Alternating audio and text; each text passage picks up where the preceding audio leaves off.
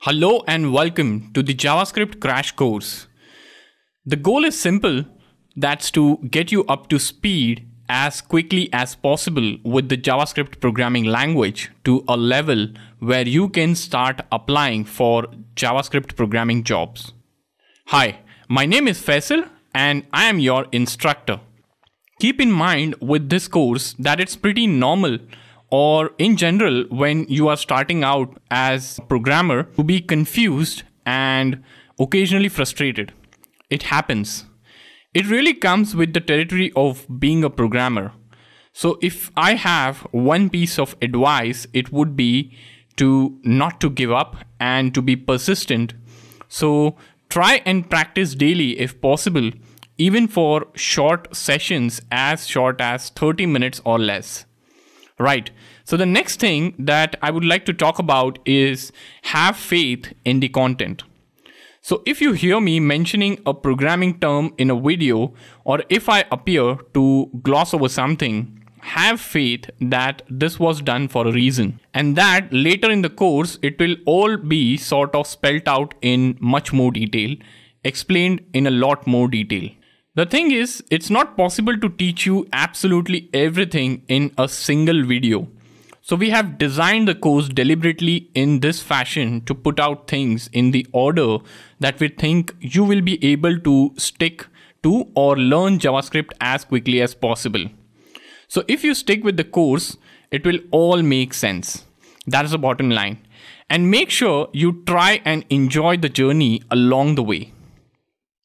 Now, speaking of the content, this is a crash course, so it's not a language reference guide or something that takes you through the entire JavaScript programming language. So what I mean here is that we focus on what you need to learn to become a productive and an employable JavaScript programmer. So what that means is that there are certain parts of the JavaScript language that we have omitted that in our opinion as professional developers you don't need to know. And that's something you can always learn later.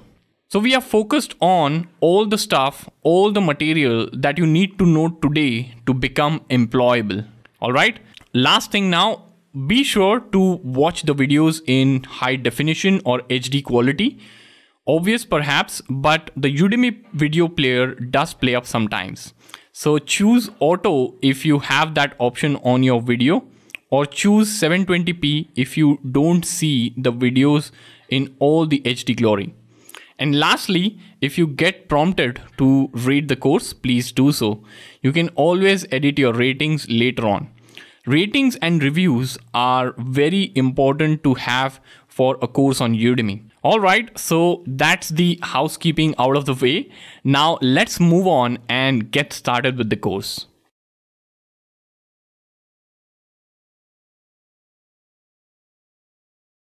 Hello guys, welcome to this class. So in this lecture, we are going to talk about what is JavaScript. It might seem strange to start a course on JavaScript by asking what is JavaScript? But it's an important question. Any web application has an HTML, CSS, and JavaScript as the building block. Let's talk about HTML. So HTML stands for Hypertext Markup Language, which is a standard markup for all modern web pages. It's a markup language that is used to define the structure of a web page. HTML can be thought as a skeleton of web page. HTML elements consist of tags that is used for rendering web pages. For example, if you have a content or a description that you want to display as a paragraph and a link which you want to make clickable, you can use HTML to define paragraphs and links on the web page. Now, what is a CSS? So, CSS stands for Cascading Style Sheets, which is used to style web pages. Now, on web pages, you might want to display a certain elements with a certain color. How would you think? How would you make that happen? This is where CSS comes into picture. So CSS in short is used to make web pages beautiful. Now let's talk about JavaScript. So JavaScript is a programming language for web which is used to build interactive web pages. With JavaScript, you can define what happens when you click on a button, when you submit a form, and so on. You can say that HTML defines the structure of a web page, CSS adds beauty to the web pages, and JavaScript adds life or a behavior to the web pages. Also, code written in JavaScript are known as scripts. Now let's take a look at this example. Now here in this particular code, the entire thing is known as an HTML element because it defines an element on a page. So P is a tag and what a wonderful web page is the content defined within the page. Now let's say if I want to add some styling to this element. So I will say this CSS which specifies that p tag should apply blue color in it. Now p is a selector over here and color is a property and blue is a value. So p is a selector, color is a property and blue is a value. Now let me give you an example. So I will navigate to my web browser to show something to you. So here on the web browser, I am on learnprogramming.academy. Now I'll right click on this, become the programmer that gets you the job offer. So I'll right click and I'll say inspect. Now you can see this particular line is written so basically this has this particular content here, become the programmer that gets you the job offer. This is written within the h2 tag as you can see over here. And the CSS for this element over here is shown here at the bottom. So you can see element dot style over here and it has the color, font size, font weight and font style. And all these are applied. So if I uncheck any of this, so if I uncheck color, you can see the color changes. And if I select it again, it will apply the color. So this is CSS in action and this is the HTML part that you are seeing. Now with Chrome, you can right click and go to inspect and check out any element on the web page. Okay. So I'm using Chrome browser. So you can even try this out in some other browser that you are using, but I will be sticking to Chrome for this course. Now here we are seeing JavaScript being executed in the browser. Now how is browser able to execute the JavaScript code? So browsers have a JavaScript engine which is embedded in the browser. So Chrome has a V8 engine which is also found in other browsers like Opera and Edge. Firefox, which is another popular browser out there, has SpiderMonkey engine, which is used to execute the JavaScript code. So I have one more link open here in this browser, which is for the V8 JavaScript engine. So I'll add the link to these articles in the resource section of this course. But what I mean to say over here is this is the article, a Wikipedia article on the V8 JavaScript engine, and you can read more about this engine. There's another link which is for the SpiderMonkey engine. Okay, so these are the two URLs that you can go to and read more about the JavaScript engines if you wish to. Now, the JavaScript code that is executed in the browser is because of this engine. And because of this engine, the JavaScript code can execute anywhere on the server, wherever this engine is. And this makes JavaScript really, really powerful. So I'll head over to my PPT now. So let's talk about what can you do with JavaScript. So with JavaScript, you can add interactions in your web page, which can improve the user experience. For example, you can show a message on the click of a button. You can add animations. You can display timers like a countdown and so on. JavaScript today can be used to write server-side web applications and even build web servers. And this is possible with the help of Node.js, which is nothing but a JavaScript runtime environment, which is used to execute JavaScript code outside of a web browser. JavaScript can also be used to build mobile applications which run on different mobile devices. You can even use JavaScript to build interactive games. Now that's about JavaScript so far. And before closing in, I would like to mention a stat. So as of 2022, 98% of the websites use JavaScript as per Wikipedia. And this is an amazing stat and it tells you how important JavaScript is in web development.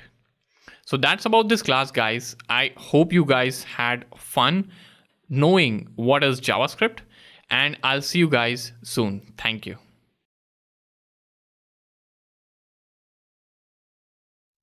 Hello guys, welcome to this class. So in this lecture, we are going to discuss how can you make JavaScript work in your web browser.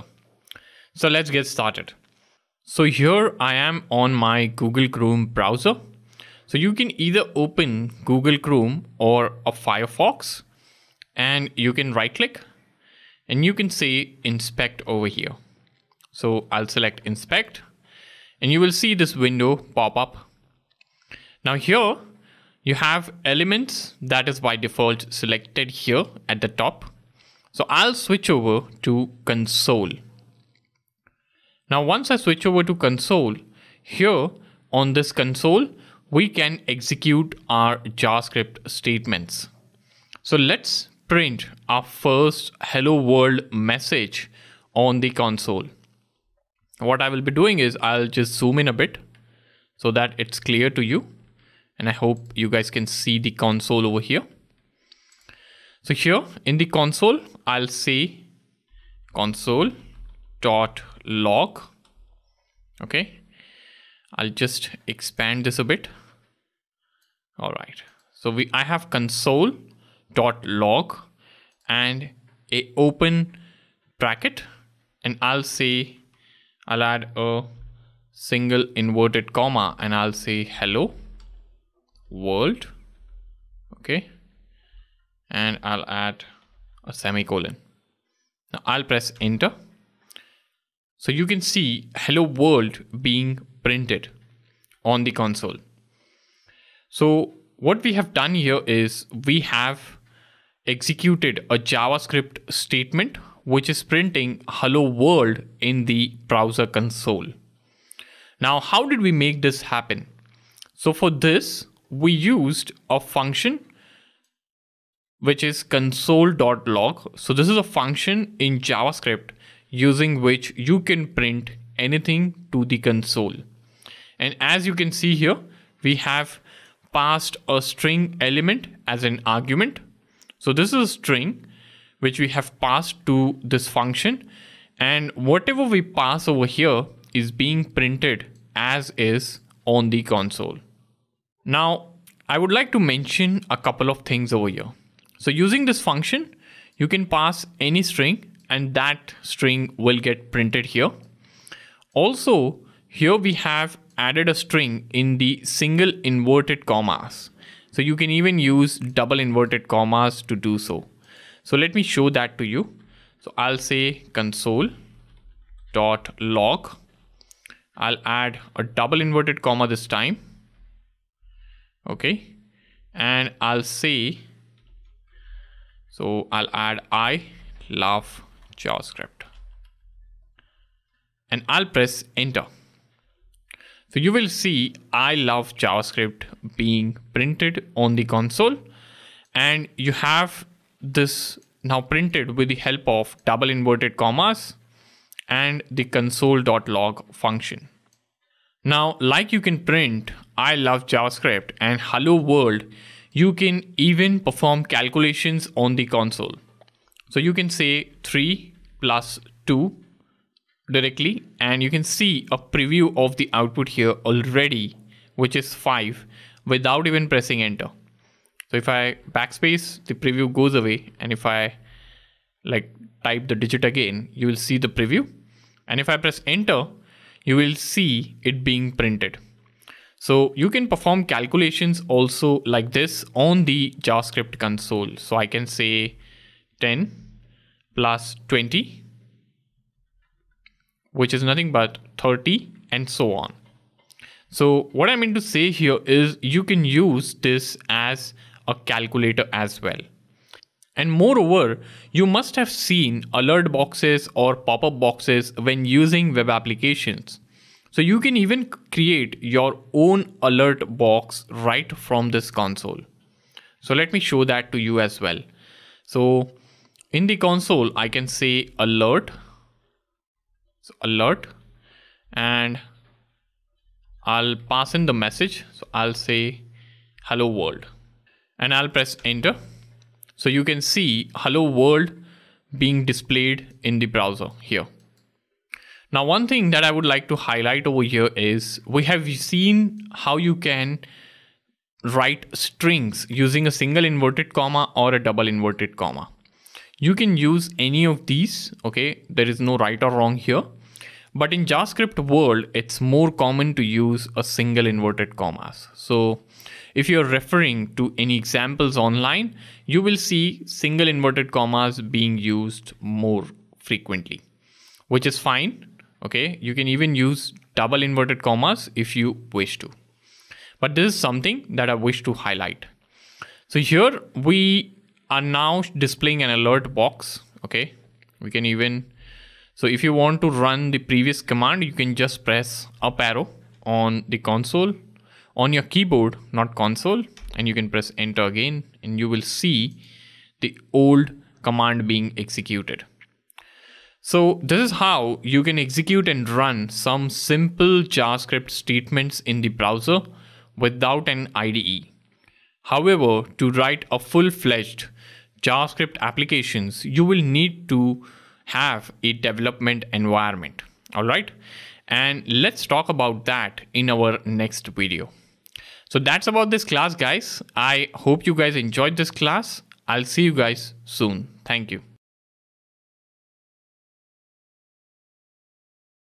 Hello guys, welcome back. So in this video, we are going to look at the basic tools we are going to need to begin programming in JavaScript. So we'll need a browser to execute JavaScript code and Google Chrome is what I will be using in this course. We will also need some way of creating our code.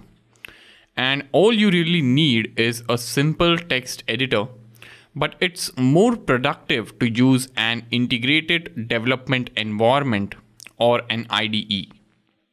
Now there are some benefits of using an IDE over a normal text editor. And the benefits are you get access to features like easy source code highlighting, autocomplete, debugging, and more. Now, I'm going to assume you don't already have a development environment set up. If you do already have an IDE set up on your computer, and it can be used to write JavaScript, and if you are comfortable with it, then you can continue using that for this course but we are going to use Visual Studio Code for this course. But as I said, you can use something else if you prefer.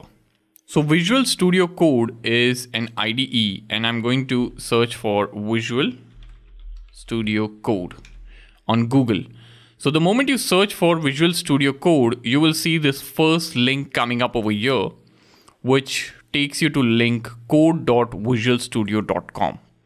So either you can type in this URL directly in the browser or you can just Google and land on this URL. Now here, this is the landing page of this particular IDE and you can see different features if you scroll down here. So you can see different features like IntelliSense. So it goes beyond syntax highlighting and it provides smart completions based on variable types and so on. So a lot of features you can see it's integrated with a version control system like Git. So it's customizable, okay? And it can be used to program in various languages. So you can use for writing Python code, as you can see here. You, it can be used with Docker. So, so different technologies it works with, okay? And it also allows you to deploy okay so you can read more over here and you, uh, you can see like Visual Studio Code can be used for JavaScript, Python, Java, and so on. So we'll be using it for JavaScript and you have the download links for the installer of your choice. So either you can download from here, okay, or you can scroll up here. You can see the button over here, which tells download for Windows. So it has recognized that I have Windows and I'm accessing this site from a Windows machine. And hence it's telling me download for Windows. But if you try accessing this website from a Mac machine or equivalent like a Linux or something, so you will see this button changing accordingly. So I'll say download for Windows, okay? And I'll just click on this button here and the moment you download, you will see the download has begun here in the progress bar at the top right. And here you are being redirected to the documentation for Windows. And you can see Visual Studio Code has a concept of extensions as well. So you can add extensions to your IDE and work with different features. So it just adds more features or you can say extensions are plugins which when installed, it will add a few features and it will make your ID more powerful. So the download is done, okay? And I'll just go to my downloads folder. So I'll say, I'll go here and I'll go to the downloads folder and this is the setup. So I'll just double click on the installer here. Okay. And I'll close this. So the moment you double click, you will see this pop up. Okay. So if you are on Mac, you will have to double click on the DMG file and follow the instructions for the installation. But since I am on Windows, I got a .exe file and on double clicking, I see this window here. So this is the license agreement, which I should accept. You can read it if you wish to but I'll just accept and I'll move forward. Now it's telling me the link or the location where this software will be installed. So if I'm fine with the default, I can click next or else I can choose browse. I go next and it's telling me that it will create the following shortcut in the start menu folder. So I'm fine with this as well. I'll say next and I'll leave these to default as well. I can choose to create a desktop icon, but I don't want to. So I'll say next again. And it's giving me a summary now with an install button. So I'll just click install and the installation has begun. So this will take a couple of minutes and once this progress bar is 100%, you will see the installation complete. So You'll see if you click finish and if launch Visual Studio Code is selected, clicking finish will launch the IDE. So once the installation is successful, this is what you will see. Okay. And this is a page, which is the getting started page of Visual Studio Code. And this tells us that our installation has been successful. You can additionally check out the link to documentations here on the right hand side okay if you're curious about this IDE and wish to learn more so that's about this class guys I hope you guys enjoyed this class and found this class valuable I shall see you guys soon. Thank you.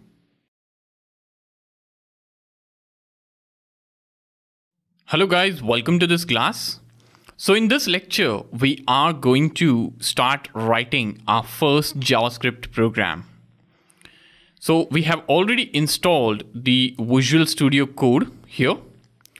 And Visual Studio Code has folders which are workspaces. So it has the concept of workspaces and we are going to be creating files where our source code will reside. If you have decided not to install and use Visual Studio Code, perhaps because you are already using an IDE that you prefer, then obviously these steps I am gonna show you in this video will be different, but the concepts of creating a JavaScript program will be the same.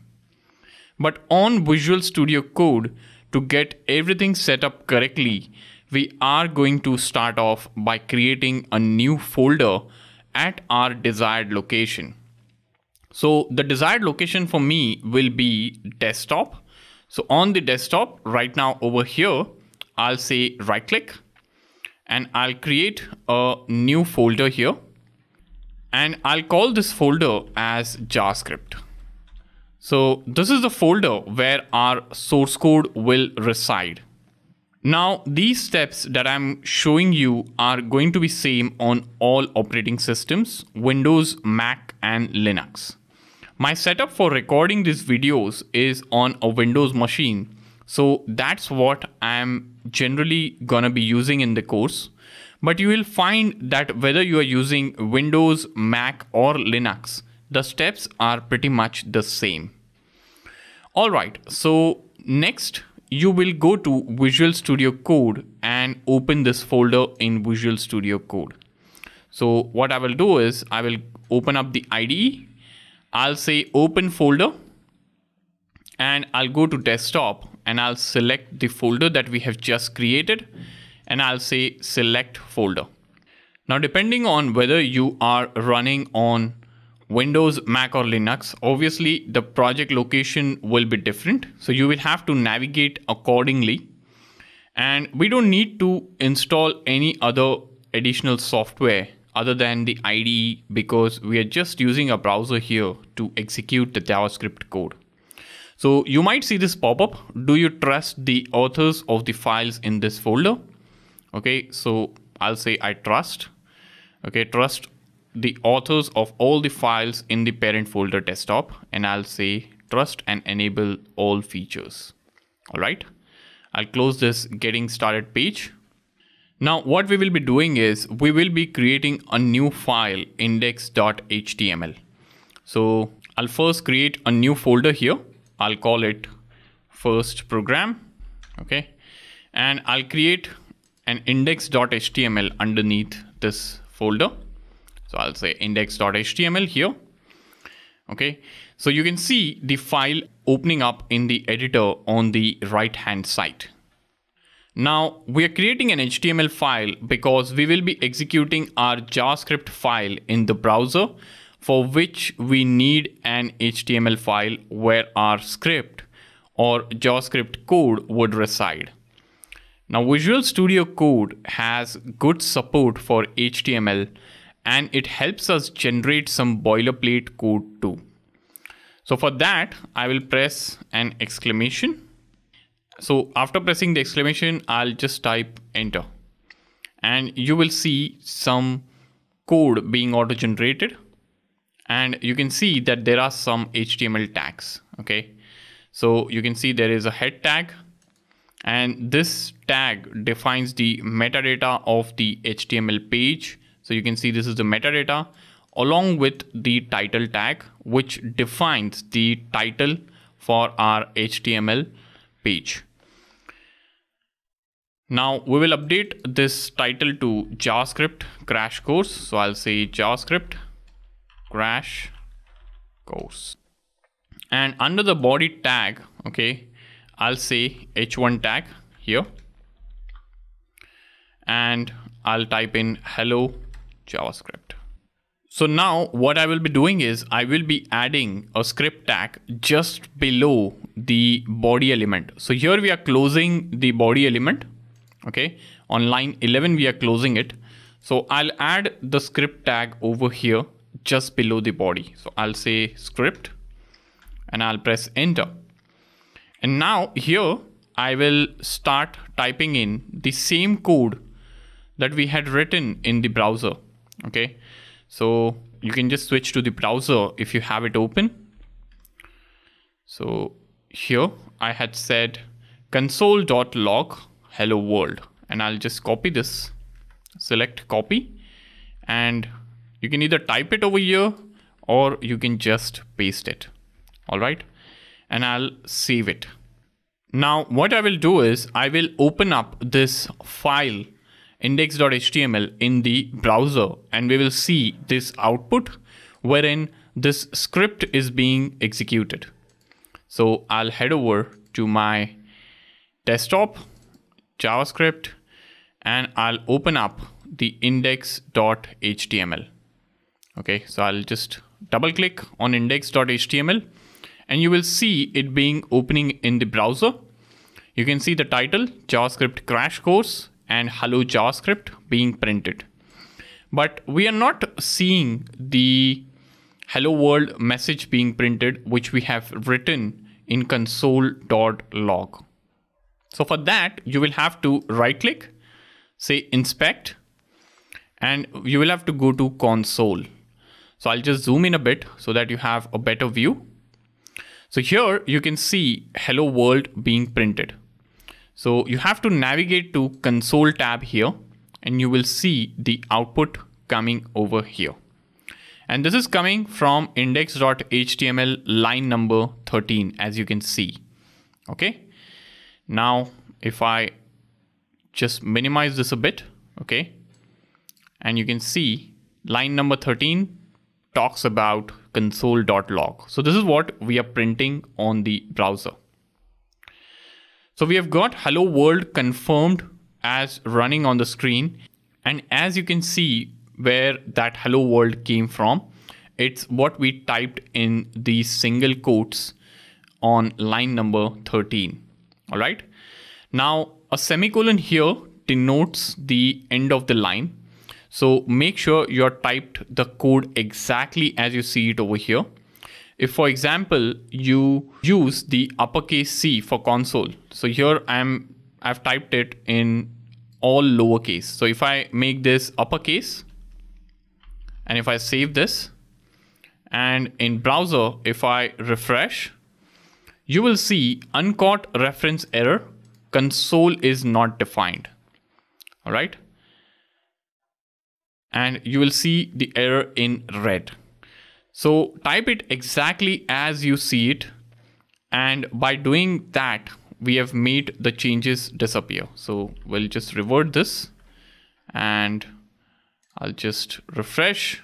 So you will see the error is gone now. All right. So that's our brief start.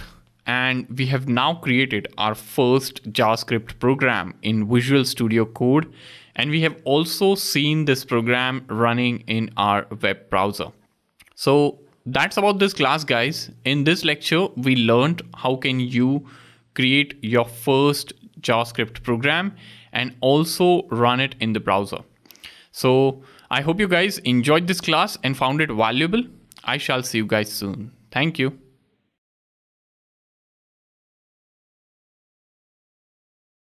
Hello guys, welcome to this class. So in this lecture, we are going to talk about the structure of a JavaScript code. And by the end of this lecture, you are going to have a complete understanding of the overall structure of a JavaScript program. So let's get started. So I'll head over to my Visual Studio Code here, and we are going to first take a look at the boilerplate code that Visual Studio Code generated for us in one of the last videos. We are going to start looking at what it means. If you haven't already got the code open, start Visual Studio Code and open this file index.html. So we have index.html file, which is a file of HTML type and our source code, including the HTML and the JavaScript code resides in this file. The JavaScript code looks very simple, just one line. HTML code consists of tags and elements and JavaScript code consists of statements, which is essentially an instruction that you wish to give to execute.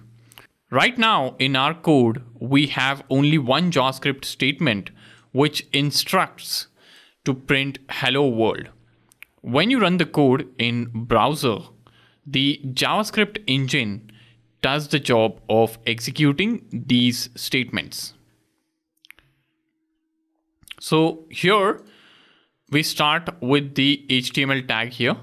Okay, and this is the entire file. So within the HTML tag, we have all the code here. And then we have the head tag and the body tag and the script tag. So head tag means the header tag, which has some of the meta tags here and it defines the meta for this particular web page. And then we have the title tag, which describes the title that we will have. So you can see the title that is being reflected here is coming from this title tag. So you can keep title whatever you wish to. Then we close our head tag. We then have the body tag wherein we define what comes on the HTML page. And here we are defining hello JavaScript. And that is what is being printed on the page here. Hello JavaScript. You can change this to whatever you want and since we are displaying this in the h1 tag, it is being displayed in larger fonts here. So if I just collapse this, you'll see it's in a larger font, which means it is being populated from the h1 tag.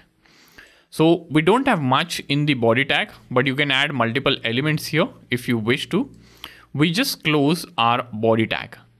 Then we have the script tag, wherein we define the JavaScript. And here within the script tag, we have written our JavaScript code. Now JavaScript code is always written within the script tag and this tag can be added anywhere in the web page. Now we are adding it to the end of the web page and there's a good reason for that. So the first reason is to avoid unknown errors. So like you know, JavaScript adds behavior to the web pages, which means it works with the elements defined on the HTML page. Now there's a possibility that JavaScript might even try to alter the elements on the web page depending on the state.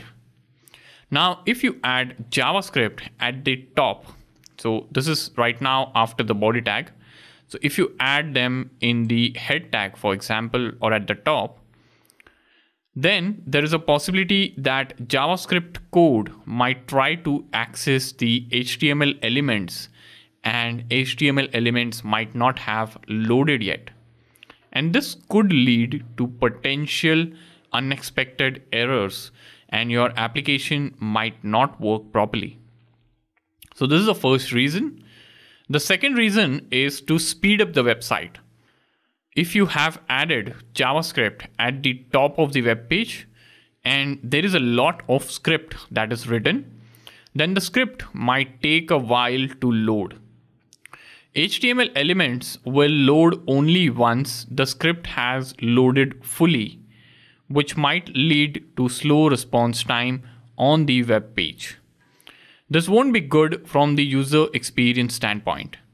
And hence, it's always a good practice to load JavaScript at the end of the page so that these issues that we discussed can be avoided.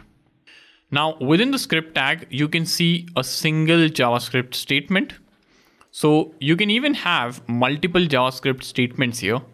So I can just duplicate this line here. I can just copy paste it here I can hit save. I'll navigate to browser and hit refresh. So you can see hello world being printed twice. So you can definitely have multiple statements in the script tag. Now, another thing that I wish to highlight is JavaScript does not care about the indentation. So if you're coming from a programming background like Python, you will know that indentation is important in those programming languages. However, JavaScript uses curly braces to group statements together.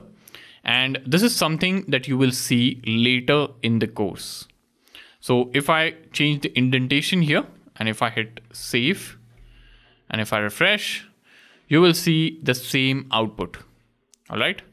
So I'll just press Control Z and I'll save the file. Okay, so that's the basic structure of the JavaScript program. There's still a lot to explain, which we will see in the later videos. So that's about this class, guys. I hope you guys enjoyed this class and found this class valuable. I shall see you guys soon. Thank you. Hello guys, welcome back. So in this lecture, we are going to talk about how can you do more with your development environment. So far, we have written a couple of statements in JavaScript and we are seeing the output in the browser. So right now, if I make any change, so let's say if I add a full stop over here, I hit save and then I have to go to the browser. The changes are not reflected here, and to reflect the change, I have to hit refresh. So you can see the changes are reflected now. So you will have to do a refresh every time you make any small change in your JavaScript code. So this is not 100% efficient and there is a better way. So what I would want to show you is if you make any change in the JavaScript file, the output will be reflected instantly without any refresh. And for making that happen, we will have to install a small extension in our Visual Studio Code. So what I'm going to do is I'm going to go to Visual Studio Code and I'm going to click on this extensions icon over here. So I'll say here extensions and I'll scroll down a bit so this extension that I'm looking for is not installed for me. So what I will do is I'll search for live server. So if you just type live, you will see this first extension called live server. Okay. If you click on this, so this is a small lightweight server that you can add to your Visual Studio Code. Okay. So what it does is it starts a local development server with live reload feature. So every time you make a change, the page is refreshed instantly when you hit save and you can see the changes instantly. So this makes your workflow much more efficient and you will see the output very easily and quickly. So what I will do is I will go ahead and click on install so it's installing. It will take some time. So the installation is done. I'll hit close. I'll close this and I'll go to the code here. So now we have live server installed. Now, how do we run this code on live server? So to do that, I'll have to right click on this file and you will see a new option come up over here. Open with live server. So I'll click on this. And the moment I say open with live server, you will see a browser window opening up and you will see the URL of localhost along with a port number. Okay. And you have the folder structure and the index.html. All right. So since this is a new browser window, I'll just cut this and I'll close this and I'll go to my older window and I'll paste it over here. Okay. So this is now running on this server. Okay. So what I will do is I'll just minimize this Okay, and so I've aligned it side by side here and I'll open the console now. Okay, so here's the console. Okay, you can see the message live reload enabled. Now, whenever I make any change to the source code, so if I let's say remove the full stop and if I hit save, you will see the changes being reflected instantly. Okay, I can say hello JavaScript here and I can hit save and you will see the output instantly. So this is magic, okay? like for like at least if you're making and if you're doing some live development out there and if you're continuously making some changes to the file, I think this is really helpful rather than refreshing it every time. So I have this another tab open wherein we had opened the file manually via the browser. You can see, see in the address bar and you will notice that it's not running on the server. So I'll have to refresh over here to see the output. So every time you make a change, you hit refresh. But this is much more better. All right. So this is a small customization that I wish to show you. Uh, actually, it's not a customization. We have just added an extension and we have like executed the code on the server. All right. So that's about this class, guys. I hope you guys understood how you can configure live server for yourself on your local machine. So that's about this class, guys. I hope you guys enjoyed this class and found it valuable. I shall see you guys soon. Thank you. Hello guys, welcome to this class. So in this lecture, we are going to talk about how can you separate the JavaScript file. So by the end of this lecture, you will have a complete clarity as to why you should separate your JavaScript code from the HTML and how can you do it. So right now we have a simple JavaScript and HTML file, but the code that we have written is very, very simple. It's pure basic. And in real world applications, your code base will be much more larger and there will be lots of JavaScript code that you will have. So it's not feasible or it's not advisable to have your JavaScript code in the HTML file. And that is for the following reasons. So the number one reason is it would make the HTML file difficult to manage. And number two, it would make hard to spot errors since it's a very, very long file. And number three, it will even make your code look very overwhelming to anyone reading it.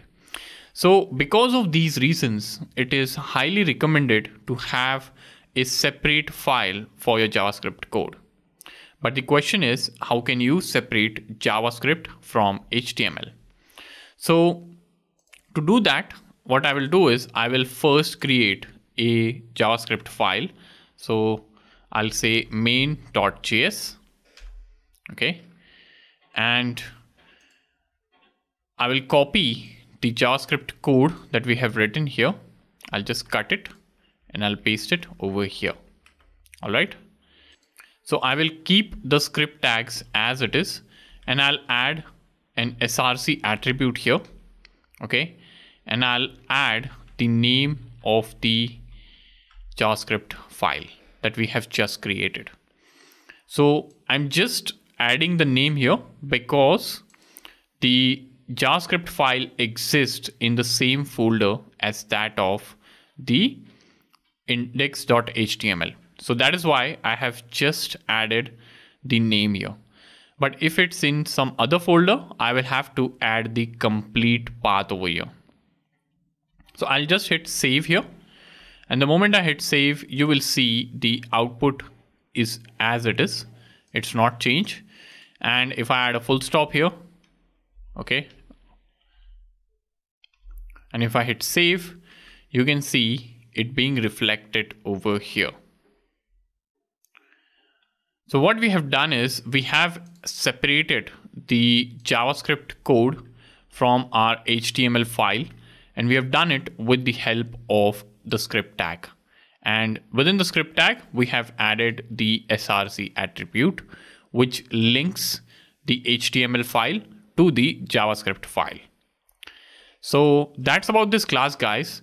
In this lecture, we learned how can you separate the JavaScript file or JavaScript code from the HTML file. And we also learned why you should do that. So that's about this class, guys. I hope you guys enjoyed this class and found it valuable. I shall see you guys soon. Thank you.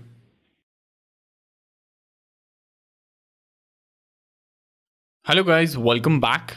So in this lecture, we are going to talk a bit about dot notation and how can we use methods from other classes. So what we are going to do is we are going to create a new project which will be a simple version of Eliza. Eliza, in case if you haven't come across it before, was a program written in 1960s. It is an interesting program for a couple of reasons. It was the first program to attempt natural language processing and gave the illusion of understanding what the user was typing. It doesn't understand that just an illusion, as you will see when we examine the code. The other reason it's interesting is because it completely failed at the purpose it was written for.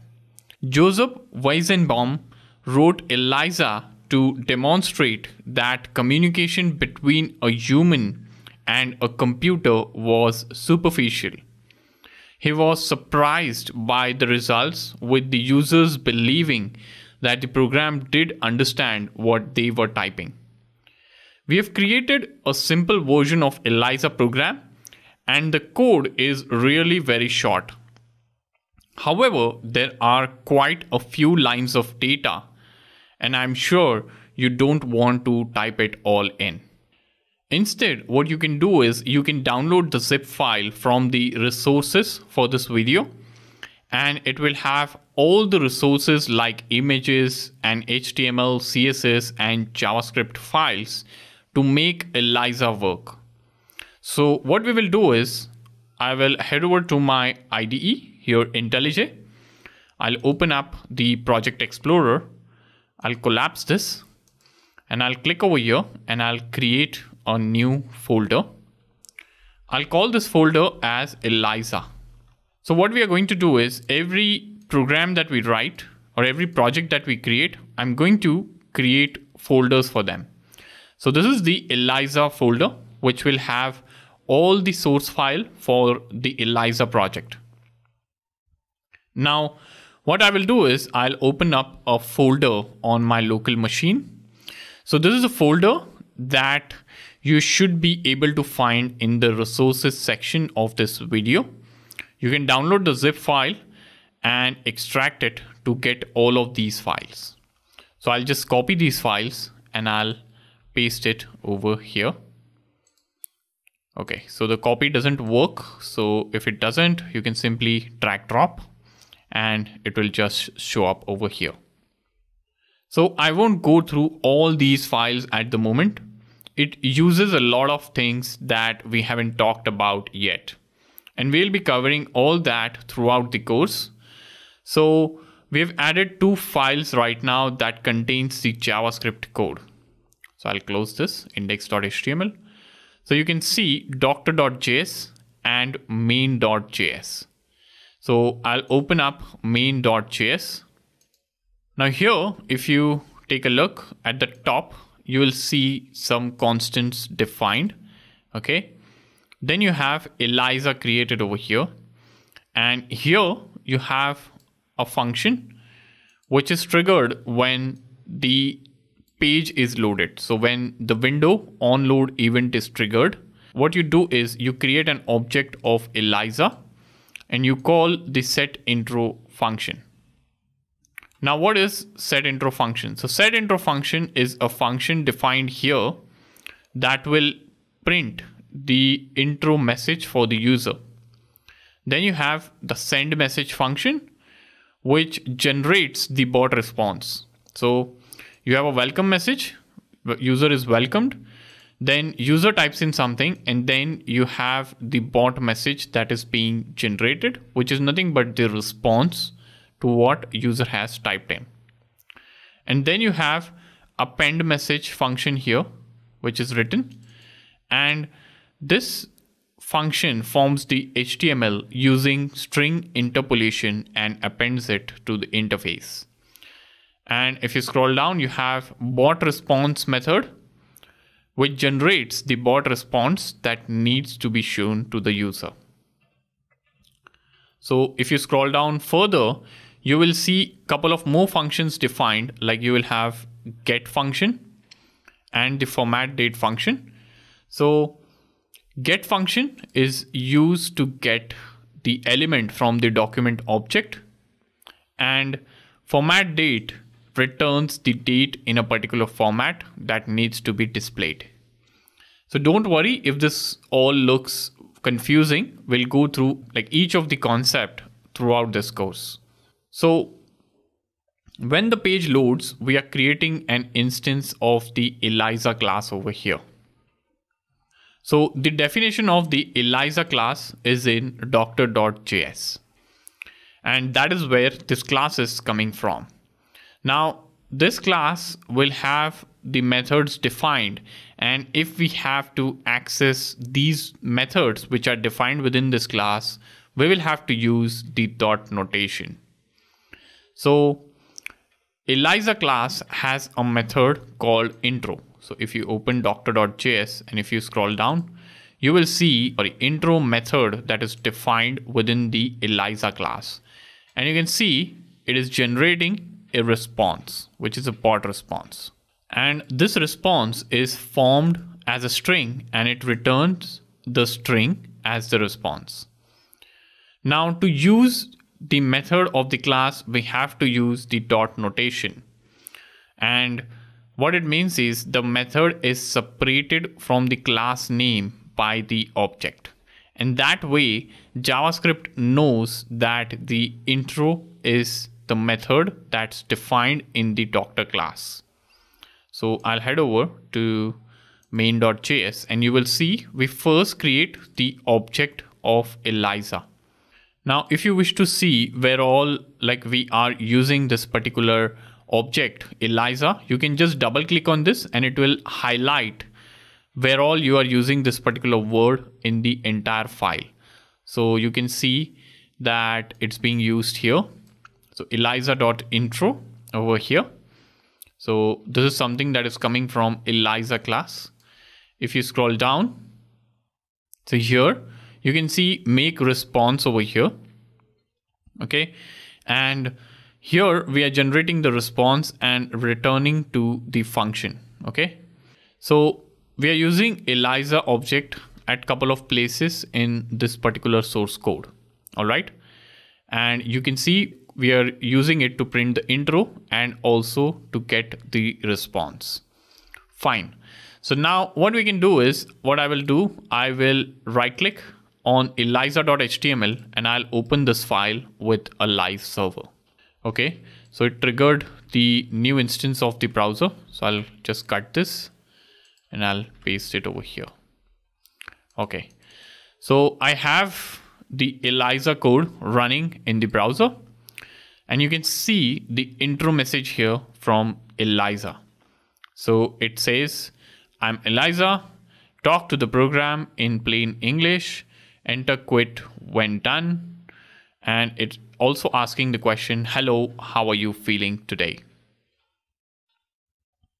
So I can say I'm feeling good and I'll press send. Now, the moment I press send, it's asking me how long have you been feeling good? So the program is talking to me and I can say since very long. I'll press send. How do you feel when you say that? So it will keep on asking you questions and it will talk to you. So this is a program. You can just play around with it. The program is far from perfect and it wouldn't take long for most people to work out that they are talking to a computer. The original program had far more responses programmed into it, but this is basically how it worked. So it's quite impressive for such a short program and you can spend a few minutes having a conversation with it. Nowadays, we have several examples of true artificial intelligence. Things like Apple's Siri program, Microsoft Cortana, and Google Assistant all understand the input they are given to some extent anyway. This program has no understanding, it's just matching words and producing a randomized response. So that's about this class guys. So I hope you guys have a fair clarity on what is dot notation and how can you make it work. So we saw the main.js file of Eliza program. We saw Eliza program in action and we saw how dot notation is being used in Eliza. So that's about this class guys. I hope you guys enjoyed this class and found this class valuable. I shall see you guys soon. Thank you. Hello guys, welcome back.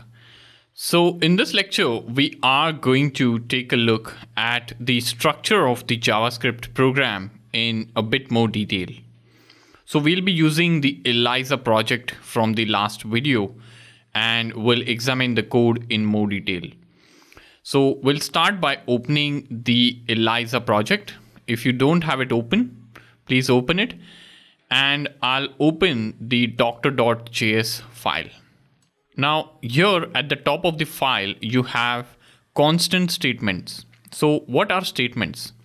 So a statement is nothing but an instruction that is to be executed. We have some lists defined to make Eliza work and one of this is called matches which is defined over here and we are going to use that to hold the list of the text that Eliza recognizes. And we'll be looking at these collection classes in a far more detail later on. So I'll just expand this view. Okay. And every statement that you see in JavaScript will end with a semicolon, as you can see over here. You won't get an error if you don't use semicolon, but it's always best to follow the convention. After these JavaScript statements wherein we declare a some constants, we have a comment. So here if you scroll down, we have a comment here. Now everything from here, which starts with a forward slash and asterisk on line number 128 to line number 131 is a comment. So this entire thing is a comment. Now what is a comment? So comment is ignored by JavaScript and has no effect on your code. Basically, it is not executed. You can have a comment that gives a brief description of the code as to what it does and also contains an acknowledgement to the authors of the original code.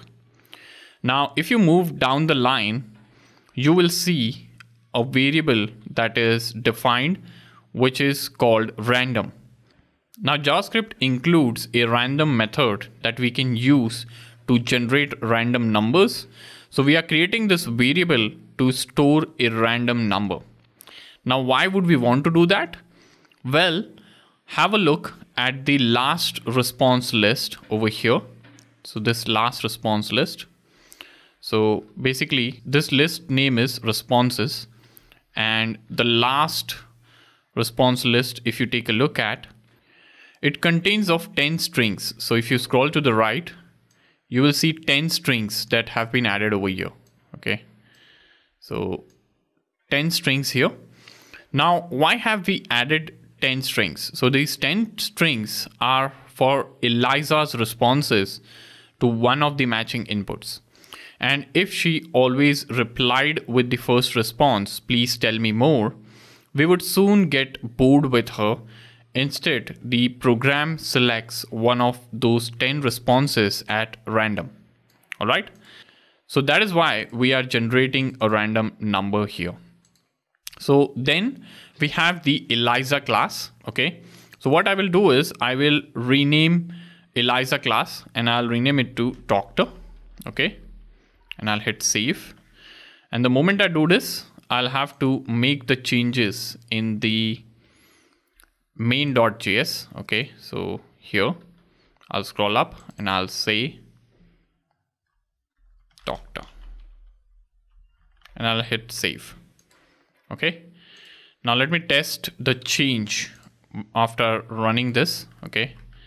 So I'll just open it in this instance here. Okay. And I say, hi, Eliza, feeling good. And I say send. And I'm glad you could drop by today. Do you think is it? So it's working perfectly fine and there are no issues as such. Okay. So we changed the name of the Eliza class to that of doctor. Okay. And here we have the doctor class and most of the file is taken up by this doctor class here. And just before the class definition, like we saw, we got the list of recognized words or phrases. And we also saw the dictionary of reflections. So if you scroll up, you will have the dictionary of reflections. So this is the dictionary of reflections and we have the responses. Okay. So we have matches, then we have reflections and then we have responses. And you will see how these are used as we work through the code. Okay. So I'll scroll down here. Now here, just within the doctor class, you will see there's an intro method. And intro method returns the string that the user first see when the when they run the program. So here that you see intro. So here is the intro that you see and you can see that is what is being returned from here. Okay. And the main work of the Eliza class is performed by this make response method here, which starts on line 145. And this method contains quite a few comments that you are seeing being highlighted in green. And these are single line comments. So if you scroll up here, forward slash, asterisk and asterisk backward slash, this was multi-line comment. So everything within these symbol will be considered as comment and won't be executed. However, if you want to comment a single line, you can use two times forward slash. So this is a single line and multi-line comment. And like multi-line comment that we saw at the start of the file, these single line comments are also ignored by the JavaScript. And they are there for us humans to read to help us understand the code better. Now, when you were looking at the responses in the list, okay, so if you scroll up here, you will see some symbols like percentage one, okay? And if you scroll to the right, let me scroll to the right a bit, you will see percentage one here. Like what is percentage one? And you will think that it does not make sense. And you might wonder why some of them have percentage one. But if you scroll down, so let me scroll down a bit. And in the responses list, the comment here explains why we used percentage one. So what we do is percentage one is replaced by something. Okay. So that is how what Eliza does is so like you can see over here, do you think? So I have entered it is. So do you think percentage one was replaced by it is? Okay. So that is how it works. So percentage one will always be replaced by something over here on line number 188, which I have selected. Okay. So the major work, like I said, is done by make response method, wherein all the matching and uh, forming of responses is done and that output is returned and shown to the user. So I'm going to stop here because by now you are probably thoroughly confused And that's good. Confusion is the natural state of a programmer. When you are learning to program, you will spend most of your time confused, and that's pretty normal. Students often become discouraged because nothing seems to make sense. But I can promise you that it will all make sense, but it doesn't happen overnight. Prepare to be confused for weeks or months. Heck, I have been doing this for years and I'm still confused a lot of the time. In the rest of this course, we are going to go through all the keywords that are used in this code and more will explain what they are and how to use them. You will understand what things are like that for loop that you see over here. Okay, you will also be able to improve the program because it does have some problem.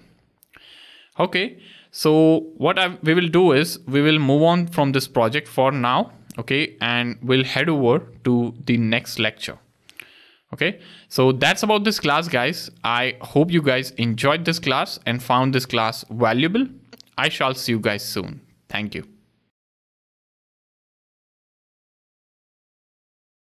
Hello guys. Welcome to this class. So in this lecture we are going to do a section summary of what we have learned throughout this section. So in this section we have looked at what JavaScript is and how can we run JavaScript in browsers. We have downloaded and installed the tools we need and created our first JavaScript project, Hello World. We then had a look at the structure of a JavaScript program. We looked at code blocks, which are enclosed in the curly braces we saw that our code is written inside the methods and methods appear inside a class. Of course, you can even have functions outside the class as well, which we will even take a look at in the latest parts of this course. We learned about dot notation and understood how methods from classes are referred to using the dot notation syntax. So there is a still lot to learn and you probably won't understand the most of the code in the doctor class. Don't worry, we'll be covering it all. And by the end of this course, you will understand what all that code is doing and even more. So that's about this class, guys. I hope you guys enjoyed this section and found it valuable. I shall see you guys soon. Thank you.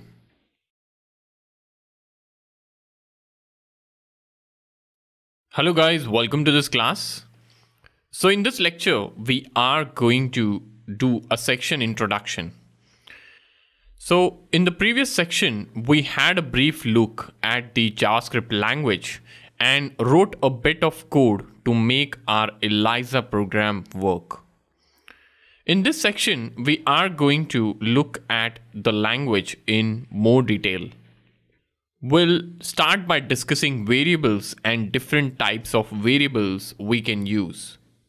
JavaScript is a untyped language and we will see what that means and why it's important. We will then review the most commonly used types in JavaScript and see how to choose the most appropriate type for each situation so that you can see code being used in realistic context, we have created a couple of programs that we will be using throughout the course. You have already seen the Eliza program. We have also got a business type of game based on Hammurabi. Hammurabi is a very early game that eventually led to more modern city building games such as SimCity. We will be using those programs to show how things fit into real world program rather than just showing you snippets of code in isolation. You will also create some small fun programs as you work through the course. So there's a lot to learn. Let's get started with this section.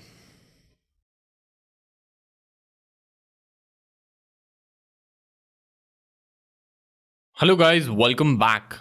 So in this lecture, we are going to discuss variables and expressions in JavaScript. So by the end of this lecture, you will have a complete clarity as to how you can use variables and how you can create them in your JavaScript program. So let's get started. So to begin with, I will start by creating a new folder over here in the Visual Studio Code so I'll just collapse all of this and I'll create a new folder. So either I can create a new folder or I have written this first program over here. So I can even duplicate this to save the typing efforts. So I have first program. I'll say rename and I'll call this as variables. All right. And now within this file here like I can keep everything same okay so it says hello javascript javascript crash course and it links to main.js in the same folder which we have over here. All right. So I'll close all.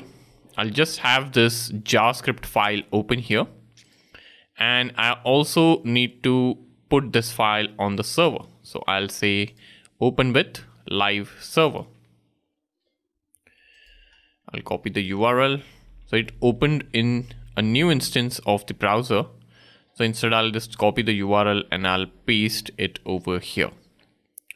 All right. So I have this file open here and I'll start deleting the code. Okay. We are going to start fresh over here. All right. So one thing that you should understand before we start talking about variables is JavaScript is an untyped language, which means that variables created in JavaScript can hold the value of any data type. This means that before we assign a value to a variable in JavaScript, we do not have to declare it if you are coming from a programming background like C Sharp or Java, you will know that there you have to declare the variable before you start to use it. In JavaScript, the type of value that is being assigned to the variable can change on the fly and it's taken care of. Declaring a variable just means telling what its name is and what type of data it can store. With JavaScript, you can declare the variable using the let keyword. So you have to specify let space and the name of the variable. So let's see some examples. So you should have this main.js open in the editor and you can just start typing in some code so I'm going to say let first number. Okay. So this is my first variable. And one thing that you should know is you can even assign a value to a variable. So here I have just declared it as of now. So you can assign the value to the variable by using the equal operator. Okay. And you can, so I, I'll just assign this as two. Okay and I'll even create one more variable here. So I'll say let second number is equal to 5. All right. So these are two variables that I have created. The number one variable is first number, which has the value of 2. Then we have second number, which has the value of 5. Now, we have assigned some values to these variables while declaring it. And we will be using these variables in a simple guess the number game. And our variables are storing whole numbers here. So 2 and 5 are whole numbers, which means we use the number type over here. We will be looking at more types later. In this video, we will stick to number and string. Now here you have already noticed that we are using the let keyword but no data type. So you have let here and let here but there is no data type. We have named our variable and you can call your variable what you want but there are some rules. It also makes sense to give them names that reflect what they mean. With a few exceptions, avoid using single character names like A, B, or X and Y. Okay, but what are the rules? So variable names in JavaScript can start with letter, digits, dollar, or an underscore. They can contain numbers, but the name must not start with a number. For example, I'll just create a variable name. I'll say let and I'll say first number is equal to 2 all right so this will give me an error it's showing me red highlight and Visual Studio Code checks our code as we type it which is very handy. Because I've started the variable name with digit Visual Studio Code is highlighting the code in red and it's underlining it with red color. You can find out what the problem is by moving the cursor or hovering it onto the top of the variable here and you will see the message pop-up appear. The message don't always mean much when you are starting to learn all this, but at least you can see that there is an error. Now I'll just undo this change and I'll just remove this to fix it. Okay and you can see the error is gone. Now we can even print the value on the console. So I'll say enter, I'll say console dot log and I'll say first number and I'll end it with a semicolon and the moment I save you will see 2 being printed on the right hand side. So after the variable name, you can put an optional assignment like this. It's a good idea to give your variables a value when you declare them. Sometimes it, that's not possible. You may be calculating the value in your code, so you don't know what it is when you declare the variable. As long as the variable gets a value before you try to use it, that's fine. All right, so back to the rules variables must not have the same name as the JavaScript keyword. Now keywords are things like class, which we have got in JavaScript. So let me create a variable here. So I'll say let class is equal to 8 and I'll end this with a semicolon. Now you will see that you are getting an error over here. Okay, so this is because class is a predefined keyword in JavaScript. Now you may think that you may have to remember every single JavaScript keyword so that you don't use them as variable names. So you could do that, but it sounds like hard work. Instead, just make a note of this error. So the error is not clear as of now, but as and when you program, you will have or you will remember the names of commonly used JavaScript keywords and you will get a hang of it. So, like practicing is the only solution over here. It's not possible to remember all the keywords in JavaScript or in any programming language. Now I'll delete this line and let me add one more variable. So this time I'll declare it using var. So I'll say subtraction and I'll say 7 over here and I'll end it with a semicolon. Okay. So this time I have declared it differently. I have used var instead of let and it does exactly the same thing as the previous two declarations. But then what is the difference? Why do we have let and var? So there are some differences in the usage of var versus let, but I'll mention that var is an old way of declaring variables in JavaScript. All modern scripts use let to declare variables. Both ways of doing it will work, but it's highly recommended that you use let, which is the new way. So I'll change this to let. Okay. Now we have got three variables declared. I'll even delete this line. Okay. So we have three variables, two, five, and seven respectively. Now our game is going to be very simple. I'll ask the player to choose a number from 1 to 10 and then ask them to do some sums with their number. By sums, I mean additions with their number. When they've done all that, the computer will tell them what the answer is. So we are going to need another variable to hold the answer. So I'll declare that next and I'll say let answer. Okay. Now I haven't assigned a value to answer because we haven't calculated it yet. And that's fine. You don't have to assign a value at the same time as declaring the variable.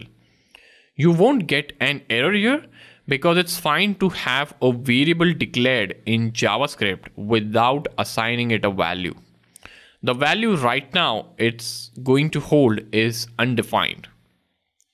So I can show that to you. I can in fact type in here console dot log and if we type in answer okay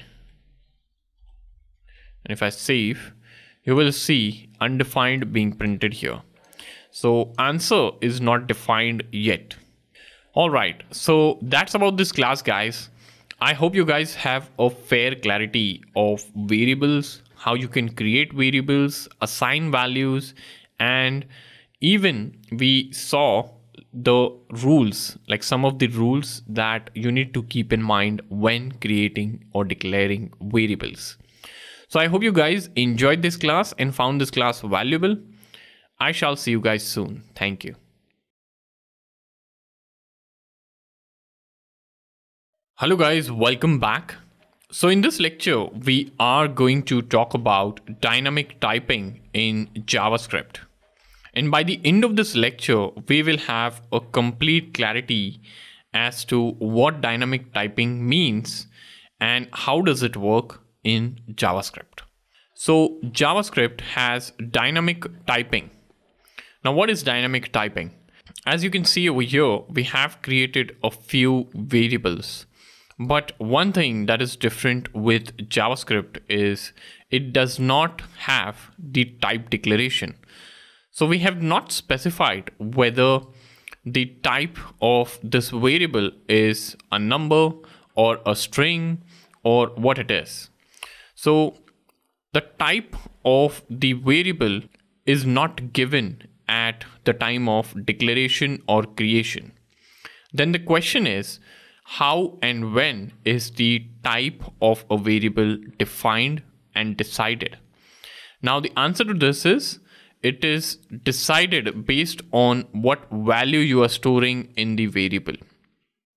So you have this variable here and if you are assigning it a whole number, the type is a number. If you are assigning it a string, the type is a string in that case.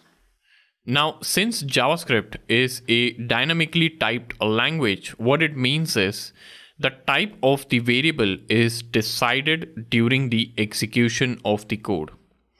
Which means when your program is running, at that time, whatever is being assigned to that variable, based on that, the type of the variable is decided. So let me give you an example. So what I will do is I'll directly run some code here in the console. Okay. So here I will create a variable. I'll call it a. So I'll say a is equal to 10. Okay. And I'll print the type. So first I'll print the variable itself. So you can see, so variable is a, okay. Now let me print the type of variable. So you have this keyword type of, which is used to get the type of any variable that you have. So I'm using this with the variable a and we are printing the output of this.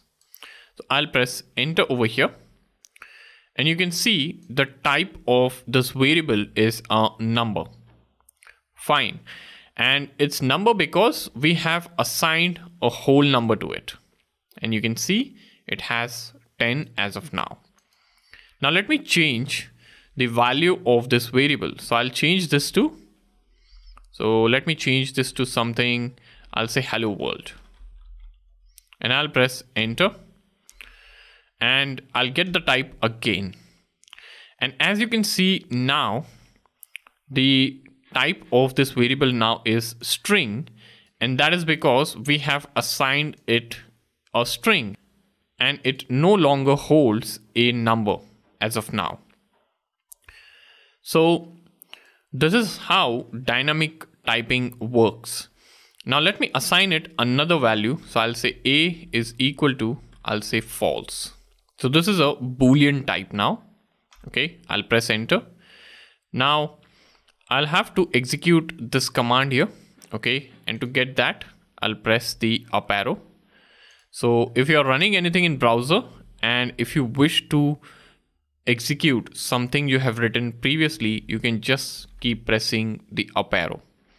So I'll just print this and you can see the type now is boolean and boolean because we have assigned it with a value false. So this is nothing but what is dynamic typing and JavaScript is a dynamically typed language. Okay, which means variable types are defined based on the value that is being stored and this is done during the runtime. All right. This is very different from programming languages like Java. So if you're coming from that background, you would be a little bit confused, but that's perfectly fine. Every language has its own set of features, and this is one feature of JavaScript wherein you are allowed to store any type of value in a variable during the course of execution of the program. This won't be the case with a programming language like Java. So if you have declared a variable as an integer or a number, you are only allowed to store that in it. You cannot assign it a string. All right. So that's JavaScript for you. So I hope you guys have a fair clarity of what dynamic typing is and how it works in JavaScript. So that's about this class guys. I hope you guys enjoyed this class and found it valuable. I shall see you guys soon. Thank you.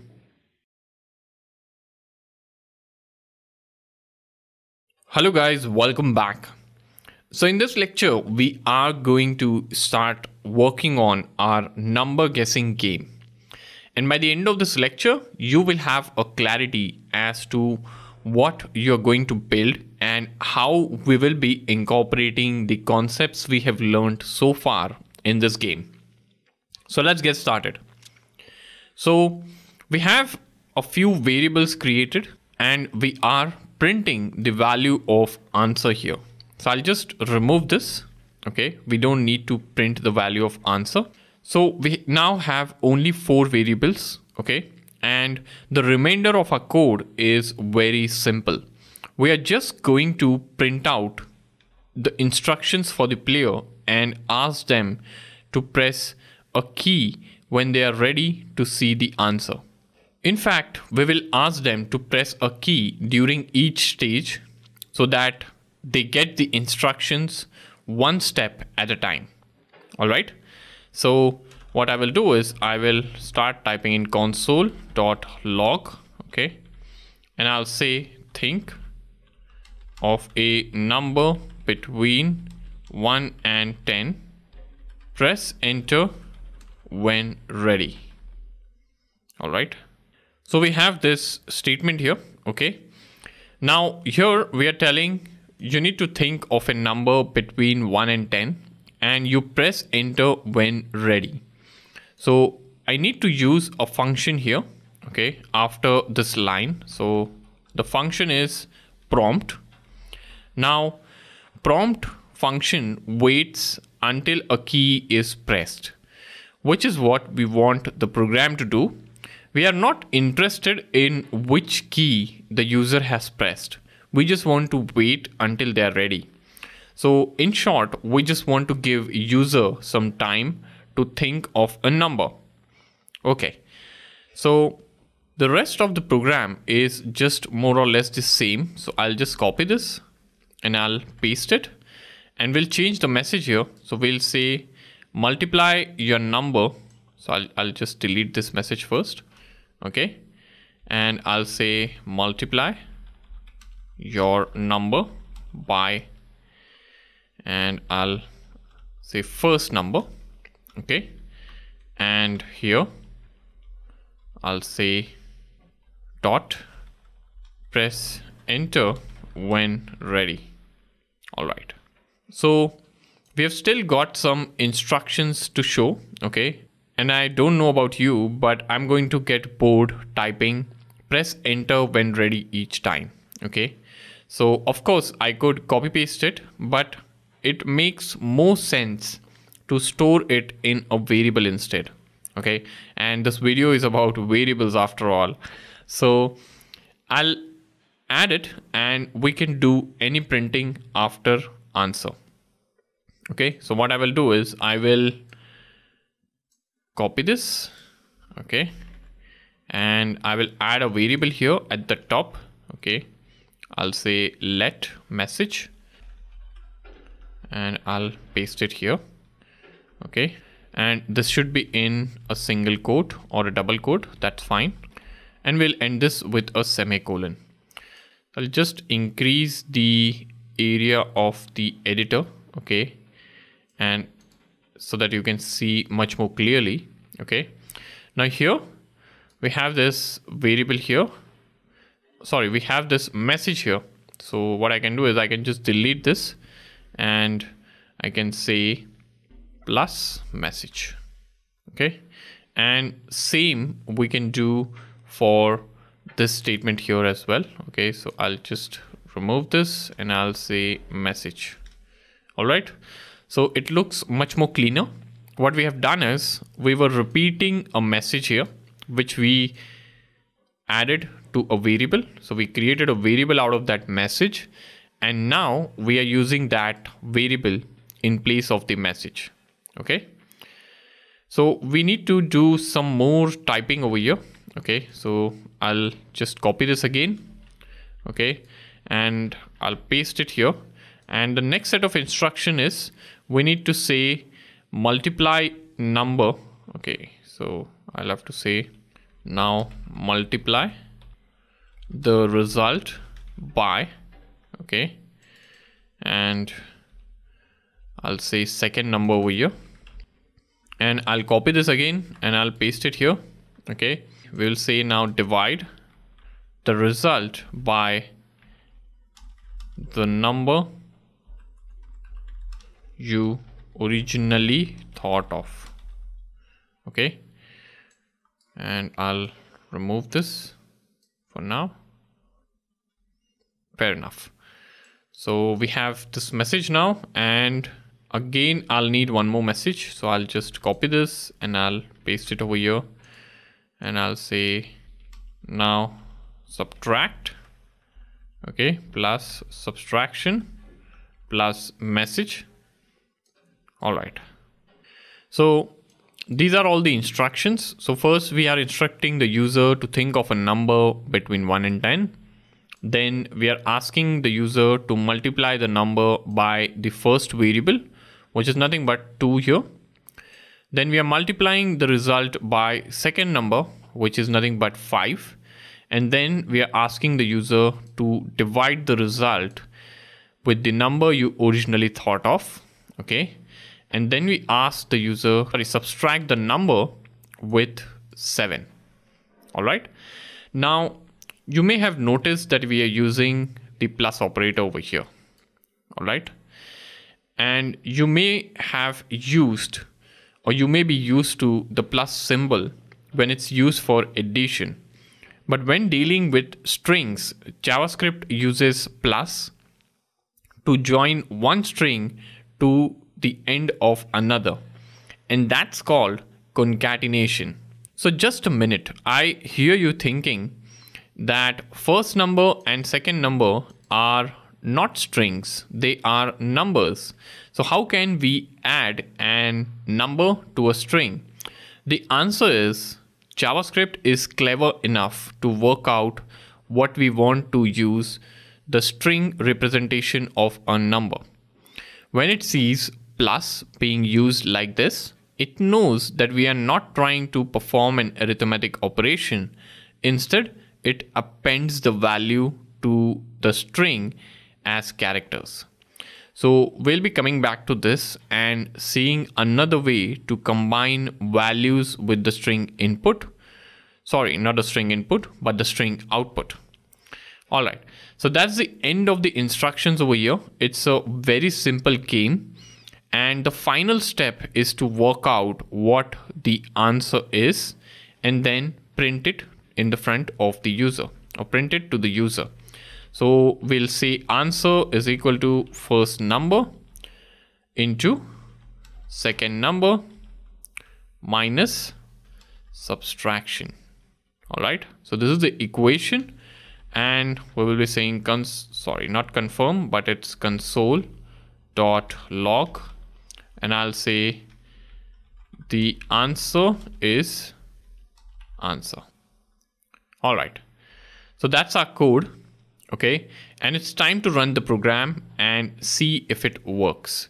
So I haven't saved my file yet which is why I'm not seeing the output here okay? The moment I save this will refresh and I'll start seeing the output.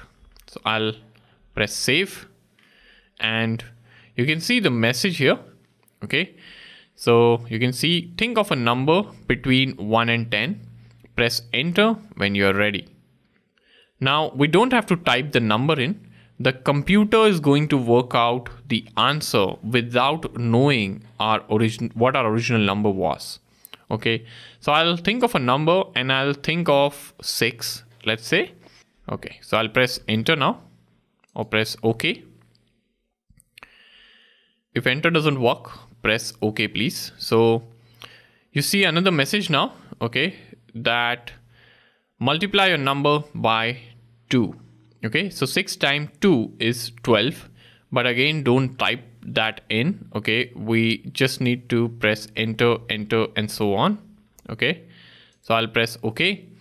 Now multiply the result by 5 and enter when ready okay so 12 times 5 is 60 I'll make a note of that and I'll move to next step. Now divide the result by the original number you thought of. Okay. And the original number was 6. So so 60 divided by 6 is 10. Okay. I'll press OK. And the final step is to subtract 7. Okay. So I'll subtract 7 and 10 minus 7 is 3 okay? And I'll say okay over here. And you can see the answer is 3 over here which means the computer has got the answer that you thought of okay? So the answer is 3 over here okay? And that's impressive. So computer has got it pretty right. Now this will look impressive, but you will be less impressed after running the program a few times and seeing that the answer is always 3. Okay? If you're not sure why it's always 3, Google something like math tricks or maths mind reading. You will find lots of similar tricks to practice with. We can improve things to make the program less predictable, but we'll do that in the next video where we will also discuss why the program uses first number, second number, and subtraction rather than just using the numbers they represent. Alright, so that's about this class guys. I hope you guys enjoyed this class and found this class valuable. Okay, in this lecture, we actually wrote our number guessing program and we saw it working. So I'll see you guys soon. Thank you.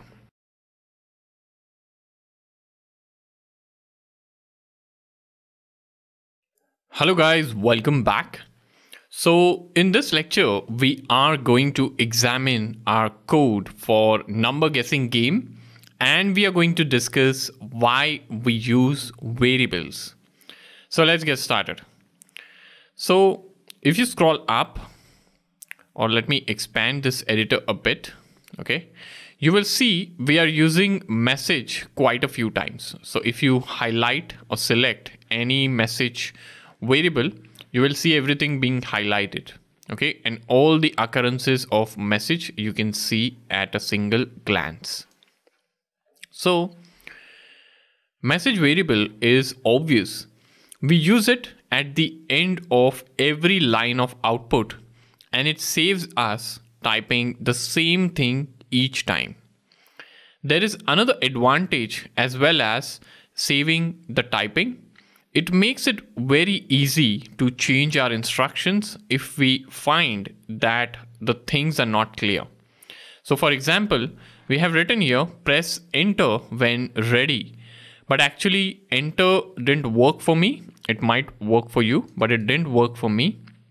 So I had to press OK. So I can change press OK when ready, okay, at a single place and it will be reflected everywhere okay so i don't have to go and change on every line. Because if that's the case i might miss a line or i might make a mistake. All right so there are these possibilities. So by defining or by declaring this particular ending string as a message variable we have a better control. So i just changed at one places and we have it being reflected everywhere so that's another advantage. Also, I mentioned when running the program that you don't have to type in the answer. Okay, so I can even add that to the message. All right, so I'll say don't type in the answer. Okay, just press OK when ready. All right, and now if I save this and if I go over here, you will see the message being reflected everywhere. All right, so message makes sense. We use the string values several times, so it makes sense to store it in a variable. But what about subtraction? Its value doesn't change and we could just use the number 7 instead. What I mean is I could change the code. Okay, so I'll just comment this. Okay, so I'll add two slashes. And I can scroll down and instead of subtraction, I can say 7. Okay, I'll add a space here. And here as well, we are using subtraction. So I'll add 7. Now I won't run it, but if you do, you may see a warning that subtraction isn't used. Okay, so if you haven't commented this you might see a warning okay? But your visual studio is not highlighting us any warning okay? The program will work as expected okay? But before i undo these changes notice that we have had to make the changes in more than one place. Forgetting one of those changes would have introduced a bug and the instructions wouldn't match the calculations that the computer is performing. And the answer wouldn't be correct. Okay? So i'll undo the change. I'll press ctrl z subtraction and i'll say subtraction. All right. Now javascript has a math object which is inbuilt and we can use that to make the game a bit less obvious Instead of using the same rules for our variables, we can get JavaScript to generate random numbers. Okay. So I'll just reduce the width of this because we are going to need our browser here now. So we have seen math.random method being used in the ELIZA program. So let's see how to use it. So we are here using the random method. Okay. So what I will do is I'll say math dot random. Okay. And I'll put two brackets here. Okay. You can see the random number being generated. Now here the random number is being generated with decimal points, but we need without decimal points. Okay. So if you run it twice, you will see two different numbers being generated and three different numbers being generated. Okay. Now to get a number between 2 and 9, we need to multiply by 8 and add 2. Okay. So what I will do is I'll say multiply by 8 and I'll add it by 2. Okay. So you can see that we are now getting the random number between 2 and 9 so I can just keep running and you can see that is what we are getting here. All right. Then we can use one more function which is inbuilt in JavaScript to get a single decimal value which is the floor function. Okay. So what I can do is I can say math dot floor. Okay. And I'll pass the output of math.random into math.floor and I'll keep running it. So you can see now this particular math.floor function has trimmed out the decimal values out of the output. Okay.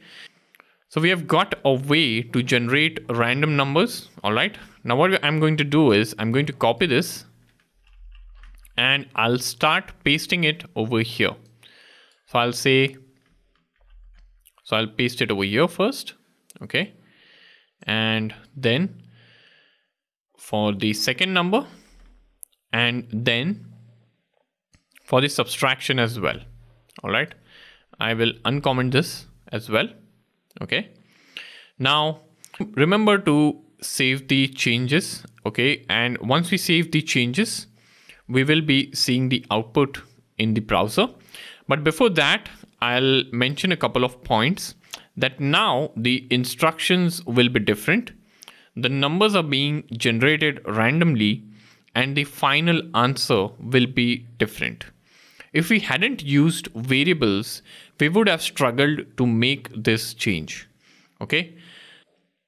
I'll just save the program here. Okay. And you can see think of a number between 1 and 10 okay multiply divide. So everything is working fine. You can just play around with this program okay by yourself. Now i'm going to finish this video with a question and a small challenge. The question is do we have to wait until so let me scroll down. So do we have to wait until line number 17 that i have highlighted over here? Okay so this line. So do we have to wait until this particular line to give answer its value. All right answer is a variable here. So do we have to wait until this line to give answer its value? So pause the video and have a think about it okay? And once we are back we will be ready for a challenge. All right so that's about this class guys. So in this lecture we learned why we use variables we learned how variables make our life easy and efficient as a programmer. So that's about this class guys. I hope you guys enjoyed this class and found it valuable. I shall see you guys soon. Thank you. Hello guys. Welcome to this class. So in this lecture, we are going to discuss the challenge. Okay, so the challenge that we had in the previous lecture was a question. And the question was, do we have to wait until this line to calculate the value of answer. And the answer to the question is no. We don't have to wait until this line and answer can be given its value at the same time it's declared. So the challenge is to modify the code so that the answer is initialized on this line, line number four, which I have highlighted. And this is a place where we are declaring this variable. This variable answer does not rely on anything that user types in. We know the values of everything we need right at the start of the program. All those instructions are just smokes and mirrors to make the player think that something's clever is happening. Because first number, second number, and subtractions have been declared and initialized at the start. So we can use them to initialize answer on line 4, the line which I have highlighted. So you can pause the video and do the refactoring or changing the code. I'll do the modifications shortly. So I'll start with the modification at my end. So I'll just cut this here and I'll delete this line. Okay. I'll scroll up and I'll paste it over here. Okay. And I'll assign it to the variable answer. Okay. So far so good. Now you can run the program and make sure it still works after the change. What is important here is that answer was given a value before we used it. We print out the value of answer over here on line 17. So we must assign a value to answer before then. It doesn't matter where we do that as long as it's done before this line where we are using it. It probably doesn't make much sense to do it in the middle of printing the instructions. That would just confuse anyone reading the code. But you could do that too. The program would still work fine. All right. So I'll stop the video here right now. And in this lecture, we completed the challenge. And the challenge was the question where we moved the calculation of answer at the top because we have everything we need for its calculation. So that's about this class guys. I hope you guys enjoyed this class and found it valuable. I shall see you guys soon. Thank you. Hello guys, welcome back. So in this lecture, we are going to discuss the naming conventions. We discussed naming our variables in earlier video in this video, I'm going to take a few minutes to discuss the naming conventions that JavaScript programmers use when creating names for various JavaScript objects and variables. So I have this link open here in my browser and I'll add a link in the resources along with this video. This link is a summarized version of the conventions that we should use. The table can be useful as a reminder and the document contains examples as well as a brief explanation of why the conventions are used. Once again, some descriptions will refer to things that don't make sense yet if you are just starting out I'm going to condense all that into the next couple of minutes. I'll start by reviewing why these coding conventions exist in the first place. So the JavaScript conventions are more or less similar to the programming languages like Java. The main reason for coding conventions is to help humans read the code. In most cases, the compiler doesn't care. Having said that, some conventions can help prevent problems in your code. Adhere to the convention even if you disagree with it. The different conventions can help to remind which language you are using.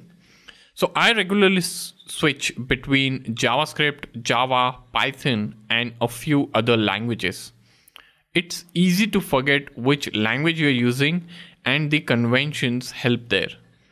If all the code I'm working on is written in a certain style, I'm less likely to type Java code into a JavaScript program, for example. So on this link, you can see different conventions. So here you have the object name as, so this is a function name and the notation or the convention that is followed is camel case. For function arguments also camel case, local variables camel case, constant names Pascal case and field name we use camel case again. So camel case is a convention wherein the first word has all small letters in lowercase. And if there is one more word along with the name, you have the first letter in the uppercase syntax. Okay. So that becomes camel case. And the reason this is uppercase, the first letter of the second word is uppercase, is because it enhances the readability. So in Python, you will have underscore as a separator to enhance the readability. But in JavaScript, we have the camel case format. Okay, and this is similar to Java. Okay, you can go through this document here. Okay, and you can read about uh, different things. You will also understand the code indentation is not that important in JavaScript so if you want to group a block of code, you have to use a pair of curly braces as you can see over here. Okay. But there is always a recommendation out there. Okay. So you can always use four spaces for indentation of code blocks. All right. So, so this is a very handy document that you should go through. All right. Now let me switch over to my presentation to give you some examples of conventions. So here you are seeing two code snippets. So one of these code snippets is in Java and the another one is in JavaScript. Can you tell me which is which? I'll give you a few seconds to examine the code and see if you can tell the difference. Okay, so you must have guessed it right. The code on the left hand side of the slide is written in Java and the code on the right hand side is JavaScript. So the convention in Java is that the class or is that the class name should start with a capital letter as you can see in the highlight. The name of the class is programmed so that it has a capital letter. We have not discussed classes yet, but JavaScript even has a concept of classes. And JavaScript classes should start with capital letters and should be Pascal case if it contains more than one word. The next JavaScript convention is to start method names with a lowercase letter and use camel case if it has more than one words. And as you can see, the naming convention in Java is similar to this one. Moving on to variable names. Variable names are written in lowercase. If they have multiple words, then the second word is started with a capital letter. That makes the names more readable. This is also similar to programming language Java. Case is important in JavaScript but don't create two objects or variable names with names that differ only in the case of letters. In JavaScript, two variables or objects having different case are considered as two different variables. It is not recommended to create two variables with the same name but different case since names cannot differ by case alone. So you can see this example over here. These are three different variables, but don't do this. Okay, it's very confusing. So that's about this class guys. In this lecture, we discussed the JavaScript naming conventions and I hope you guys enjoyed this class and found this class super valuable. I shall see you guys soon. Thank you.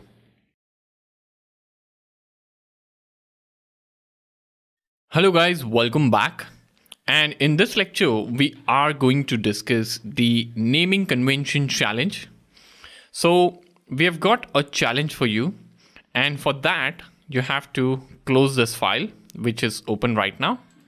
And we will move to our ELIZA project. So here we have our ELIZA project and I'll open the doctor.js file. Okay, I'll collapse this so we discussed the JavaScript naming convention in one of our last videos. Now, here's the challenge. So the programmer who wrote this doctor class or doctor.js file was fired from the company for failing to adhere to the naming conventions. And as you will see later in the course, they should have probably have been fired for other reasons as well but you have just joined the company and you have been given the job of making this code conform to the JavaScript naming convention. Now there are eight deviations from the conventions, at least eight that we are aware of. Bear in mind that eight deviations result in more than eight places where the code has to be changed. If a variable is being used, for example, in three places, then that single deviation will result in three changes to the code. It's also possible to have more than one deviation on the same line. The challenge is to fix the code so that it does conform to the convention. There is a way to make the task easier, but I'm not going to show you what it is just yet. It is very important to become proficient at checking code so that you can spot small differences very easily. You will also find that you will get errors as you make changes. A change on one line will cause problems later in the code. Getting used to seeing errors will make life much easier in future. Because you will know what you have just changed, you will find that fixing errors is really, really easy. So I am not just being mean by refusing to show the easy way now, or maybe I'm just feeling mean. But don't worry if you don't find all the problems. And if you find some but aren't sure how to fix them, that's fine too. So the aim of this challenge is to get you used to reading code carefully. Most of the code that you see and read won't make a lot of sense, but have a go at spotting the non-conforming parts. You will learn a lot from doing it. And I'll go over the solution in the next lecture. So that's about this class and the challenge guys. Give this challenge a go and watch the solution in the next lecture. So that's about this class. I'll see you guys soon. Thank you.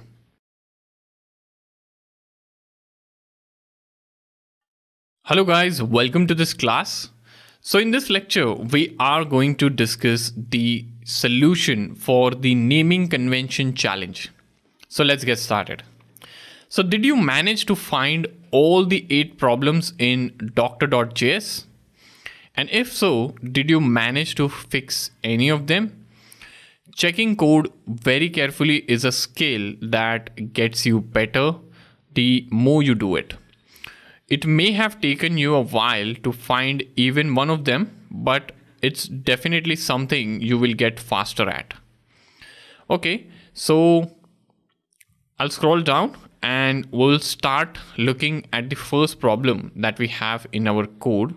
Okay, so the first problem that we have in our code is on this line over here where we are creating the random variable. Now random variable is not following the naming convention. Okay. So you can see it's starting with capital R. So I'll rename this to a small r. All right. You can even name it as random numbers, which is completely fine, but I'll stick to keeping it random now, you may have continued working through the code, spotting the problem as you go. That approach can make life difficult. We have just made a change and that has caused some errors in the code. Okay, so we have renamed this variable. Okay, and this variable is being used at multiple places in our code. So it makes sense to fix the errors that are arising because of this change immediately okay? Doing it later might get confusing okay? And you might not know why a particular error is happening. So since we made this change i'll immediately fix the errors before continuing okay? So i'll hit save okay? And i'll open eliza.html on the server. So i'll just cut this and I'll minimize this and we will go to this URL now okay? All right. So this is Eliza code okay? Now the moment we save it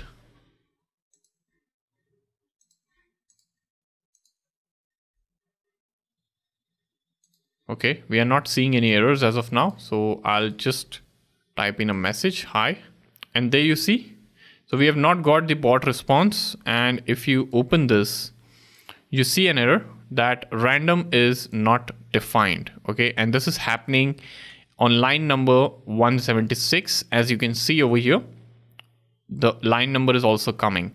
So if you scroll down okay so I go down to line 176 you can see over here random is being used okay so the error is not that obvious, but you can see three lines over here. And if you hover on this, you will see could not find name random.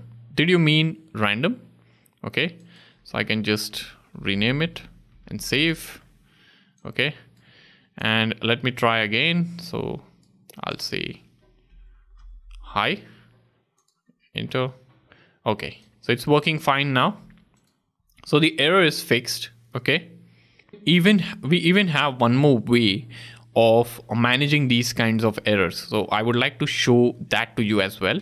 So i'll press Control z okay? And i'll press i'll scroll up and i'll press Control z over here as well.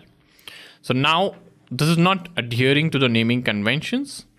So instead of directly changing the name over here i'll use a visual studio code feature wherein i'll say rename symbol so I'll right click on this variable and I'll say rename symbol and I'll change this to small r and I'll press enter.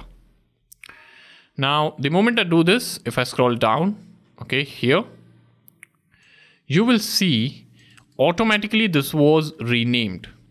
So this is a very handy feature of Visual Studio Code and this is also one of the benefits of using an IDE. So I renamed a variable at one place and all the occurrences of that variable were automatically renamed by the IDE. Otherwise, I have to just scroll through and figure out where all I use that variable. Okay. And if you have not written that code, then your life becomes much more difficult. So this is one amazing feature of Visual Studio Code. This feature is also available in other IDEs for other programming languages like Java and so on. Okay, so this is one variable. Okay, and this is one occurrence or one deviation that we have just fixed. Okay, so now if you scroll down the code to make response method, you will see a couple of more problems over here. So the response method over here should have had the R as capital. So make response is two word. Okay. And in order to adhere to the naming convention, this should have been a capital R. And same goes for the user input. The I should have been in uppercase. So they are not adhering to the camel case convention over here. Okay. So what I will do is I will rename this. So I'll say rename symbol and I'll say R make response, enter, and I'll rename symbol over here. I'll say capital I. All right. Now, since I just renamed the symbol, okay, all the occurrences. So if I highlight this, if I select this variable, you can see all the occurrences of user input and they have been renamed successfully because I used rename symbol option of Visual Studio Code. Okay, if you are changing it manually, you can even do that, but that is a bit more of a hassle. Okay, and I'm teaching you the best practices right now. Okay, so if your code is very lengthy, these features are very handy and helps you avoid common mistakes. All right.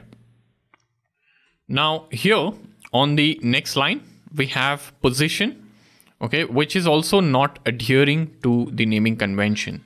So I'll just say rename symbol and I'll change this to small p.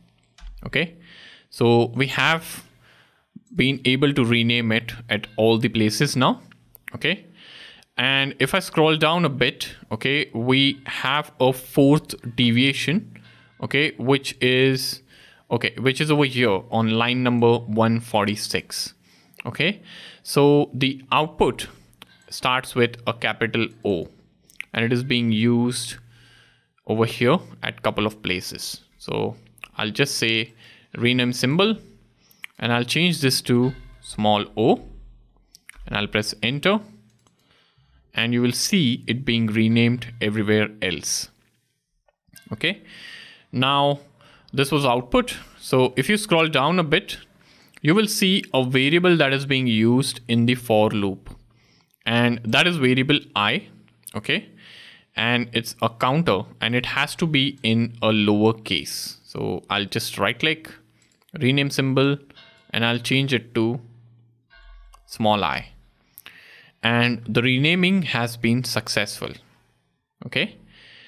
Now okay we renamed position as well okay now we have six problems fixed so far and we have two left to go okay so if you scroll down okay and uh, here like on line 174 which i have highlighted you can see remainder variable starting with a capital r which is not correct. So i'll rename it to small r okay perfect. And if you did rename it manually you will have to rename it at the bottom. So here you will have to rename it wherever the occurrence is there. So here on line 188 okay and okay so i think it's being used only on one line line 188 i'm sorry. Okay so this is done. Now let me scroll down and we have only one problem to fix okay? Okay so there is a problem with random index. So this cannot start with a capital letter and here we are again not adhering to the naming convention. So i'll just rename symbol and i'll enter small r in the pop-up and i'll press enter. The changes are done okay? And if you manage to find all or any of these problems well done. Even better if you have managed to fix any of them okay? And if you didn't don't worry as i said at the start of the challenge this was designed to get you used to examining the code carefully. You can't read a code like you read a book okay? You have to concentrate on every line and check the names of all the variables while paying attention to things like capitalization. It's a skill that takes time to develop, but it does improve the more you practice. The more you read and write the code, the better you'll become at it. Okay, so what I will do is I'll scroll up and I believe we have a couple of more uh, deviations which I'll fix over here. So here new line, this cannot be underscore. So I'll rename this to new and L has to be caps. Okay, this is done. And here messages list. So I'll rename this So this again has to be this way. Okay. So this is done and fixed. If you can find more deviations, okay, you can edit it yourself and you can even post it in Q&A to let me know as well. Okay, I'll finish this video by opening the eliza.js file. So I'll just save this and I'll move to eliza.js. Okay, so main.js, not eliza.js. So I'll go to main.js and here, if you scroll down, you can see that we have renamed the make response method, but we haven't made the changes over here. Okay. And you will spot this issue if you run this program. So if I say hi, enter, you won't get an output and you will get an error main.js line number 52, which is this. So it's not able to locate this method, of course, because we have renamed it. So I'll change this to capital R and I'll hit save and we will test it. So I'll say hi, or you can type whatever, you should just get a response. Okay. So it's working fine. All right. So it's very important that you test the program once you make any change to make sure that it's working correctly and we have not broken anything while making the change. All right. So I'll leave you to run the program and make sure it still works after the changes. So in this lecture, we went through the challenge solution, which was for our naming convention. And I hope you guys have a fair clarity now. So that's about this class, guys. I hope you guys enjoyed this class and found it valuable. I shall see you guys soon. Thank you.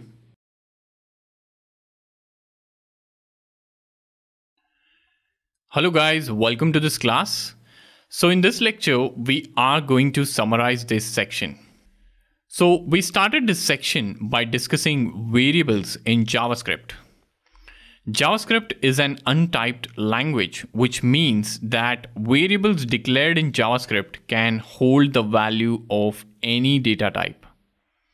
This is different from programming languages like C Sharp, Java, where declaring a variable involves giving it a name and specifying its type. A variable can be given a value at the same time that it's declared you don't have to do that. You can assign a value to it later. What is important is that it must be given a value before you try to use it. If you try to use a variable in a calculation before you are given it a value, then you will get an error in your code. We looked at JavaScript naming conventions that we should use when naming our variables and other objects. Sticking to the JavaScript naming conventions make code easier to read as well as providing information on what kind of object something is. We saw that class names start with a capital letter and are written in Pascal case.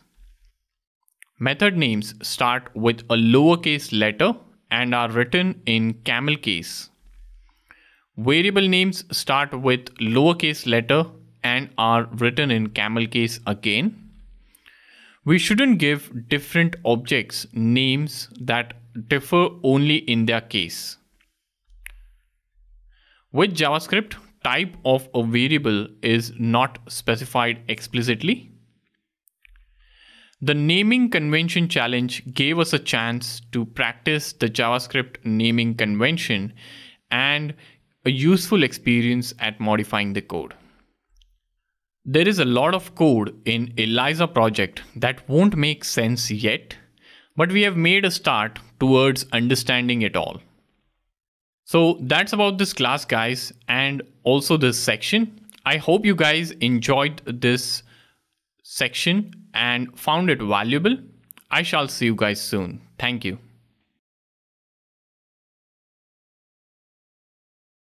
Hello guys, welcome back. So in this lecture, we are going to do a section introduction. So in this section, we are going to look at how can you modify the HTML DOM, which is document object model and manage events from the user interface. HTML is what is displayed in the browser and user sees and interacts with it. We are going to write a simple menu program to see how to detect a single key press in our code. Detecting a button key press is useful, but we will often want to allow users to make a choice on the interface. Building user interfaces that interact with users and accept responses is key to building web applications. You will often want to print more than just basic strings we will talk about how string interpolation can be used to include the values of variables in the output. String interpolation allows the values to be embedded within the strings. It's got a quite grand name, but you will see that it's much easier than it sounds. So that is what we'll cover in this section and I'm so excited to teach you all. So that's about this class, guys. I'll see you inside. Thank you.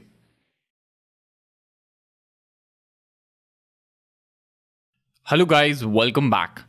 So in this lecture, we are going to discuss how can you work with DOM. So DOM stands for Document Object Model. So that is something that we are going to learn in this lecture. Okay. Now, before talking about DOM, I would like to talk about HTML. So here I have a simple menu HTML file that I have got on my machine. And this is a file that you will find along with this lecture in the resources section. You can download it. So if you open this file and if you zoom in a bit, okay, so you will see that the HTML page has a lot of elements and these elements are the ones that are rendered in the browser, which is viewed by the user. Okay, so let me copy this. So I'll copy. I'll go to my Visual Studio Code and let us create a folder here. So I'll create a folder called simple menu. And within simple menu, I will add a file. I'll call this index.html. And I'll paste that entire HTML over here. Okay. And I'll just close this. So this is better. So the IDE gives you some syntax highlighting over here. Okay. Now you will notice the code over here and you can see that there are different elements. So these are elements. So this is head element body and these are known as tags as well so there's a body tag head tag you can see div tag and so on and every element will have some properties that are associated with it so for example this div element has this property class okay this button has a property type class and so on so every element will have some properties associated with it. All right. And that is how our HTML is structured. Now, when I run this, so if I say right click, open with live server, okay, you will see this being rendered in the browser. So you can see over here, it's being rendered in the browser. And you can see like h1 tag is please choose one of the following and you are seeing the same thing over here being rendered. Now, this is how HTML is rendered and can be viewed in the browser. Now we have a concept of DOM, which means document object model, where the page is represented in the form such that its structure and content can be changed by the programs. Now this change can be done by scripting language JavaScript. Okay, so JavaScript can modify the contents of the page. Okay, the contents of the HTML page. So here we saw the tags, okay, and we saw how it is represented in the browser. Now, what we will be doing is we will be playing around with this HTML file a bit. So I will go over here and just below the body tag, I will add a script tag. So I'll say script. Okay. And here I'll say src. Here I'll say main.js. I'll hit save and I will also create a main.js file. All right. So we have a JavaScript file here. Okay, I'll close everything else. So I'll close this, I'll close this, and I'll close this. Okay, so we have just two files open. Index.html, which we just created some time back. And we have main.js, which we have added as a JavaScript file into the index.html. So now let me add okay no so I'll just delete this and I'll show you the console. Let me open the console here. So you can see there is nothing being printed on the console but let me get the document okay? So I'll say console dot log and I'll say document dot body and I'll hit save okay now with the above code the moment you hit save, you will see some output being printed on the console. And this is the entire document being printed. So if you expand this, you can see the entire code over here. Okay. You will see some additional code, which is not the part of your HTML that you have written. So you can see here code injected by live server. So this is something that is injected by live server on the fly, which you can ignore. Okay. So this code and the script. Okay. But this is the script that is being added from our index.html here. Okay. So we have been able to get the entire body. Okay. With the help of this one single line. Okay. Now we have been able to access body. Now the question is, how do you access elements in the body tag? Okay, you can see that HTML tags have a hierarchy. So if I just close this for a bit, and if I say right click, inspect, okay, you will see there is a body tag. Okay. Okay, so I'm also seeing this Grammarly uh, tag here okay? But this is something because of the extension that I'm using so I'll, I'll just delete this for a while. So I'll say delete element okay? So you have this body tag okay? And you can see how this is a hierarchy. So if you open this you will see within body tag you have a div tag okay? And you can actually collapse this div tag. And within div tag you have button button button so all these buttons are within the div tag along with the span all right? So this is the hierarchical nature of html that is being rendered okay? And this is this is something that you can see in the code as well. So here you have body tag you have div then within div you have all these elements that are part of this div all right? So this is the hierarchical nature of html now you can navigate through the elements in the DOM using a dot, but how do you access any element directly? Okay, so HTML files can be large with a lot of tags. Okay, so let me show that to you. So for accessing any arbitrary element from the HTML, you can use document dot get element by id okay and you can pass id as the parameter okay. So let me show you what i mean over here. So let's say you have a tag span over here and let's say you wish to get this span tag okay in javascript. And you can see there is an attribute associated with this span tag which is id now you can get the span tag by referring to this ID. So let me do that. So the ID is output over here. Okay. So I can say document dot get element by ID. You can see this auto suggest here. Okay. And you can see output. You can say output over here. And you can navigate to console and I'll hit save. So you can see we've got the span tag over here being printed. And we have got that because what we have done is we have set console.log, okay, document.get element by ID. So what this says is it says from the document, get this element by ID and the ID is output.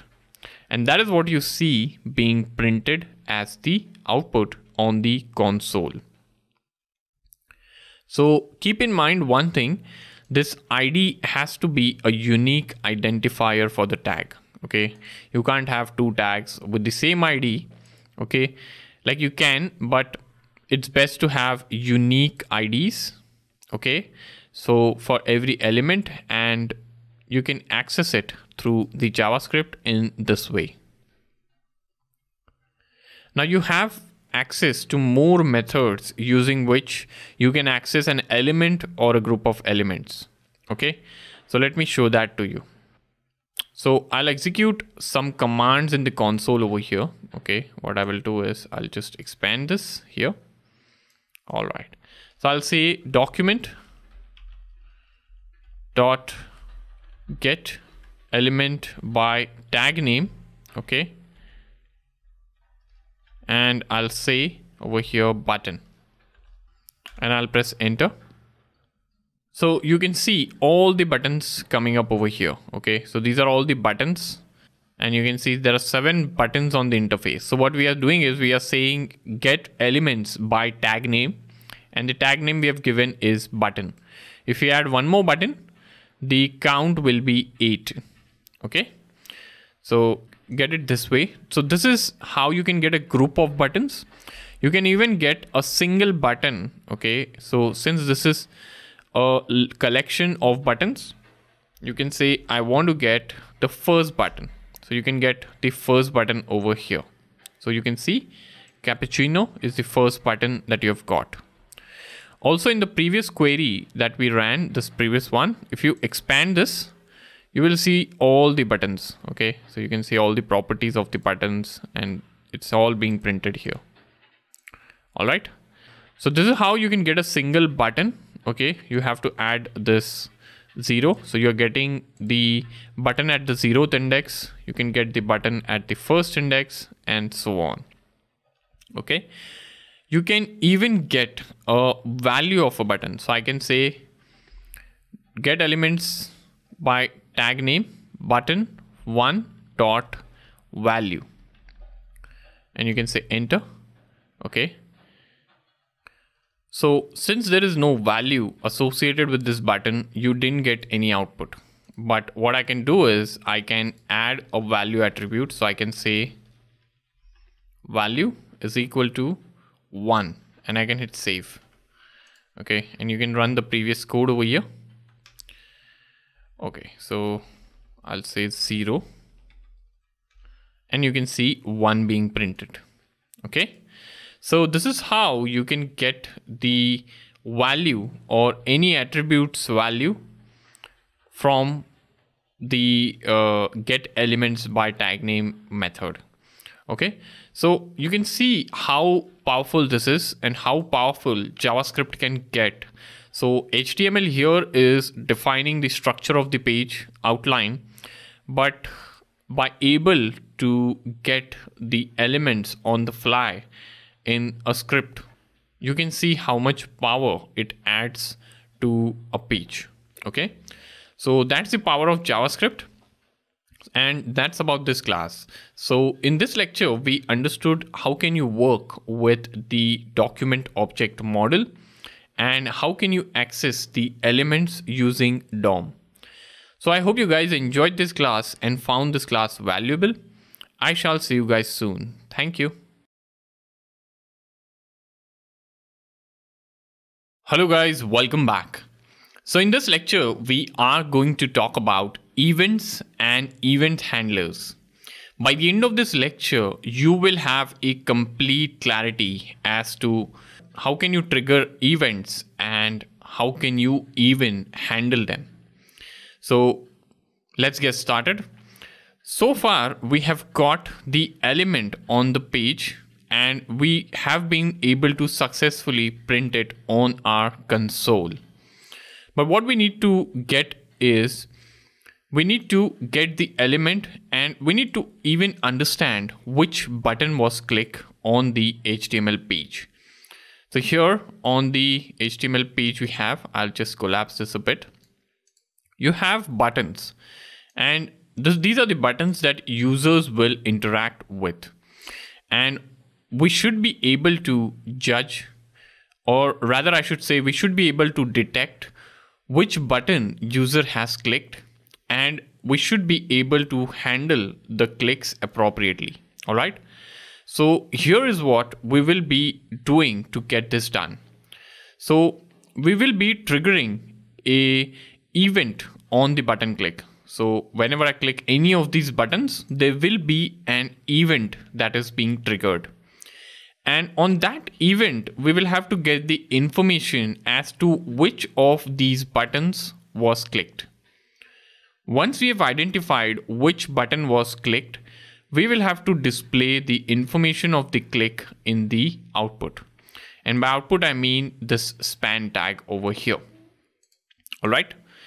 So to start on this, let's talk about events. What are events?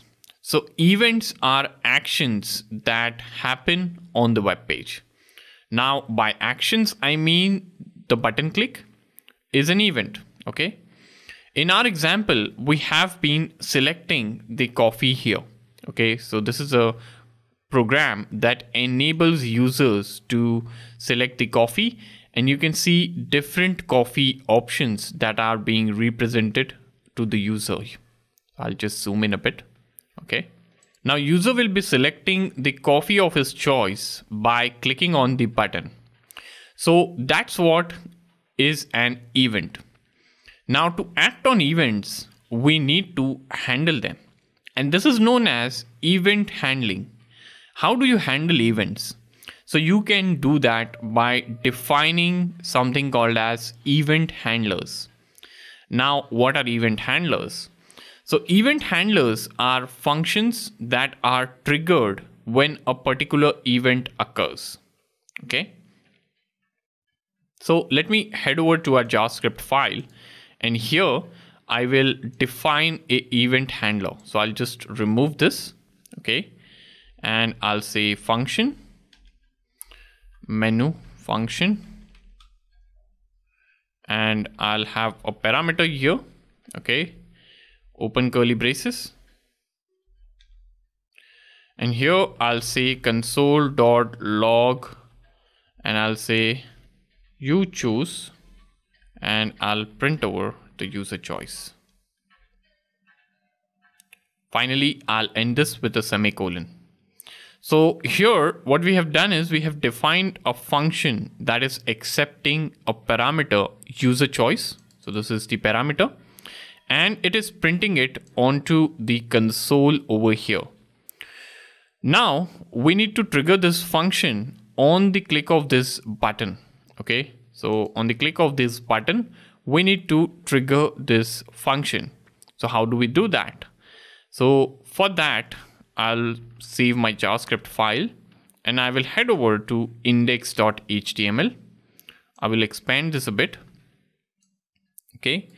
Now here beside value I'll add an attribute and that attribute will be on click attribute. So I'll say on so you can see this auto suggest on click. Okay.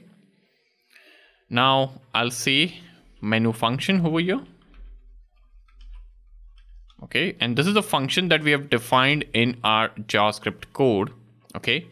So what we are saying is we are saying on the click of this button, so on click of this button, you need to call the menu function and menu function is something that we have defined in JavaScript and like menu function accepts a parameter so we need to pass the parameter over here so we'll say this dot value So I'll be passing the value and I'll end this with a semicolon.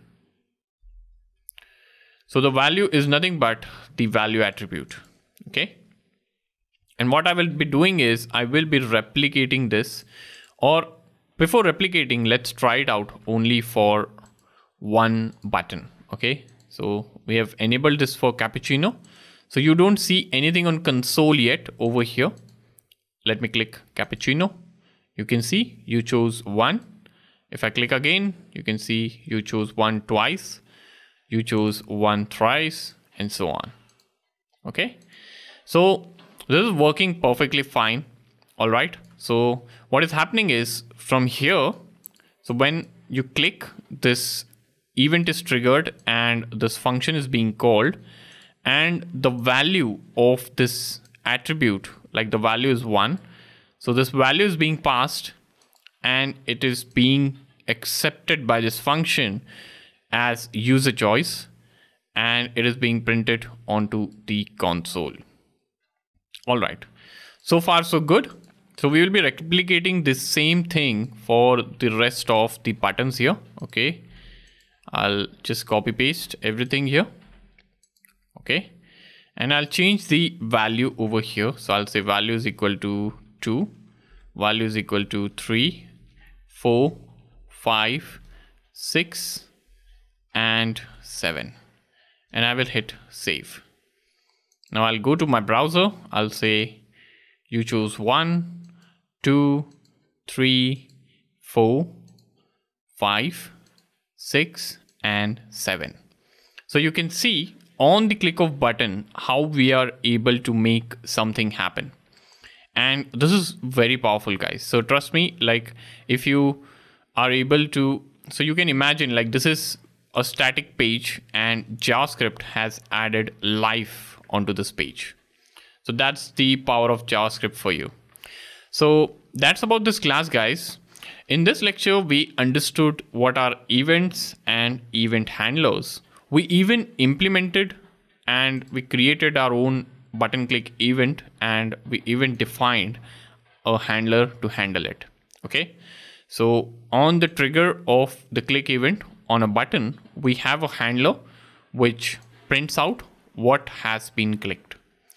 So that's about this class guys. I hope you guys enjoyed this class and found this class valuable. I shall see you guys soon. Thank you. Hello guys, welcome back. So in this lecture, we are going to talk about how can you modify the document object model or DOM.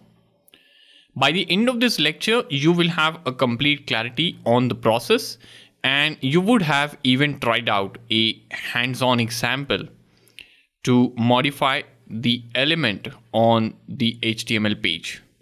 So let's get started. So we have our HTML file here, okay? And we have been able to detect the event using this onClick attribute and this function menu function. And we are printing right now what user is selecting from the browser, as you can see over here. Now what I would want to do is, rather than printing what user has chosen on the console, I would want to show the user's choice on the HTML itself. And we have a tag over here called span. So this is a span tag, which whose ID is output and what we will be doing is when the user clicks the button, we would be showing what user has selected within the span tag. Okay. So just to demonstrate, I will right click, I'll say inspect and I'll scroll down. So I'll, I'll just, I'll scroll down here and here we can say, so here within this span tag. So you can see the span tag over here. We need to display the output okay? So we will say edit as html and i can say something like this okay? So you can see the output is coming over here. You choose one okay? So far so good. So I'll just collapse this for now. Okay. And what we will be doing is I will refresh this page here and we will head over to the JavaScript file. Now here we will have to first get this span tag. Okay. And the ID for this tag is output. Okay. And we have already seen a method. Okay. And the method was get element by id. So i can say console dot log okay document dot get element by id and i'll say output okay and i'll go to the console here here and i'll hit save. I'll just save this javascript file okay and I'll click on this. So I'll say cappuccino. You can see we are getting the span tag, okay, in the function. Now what we need to do is instead of printing it on the console, so we are getting this element over here. So I'll just remove the console.log statement like so. I, I need to add the output over here. So I'll say dot inner HTML. Okay I'll say inner HTML and I'll assign this a value. So I'll say h3, okay, and a closing h3 tag, h3, okay, and I'll say you choose the user choice and I will again have the open curly braces and the ending inverted commas, not curly braces, but these speech marks. So you can see over here, what we have done is we have said document dot get element by ID output inner HTML and I'll scroll to the right now. We have added this string here you choose within the HTML h3 tag. Okay. And so basically we didn't use the principle. We used the concept of string concatenation. Okay and we are now displaying the output on the user interface. And inner HTML is nothing but a property wherein you can add in HTML if you have access to the tag. Okay, so let me show this to you how it works. So I just hit save and I'll say cappuccino. Okay, and if I just collapse this, you will see you choose one, you choose 2 3 4 5 6 and 7 okay so so far so good so this is uh, one a small dynamic page that we have created with the help of HTML and a JavaScript. So I'm sure you will be happy and excited about what you have been able to achieve so far with JavaScript.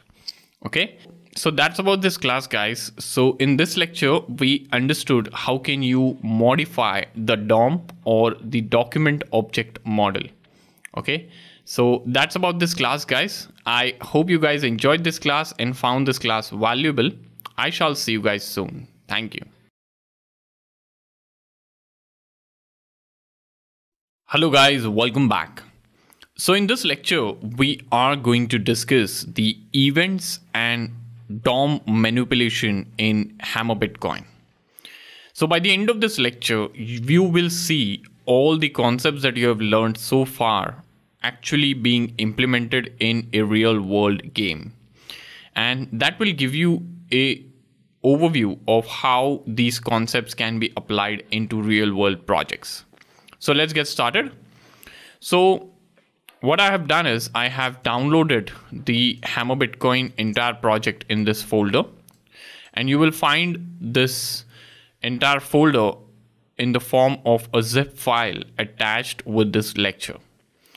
Okay, so I've downloaded this and after unzipping, you will find these four files present within it.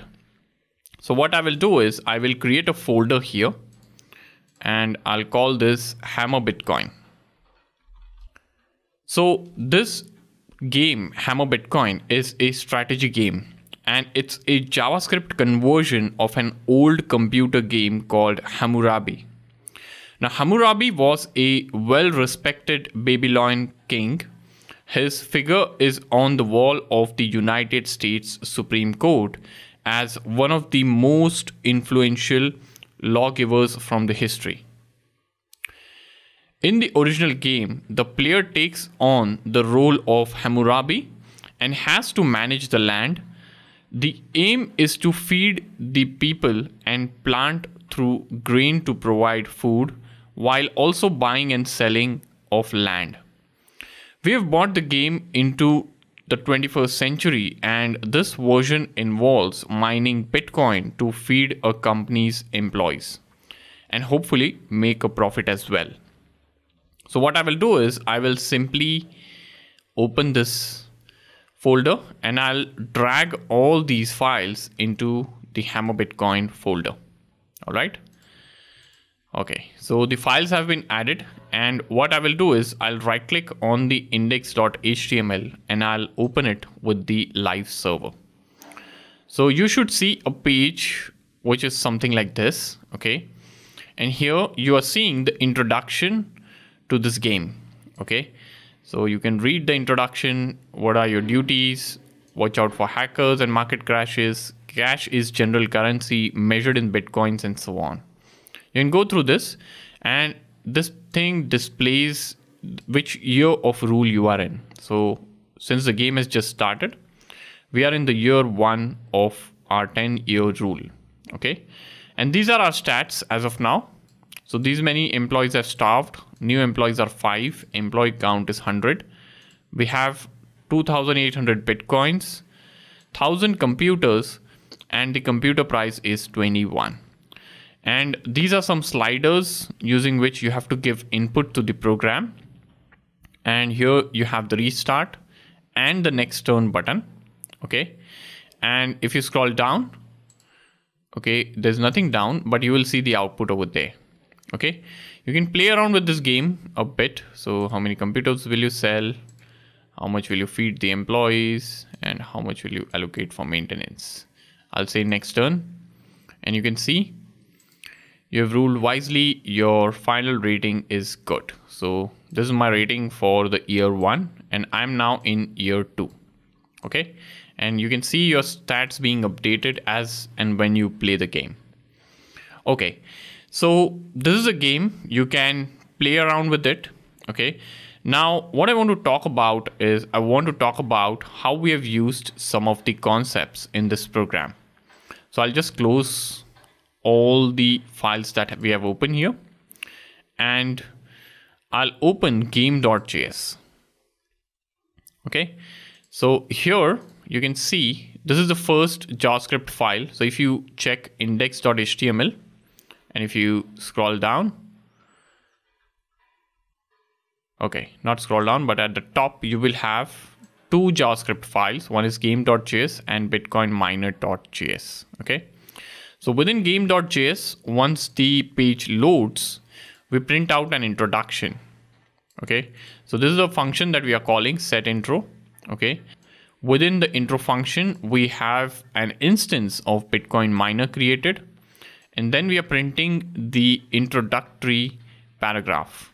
So this is a function that is being called from this class Bitcoin miner. So if you long press control, if you press and hold control and if you hover on this okay it's not taking me over there but if you go to bitcoin miner.js and if you scroll down here you will see the print introductory paragraph over here and here you can see how we are manipulating the html so we are getting document dot get by id game introduction now this must be some HTML tag over here. You can see this is the HTML tag, empty HTML tag. And we are injecting the introduction from our JavaScript code. As you can see over here, we are getting the document dot get element by ID. This is something that we have done and tried in past few examples. We are saying inner HTML and we are generating the HTML on the fly Okay, so this is the introduction. Then when you go to game.js, you will see we are also initializing the sliders. So these are the sliders that you see on your screen.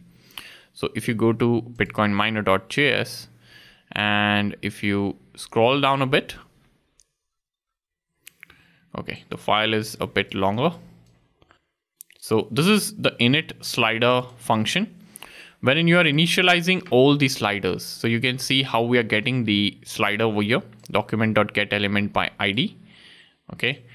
And this is a slider then. So we have assigned it to a variable and then we are setting the min for the slider and max to the slider and the value and the step.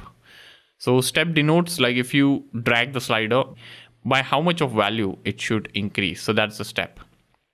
So this is something that we are doing, okay, for the sliders to initialize.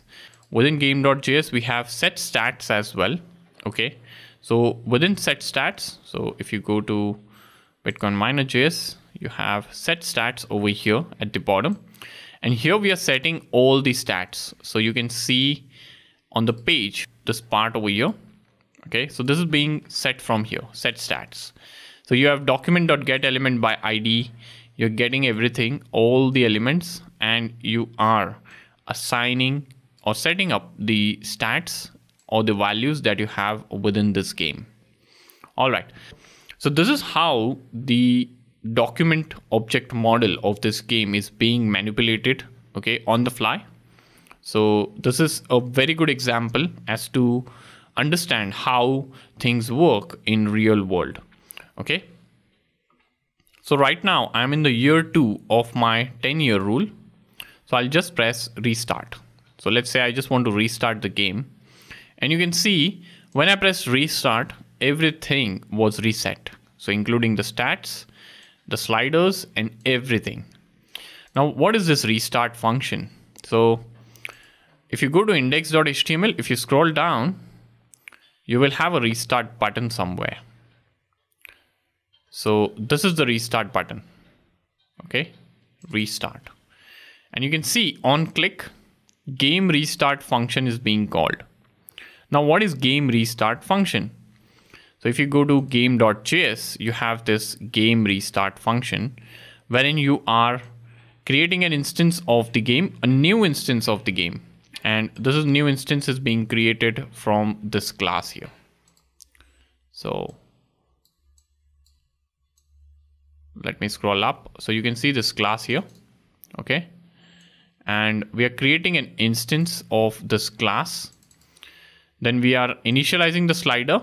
So after we have the new instance we have initialized the slider set the stats and we have reset the game output so the game output is the text that you were seeing at the bottom over here.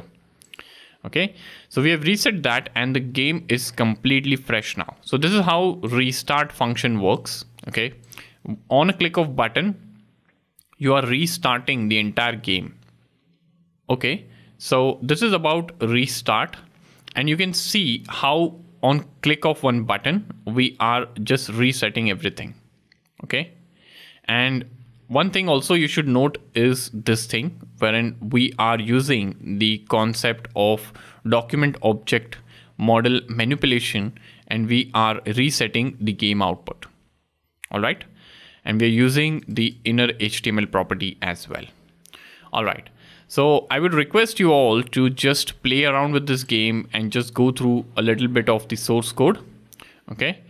And uh, if you don't understand much, don't worry. We'll cover uh, major concepts that are being used in the game throughout the course. Okay, so in the end, you will have a clarity of how the game works. So that's about this class, guys. In this lecture, we created our Hammurabi game, which is Hammer Bitcoin. And this is a JavaScript implementation of an old game called Hammurabi and uh, we went through some of the concepts that have been used in this game, like modifying the document object model and so on. And we understood how it is being used in a real world program. So that's about this class, guys. I hope you guys enjoyed this class and found it valuable. I shall see you guys soon. Thank you. Hello guys, welcome back. So in this lecture, we are going to discuss the string interpolation in JavaScript. So let's get started. So to learn string interpolation, we will be creating a new folder over here and we will be adding some HTML and JavaScript files. And we will also be understanding how you can get values from the input boxes and even work with strings. So I have downloaded some resources over here, some HTML file. So this user input folder, which has index.html over here. So this will be attached with the lecture as a zip file. And if you unzip, you will see this HTML file within it. So what I will do is I will create a new folder. So I'll add a new folder in the root of the project and I'll call it user input. And within this folder, I will add this HTML file. Okay.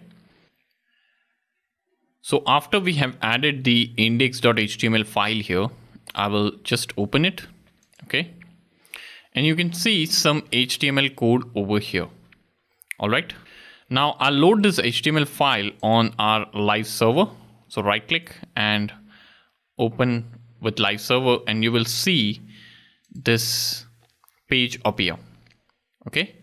So you can see this page has a name box, an input box for name and age along with the submit button what we will be doing is we will be entering name and age in the input box and printing a summary in the output. Now what is an output? So this is the output here.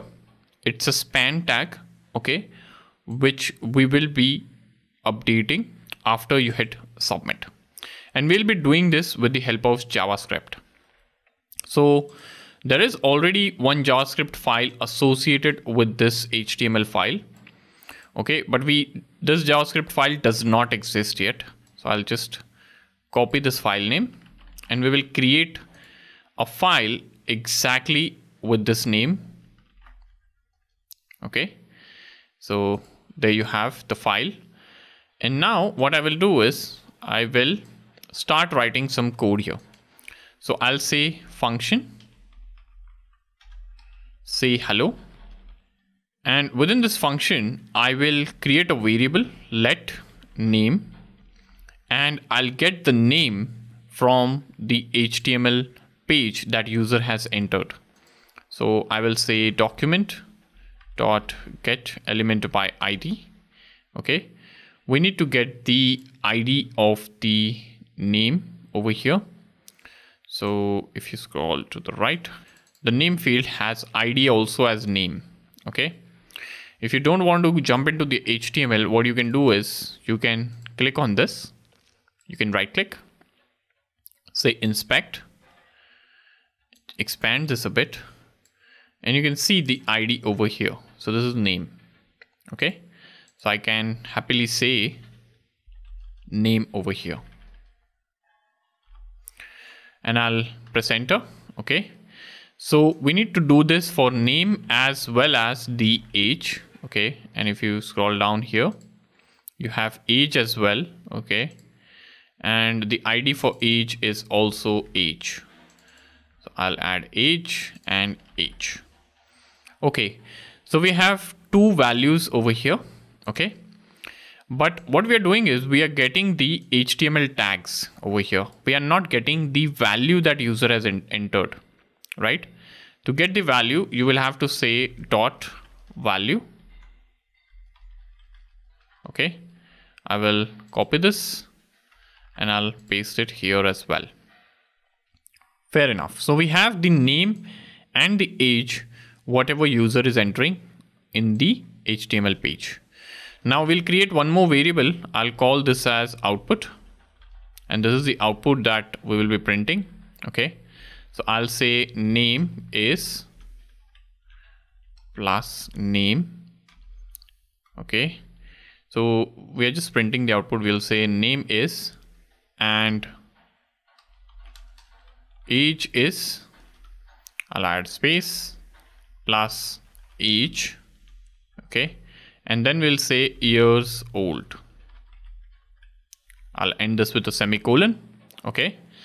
Okay. So we have assigned this to the output okay but instead what we can do is we can keep this as a string and we can get the output span over here so I'll just duplicate this and I'll say output okay so this is good so we got the output span in the output variable we have the string ready so I can say output dot inner HTML is equal to this. Okay. So far so good. So I'll just expand this a bit so that you have a better visibility. So we have a function say hello.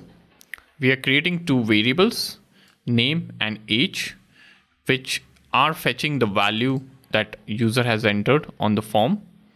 We are creating a third variable called output, which has the tag with the ID output and this is our span tag in the HTML file.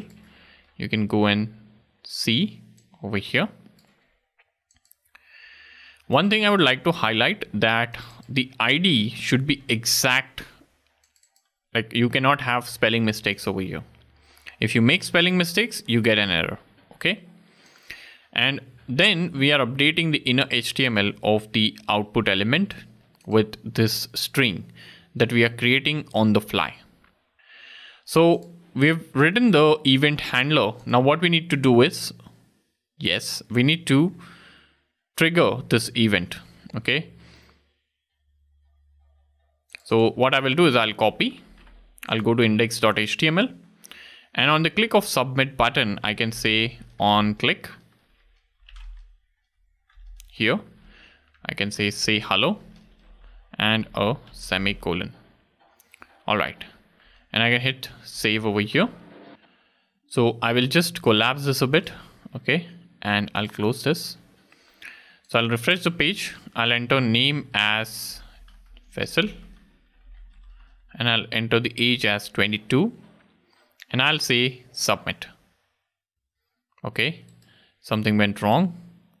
Let us see what went wrong. So I'll just go to our console here and you will you are seeing say hello is not defined okay and why is that not defined okay we didn't save the main.js fair enough okay these are some silly mistakes so I'll just enter the name again Faisal and I'll say age as 22 submit you can see name is Faisal and age is 22 years old okay so here what we have done is we have added an event listener. So this thing is called as event listener wherein you are registering like what happens on the click of this button.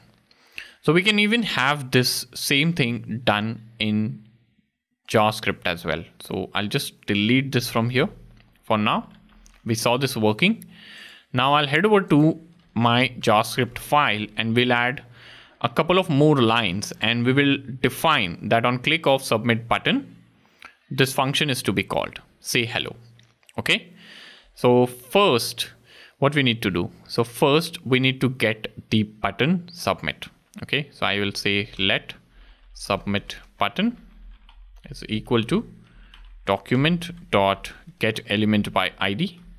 Okay. And I'll say submit. So this is the ID of our submit button okay you can just cross check to be double sure okay and I'll just expand this a bit I'll press enter and I'll say submit button dot add event listener so this is the event listener which says what happens when a particular event is triggered and the event is on click okay and I'll say comma, say hello, a semicolon. I'll say submit. Now let us see what happens when we enter our name. So I'll say enter, I'll say 22, submit. Okay, something is going wrong. Okay, so one mistake over here. Instead of on click, we need to say click over here.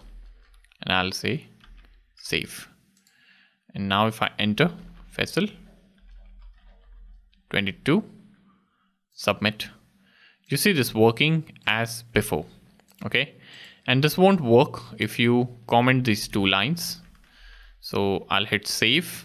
I've commented the two lines, and if I say Faisal 22 submit. It's not working you can see. All right. So yeah. So this is a shortcut that i'm using to comment the selected code and you can find this shortcut. So if you're curious as to what the shortcut is it's control and forward slash. So you can say toggle line comment is what it's called. So if you're using windows you can go to edit. So windows mac or linux whatever you're using you can go to edit and check this shortcut here. There is a possibility that this might be different for your machine depending on the kind of os so for windows it will be control and forward slash and for mac machines you need to check. Okay? But this is a shortcut that you can remember. Very handy. So you just select and you just toggle. Yeah. Pretty good. So what we have done with the help of this example is we have learned how we can get the input from the input boxes. And we have done some string interpolation here. So we have modified or we have created our own string with dynamic values on the fly with the help of plus operator as you can see over here. Okay. One thing I wanted to highlight here is the type of values that we are receiving from the user. Okay, so what I will do is I'll press enter and I'll say console.log. Okay, we'll just print the type of name and with semicolon and the age as well. And I'll hit save. Okay and we'll see what the output looks like. So I'll say Faisal and 22 submit. You can see both are being received as a string. Okay. So we are receiving strings by default. However, we can cast it to a number by using the number function. So there might be possibilities that age is a number and you might want to perform some operations on it. And that won't be possible because we are getting it as a string here okay? So how do you change the type of this to a number? So I'll show that to you. So in order to do that we'll create one more variable. We'll say let num is equal to number so we can use this number function and we can pass the value over here. Okay? And we will again print the type of num. Okay? And I'll even add one more thing over here. So I'll add and I'll concatenate this with num.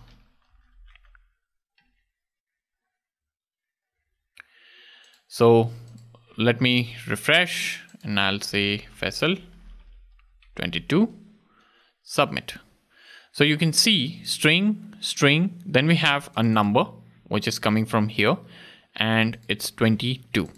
So we have used the concatenation concept here, string concatenation, and we have concatenated both these values. All right, so, so far so good. We learned about a number function here, which is used to convert a string value into a number value. Okay so that you can perform arithmetic operations on the same. So that's about this class guys.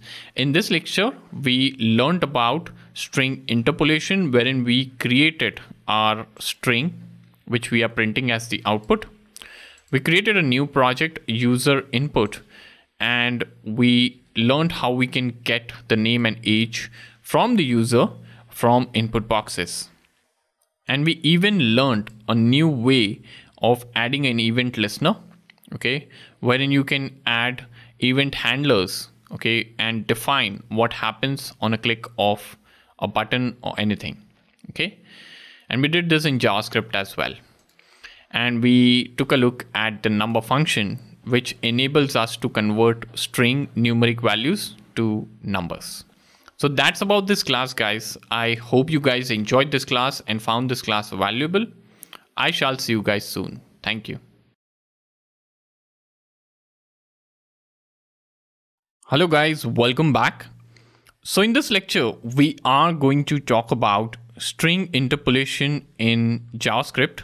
And this is something that we have already spoken about in one of our past lectures, but we will be continuing the conversation on the same.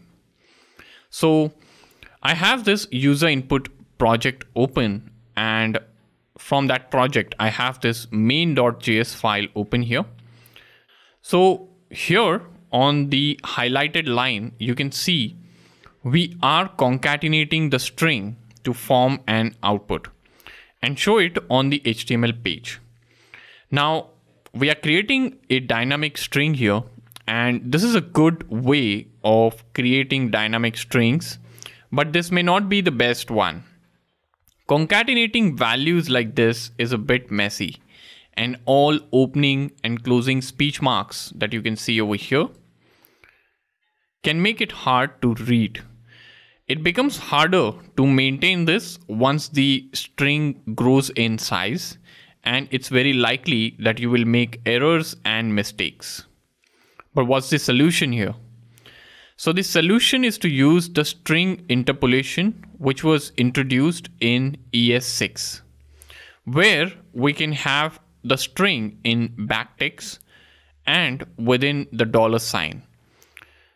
We also have curly brace and we can have an expression. I'll just show it to you with the help of an example.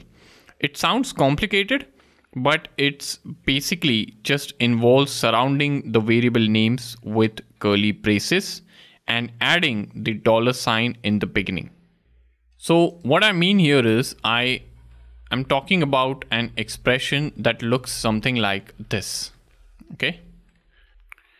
So this code here or this line that I have added as in comment, this is what the string interpolation is in the ES6 version is. Okay. So you have dollar, you have curly brace, sorry, open curly brace and closing curly brace. And then you have expression in between.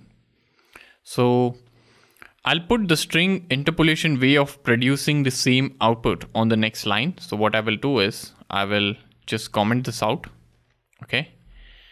And I'll copy this entire line. Okay and I'll paste it over here. I'll override this. Okay. So the first thing that you need to do over here is you need to have backticks. Okay. Like this. Okay. And then wherever you have the variable, you need to add a dollar and you need to surround the variable by open curly brace and a closing curly brace like so. Okay, I'll copy this again. I'll delete this plus and speech marks. Okay, and I'll change this to age. So I'll just delete this entire thing and I'll add age here. So this is the another way of creating the same dynamic string. And most IDEs will highlight the variable name in some way differently to the text. And that makes it easy for you to tell that you have got curly braces present in the correct place and correctly matched up. Okay. So if you make any mistakes here, okay, you will see color changes like this and you see all red marks. So if you have done it in a proper way, you will see proper highlighting over there. Now, if I run this program, okay, if I save this, if I say Faisal and I say 22 each, submit, we get the same output that we were seeing earlier. Okay. And I think uh, this line that we just created, the line number six highlighted by me, is much more easier to read than the line above. As long as you remember the dollar prefix, it's also easier to type. So I'll be using string interpolation in all the code from now on. Okay. Now what we have done to make the string interpolation work. So to make the string interpolation work, we have used the backticks. So those are highlighted on the screen. And this tells JavaScript to check for the variable names when they appear in the string. Okay, so this is the indication. Now inside the string, we can use variable names wherever we would like to include their value. So here we want name to be printed at the start of the string. So when we want the value of the variable, you enclose it with a curly brace, okay? And you prefix it with a dollar sign. So as we have done over here, all right? After the word is, we have we wanted to print the age. So once again, the variable name age is enclosed in the curly braces and prefixed it with a dollar sign. This is much more readable, easy to understand and easy to maintain. And that's the basic of string interpolation. So that's about this class guys. So in this lecture, we understood the string interpolation and how you can make it work. Okay, we saw how you can make the process of creating dynamic strings. So we had this version earlier and then we rephrased it with this one. So this one is much more easier to read and use. Okay, so that's about this class guys. I hope you guys enjoyed this class and found it valuable. I shall see you guys soon. Thank you.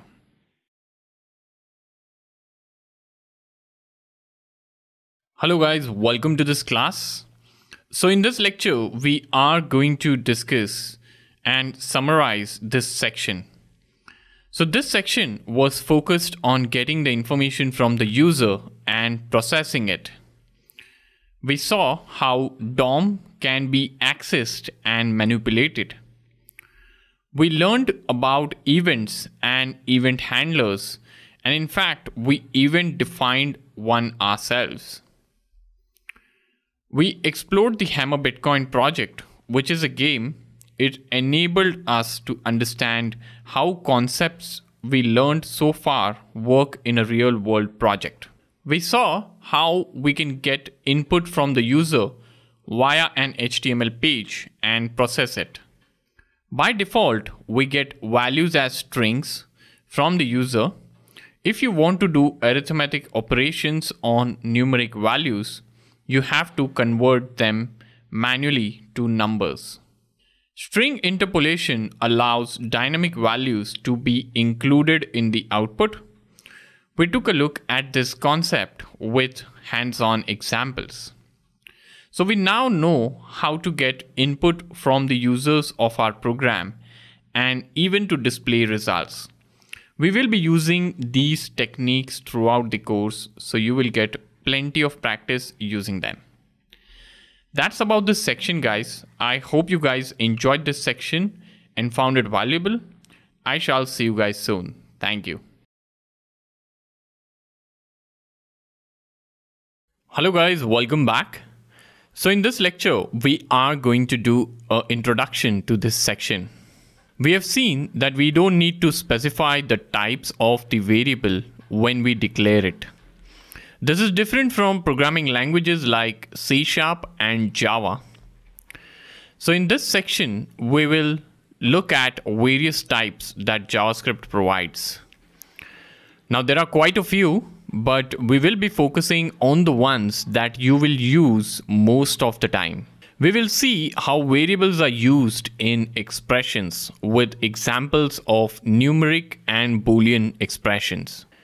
There are few lectures or videos on Boolean expressions, including compound expressions that use AND and OR. We have also got a challenge to get used to how they work. Later in the course, we will cover classes in detail, but because JavaScript is an object-oriented programming language, we have got a short introduction to classes in this section. We will look at what an instance of a class is and we will learn about fields.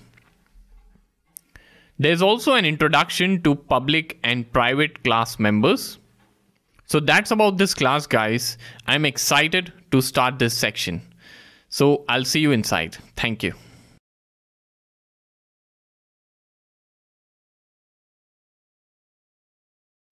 Hello guys, welcome back. So in this lecture, we are going to talk about primitive types in JavaScript. And by the end of this lecture, you will have a complete clarity as to what are the different primitive types that exist in JavaScript. So when we looked at variables in the earlier sections, we used number and string types without really saying much about them. Now it's time to have a look at the built-in types.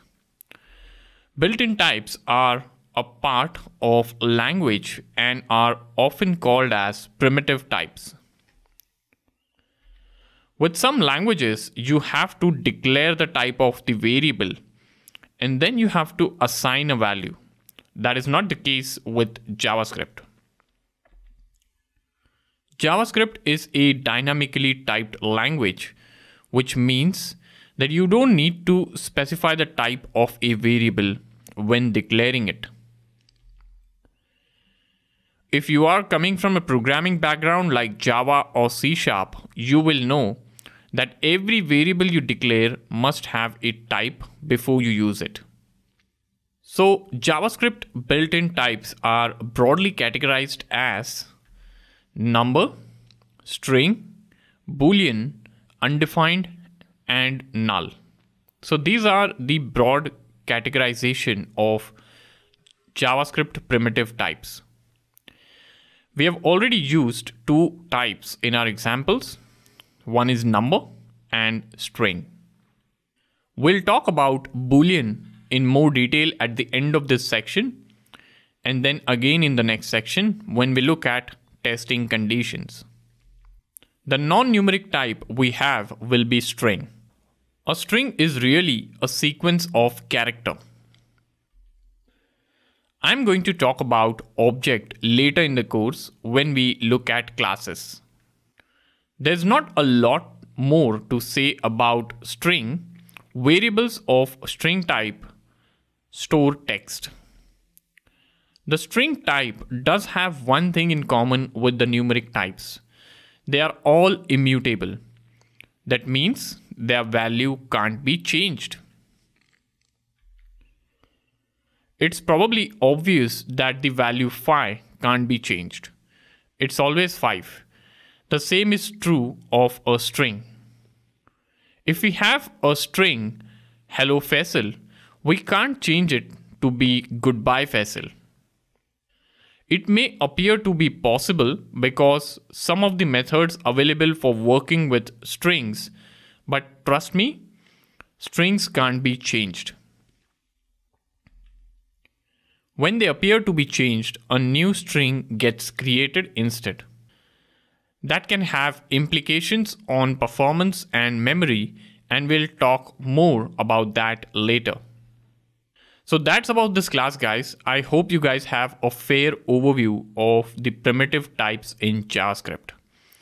So I hope you guys enjoyed this class and found it valuable. I shall see you guys soon. Thank you.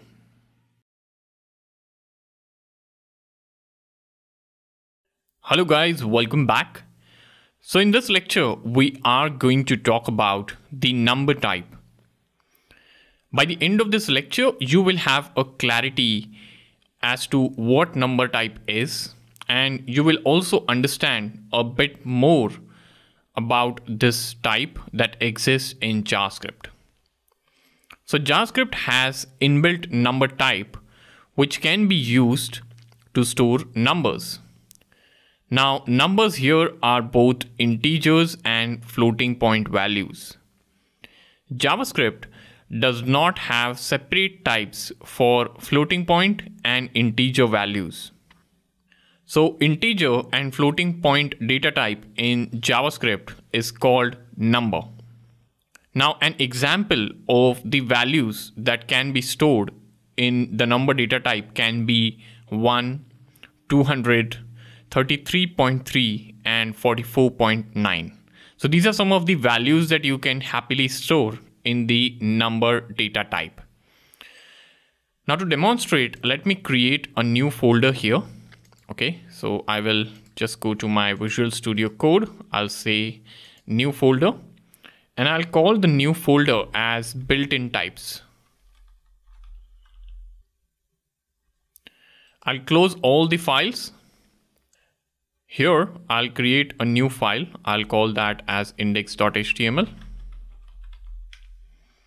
And I'll add one more file here. I'll call that as main.js.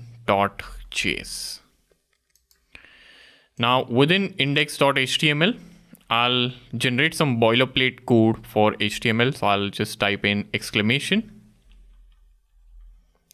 and I'll press enter and you will see a boilerplate code for HTML has been generated. Okay, I'll say JavaScript crash course. And here sorry not here I'll go here and I'll say script src. I'll call main.js and I'll close the tag. Fair enough. I'll hit save. Now I was able to get this boilerplate code generated automatically. If it doesn't work for you like here are some of the extensions that I have installed already. Okay so you can see so this is a Pylance extension. Okay so I don't think it, this needs any extension. You can just try it out because I don't have any specific extension for HTML so I have one for Python, Pylance, Live Server, Jupyter and Django so there's nothing HTML specific it should work for you. Fair enough. I'll just collapse this and I'll go to main.js and I'll collapse this as well. Okay. So now in our JavaScript file, I'll say a is equal to 10. And I'll say console.log. Okay. I'll print in type of a. and I'll open index.html with the live server. Okay. And I'll go to the console from here. Fair enough. So you are seeing an output, okay, which says number. And this is what we have printed right now from our code. All right. Now, this is a special keyword that exists in JavaScript that allows you to get the type of any object or a variable. Now, what you can do is you can override this whole number. So we have assigned a whole number to this variable a. Okay. I missed one keyword. I missed let over here. Okay. So we have assigned a whole number to this variable over here but what you can do is you can even override the whole number and assign it a floating point value. So I'll just copy this and I will paste it over here. I will say 12.5 and I'll save. The moment you save, you should see number being printed on the console. So which means that Whole numbers and floating point numbers can also be assigned to the number type. All right. Now let's talk about how can we represent floating point numbers with decimal values. To have values with decimals, you will have to make sure that there is at least one digit except zero. Like for example, if you have 12, okay, so let me, let me copy this, okay. I'll go here and I'll say 12.00 and I'll just print the type of A over here and let me hit save. So if you have 12.02 times, you have two decimal places, but this will be printed like 12 and there are no decimal places as you can see on the screen. Okay. Now to get the decimal values printed, you need to have at least a single digit after the point. So let's say if I have 12.05 and if I hit save, you will see 12.05 being printed onto the console. So this is something that you're supposed to know. Now let me talk about the size of the number that can be stored in this kind of data type. So I'll say size and we'll say console So we'll say console.log and we'll say number dot. So you can see some inbuilt properties are there. So I'll select max value first. Okay. And I'll hit save. So you can see a max value being printed over here. And this value represents the highest value that you can store in the number type okay so if you hover on this okay max value you can see this pop up here and it says the largest number can be represented in javascript can be represented in javascript equals to approximately this number. Okay? Now what is this number? So i have this number existing on my notepad. So you can see this number is over here. Okay? This is a very large number and this is what you can represent it with. Okay? So this is a real number and I can't count it how many zeros it has but yeah this is what it is now let us check the minimum value that you can store. So I'll just duplicate this line and I'll just replace it with min value. And I'll hit save. So the min value is this okay which you can even get if you hover on this okay? And this value is printed over here. So I have this value here so after decimals you have so many zeros okay? This is a very small number okay? So this is the min and the max value that you can store in the number type. We have a couple of more types okay which i would like to show to you. So i'll say console dot log okay? And i'll say 10 by 0 if i hit save you will see infinity being printed so this is also one of the type that exists and we are seeing infinity as the output because division with 0 would usually result in infinity.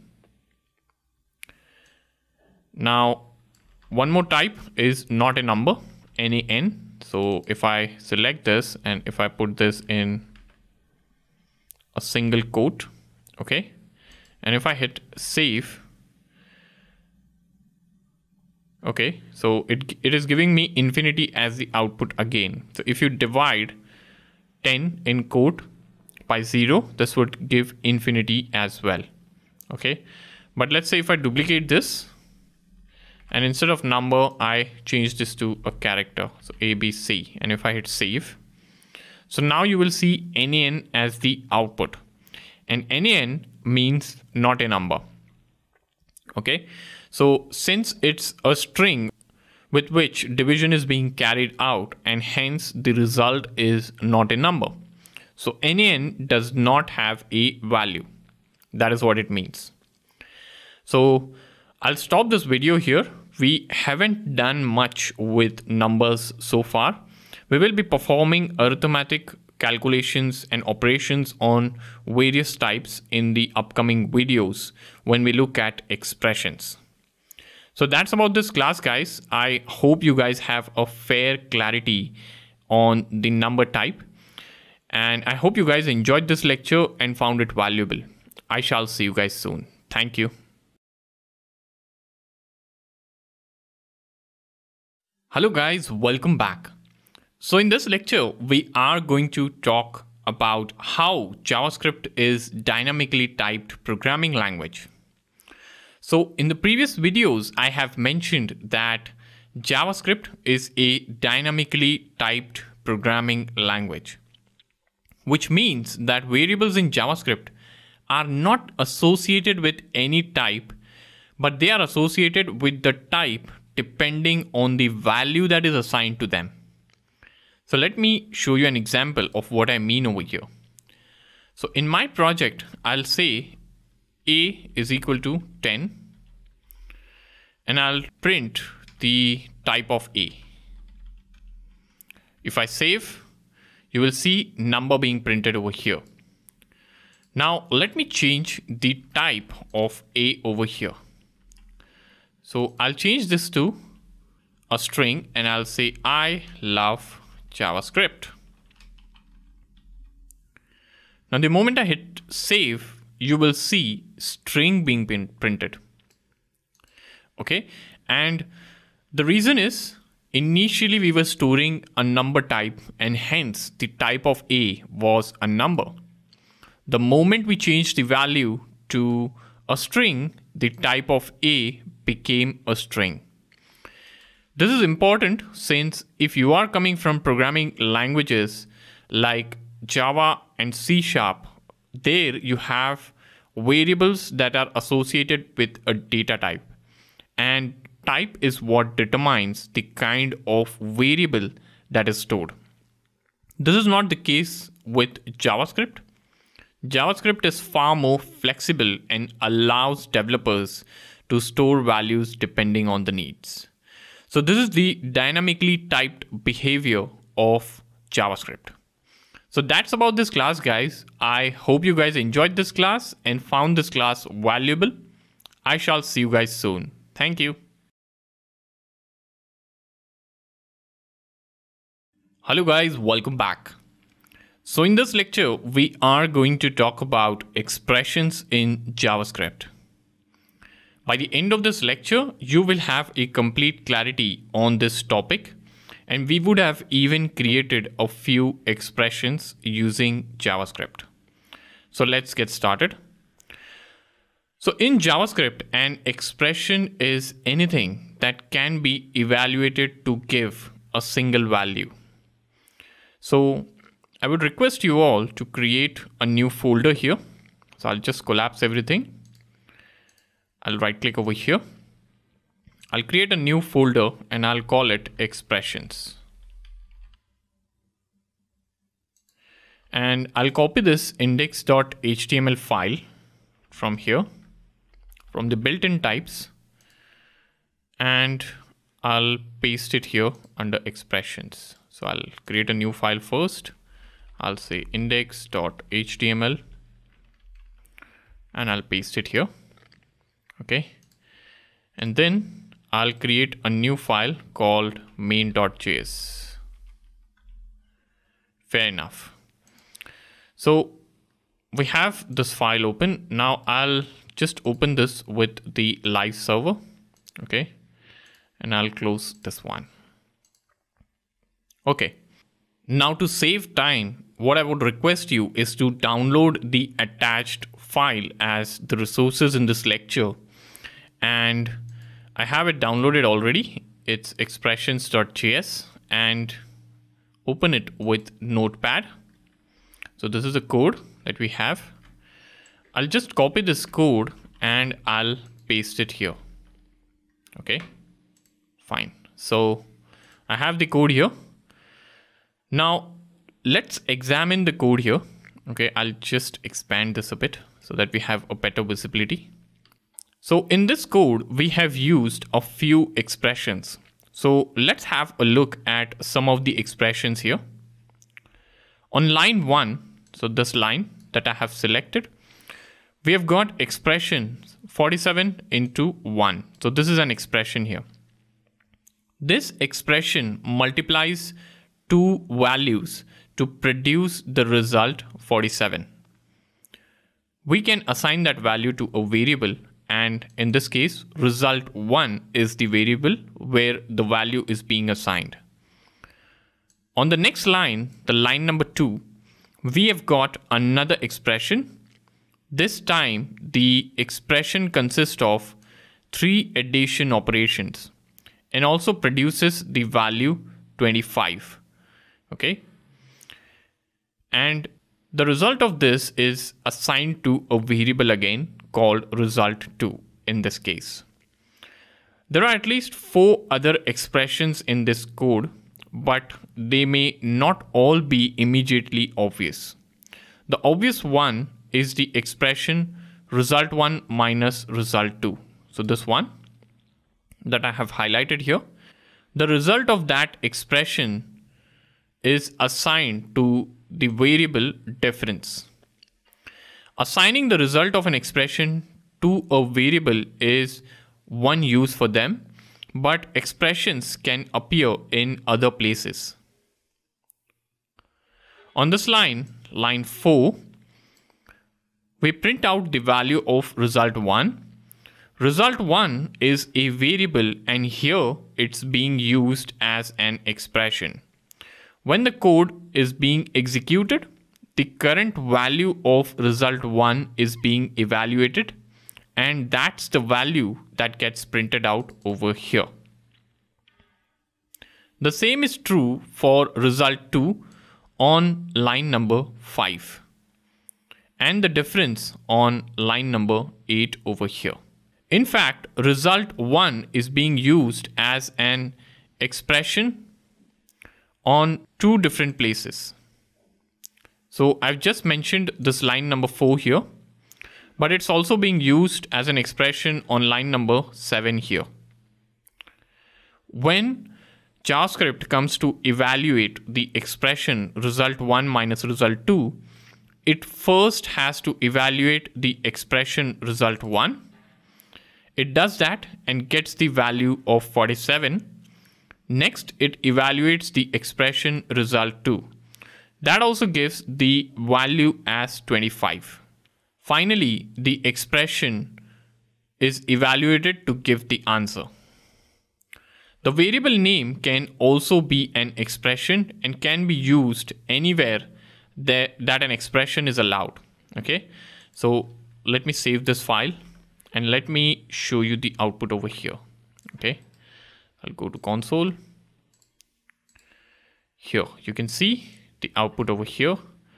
So the result is 47, first result, second result is 25, and the difference is 22. Fair enough. So I'm expanding the code editor now. Okay. So a variable name can also be an expression and can be used anywhere that an expression is allowed. Also, one thing to make a note of is you can't put an expression on the left hand side of equals. It has to be only on the right hand side. That makes sense and you probably wouldn't try to do it. Just to be clear, what I mean is that you can't write result 1 minus result 2 is equal to 0. Okay, so this is not a valid statement and doing that will give you an error. Okay, so this is not an expression and this is something incorrect. The left hand side of the assignment must be a variable. The expression on the right hand side, the numeric literal 0 is fine. So this is absolutely fine over here. The problem comes when we try to assign that expression to the expression on the left hand side. I've used the term literal a few times now, so I'll explain it in case it's not clear. A literal is a constant value or a constant expression if you like. The value 0 on this line is a numeric literal. When our project are first created and they print out the string hello world we, we did this right we printed a hello world string and that hello world is a string literal we have also got some five numeric literals in our code right now so we have 47 1 3 10 and 12 these are all numeric literals in our code as of now Okay, so back to this error. It's pretty obvious that we can't assign something to an expression, but you may still get that error in your code. Okay, so let me modify this code. So I'll say let check result is equal to result minus result 1 minus result 2 is equal to 0. Now we can change this to double equal to and the error goes away. To explain why, you need to understand Boolean variables and Boolean expressions. Now, this is now a valid declaration, but if you accidentally forget that there must be two equal to signs here at the end. All right. So if I delete this one, okay, you get an error again you can see, right? So I'll undo that change here. And I will stop this video right now over here. And in the upcoming lectures, you will have a clear clarity as to what this horrible looking code means. All right. So these are Boolean expressions and we will talk about this in the upcoming lecture. So that's about this class guys. In this lecture, we understood what is a expression and how can you write expressions. We took a look at a few expressions in our code, all right? And I hope you guys enjoyed this class and found it valuable. I shall see you guys soon. Thank you.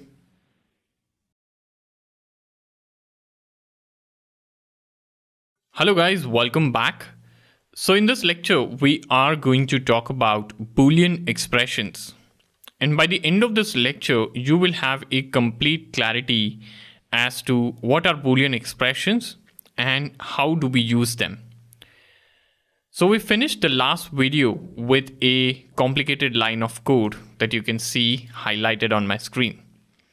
On the right hand side, we have got what's called a Boolean expression. They are really no different to numeric expressions, but because we don't normally come across them in everyday use, they can be confusing at first.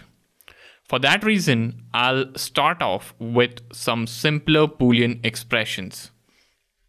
And for that, I will create a new folder. So I'll just collapse everything. I'll right click here. I'll create a new folder called Boolean expressions. Fair enough. Now I'll add the index and main.js file. So I'll just copy this from here. Okay. And I'll paste it over here. And within main.js, I'll just delete everything and I'll hit save. All right. And I'll launch the index.html with our live server. And I'll close the previous one. All right, so far so good. So I'll close everything else and just have this main.js open, okay? So let's start with a couple of variables and a simple boolean expressions. So I'll say let apples is equal to 10, not 10, we'll keep it 18 and we'll say let oranges is equal to 9 and I'll print I'll say console dot log and I'll say apples is equal to oranges. I'll hit save. Okay, and we will see the output over here. So you can see false being printed over here. The apple has a value of 18 and orange has a value of 9. So apple is clearly not equal to the value of oranges, which is 9 over here. And the Boolean expression apples is equal to equal to oranges evaluates to false, which is what's printed out. Boolean expressions are often called conditions. They are just an expression that can evaluate to either true or false. When testing equality in JavaScript, we use two equal to sign as you can see over here. As we have seen, a single equals is used to assign values to the variable like over here. The JavaScript would get confused if single equal to was used for both the purposes, which is why we have two of them when testing something is equal to something else. We can test for a few more conditions in a boolean expression. All right. So to check if two things are not equal to each other, we use not equal to. So let me just duplicate this line over here and I'll just paste it here. And I'll change this to exclamation. So one equal to becomes exclamation here, as you can see, which is what means to not equal to. So once the program gets reloaded in the browser, you will see false being printed over here. Okay, which means the second expression evaluates to true. Okay, sorry, it's not false getting printed, but it's true getting printed. So we have false for the earlier expression. So we have false and then we have true and true is literally for this one over here. The exclamation mark that you see over here is to reverse the test. Here we test for not equal by using an exclamation. Think of an exclamation mark as meaning not. And we will see that being used in the other sections that are upcoming as well. The other tests are greater than, less than, greater than equal to, less than equal to, and so on. So I'll just expand this line and I'll copy this line of code over here. Okay. So I'll copy this line and I'll add one more condition. So I'll put this in a quote like this and I'll say I'll add curly braces and I'll add a dollar because we want this to be as a variable here and here as well. Okay I'll expand this to full screen so that we can type well. Okay oranges and I'll say greater than is apples greater than oranges. All right? So this has to go to the end. Okay. Fair enough. So what we are doing here is we are printing the value of apples. So apples is 18 so 18 is greater than 9 is the value of entire expression. So this should be true. So the output should be 18 greater than 9 is true. Let me show that to you. So you can see the output once you save this line over here. So 18 greater than 9 is true. Fair enough. So I'll just keep this expanded for a while while we finish typing in the rest of the code. So I'll just copy this line again and I'll paste it over here. Okay. And I'll just reverse the condition like this. And I'll just reverse this condition like this. Okay. I'll just paste this again here and we'll say greater than equal to over here now and this will be also greater than equal to okay and I'll copy this line and we will say less than equal to this time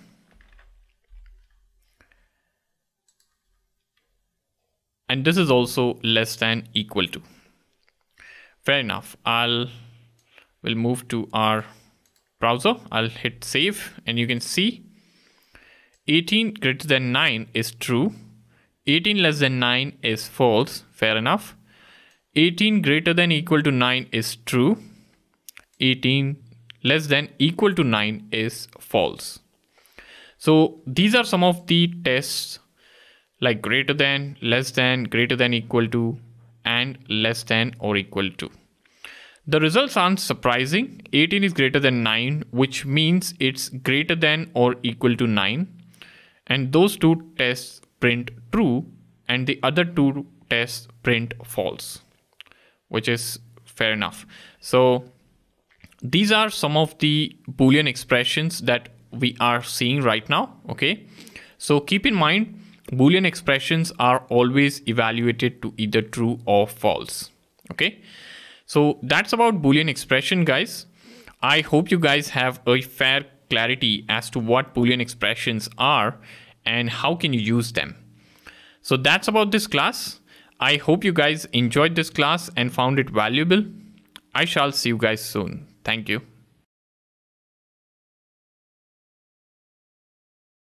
Hello guys, welcome back. So in this lecture, we are going to discuss what are compound Boolean expressions. And by the end of this lecture, you will have a complete clarity as to how can you write them. And we will even see some examples of the same. So let's get started. So far, we have seen Boolean expressions that evaluate a single condition but sometimes you will need to test two or more conditions at the same time. And we can do that by using Boolean AND or OR operators. Okay. I'll provide some examples. Okay. And to provide some examples, I'll store the prices of our fruits. So we have two fruits here, apples and oranges what I will be doing is I'll create two prices over here. I'll say let apple price is equal to 12.6 and let orange price equal to 4.5 okay I'll hit save. And make a note that we are using the decimal values for storing the prices. Okay and we have got right now quite a few apples in our example. Now let's say we want the computer to reduce the price of apples if there are more apples than oranges. But we only want to do that if apples cost more than oranges. Now there are two conditions here. So I'll write the code after all our current examples that we have written here. Okay, so I'll go to the end and I'll press enter.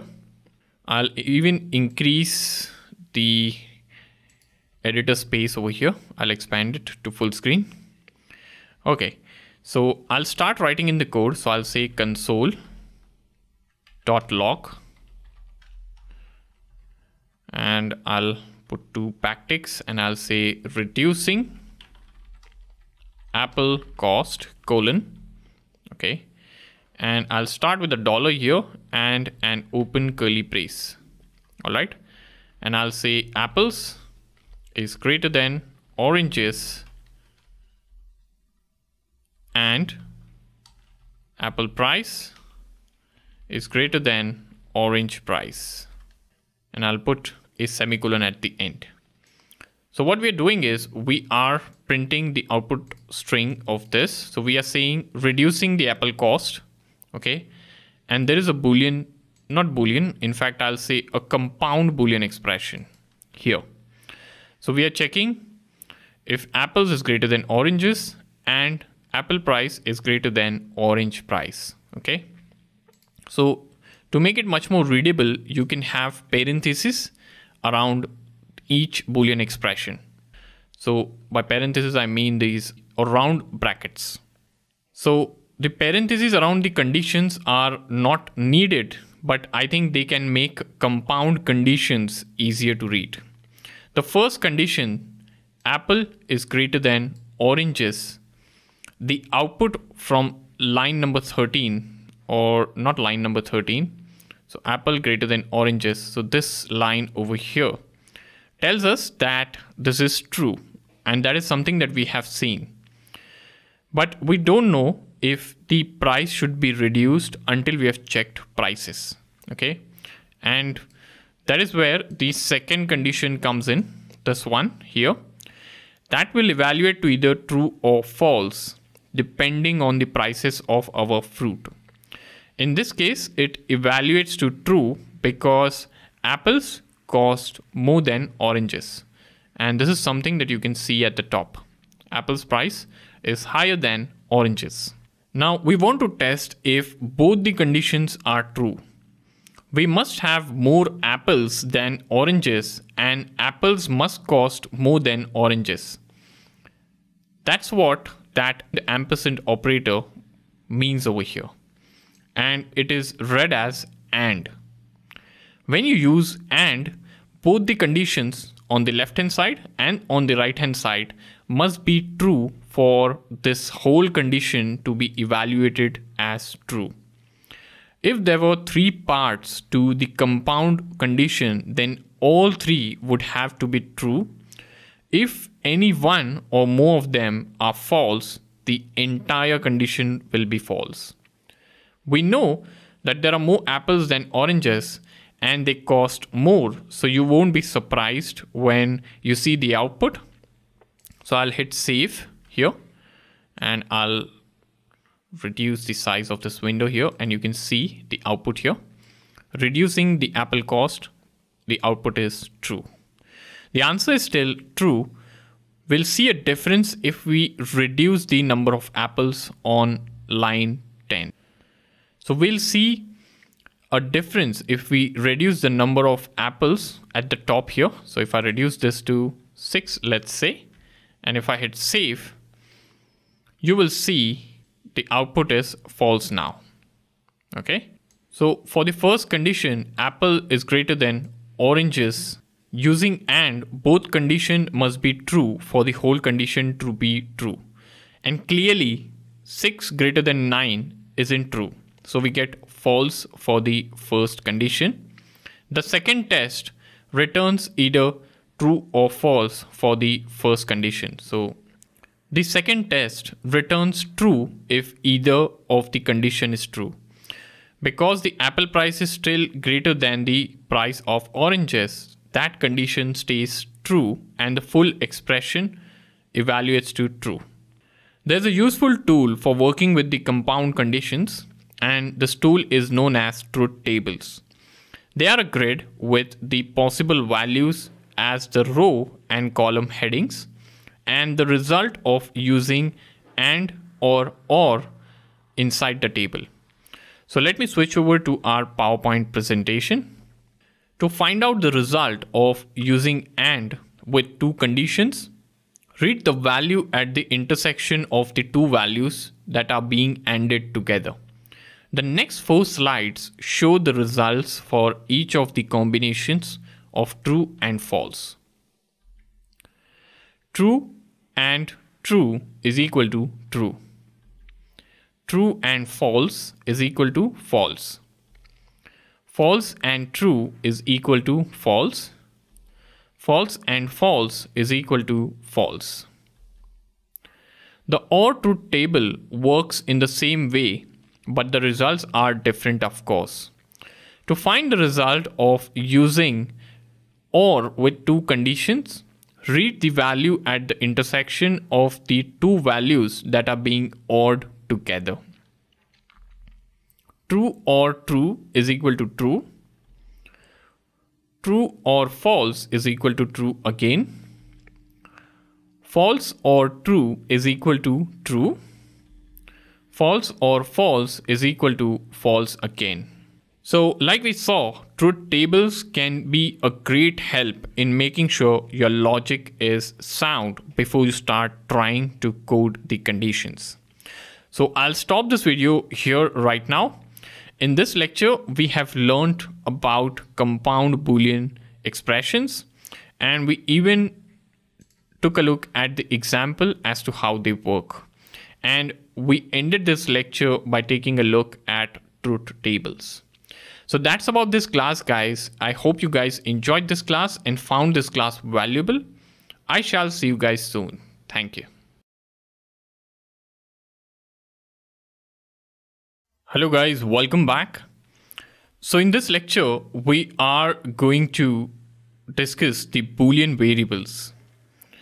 By the end of this lecture, you will have a complete clarity as to what are Boolean variables, how can you use them, and we would have even created a few Boolean variables on our own. So let's get started. So we have seen Boolean expressions and know that they can be evaluated to give a value. if they can represent values, it's reasonable to think that we can store those values in variables. It turns out we can.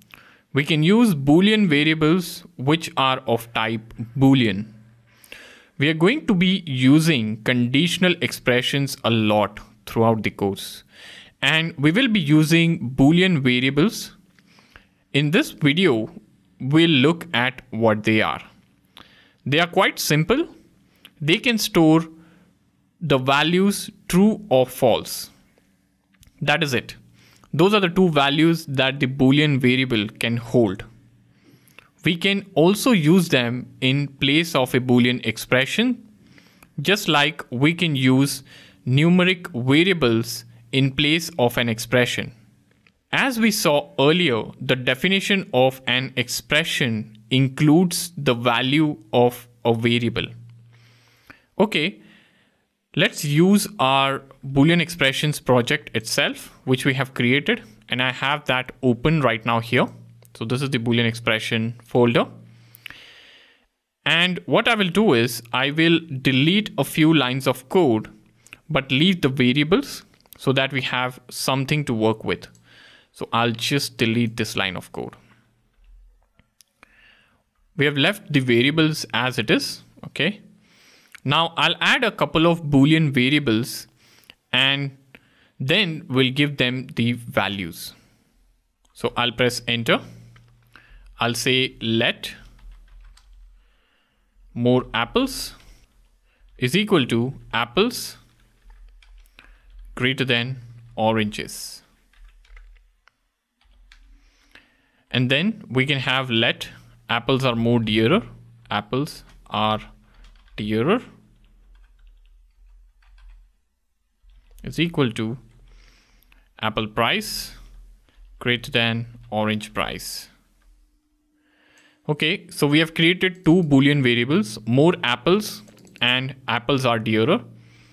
Now what we can do is we will just print the output. So I'll go to the end of this line and I'll add couple of enters and I'll say console dot log here.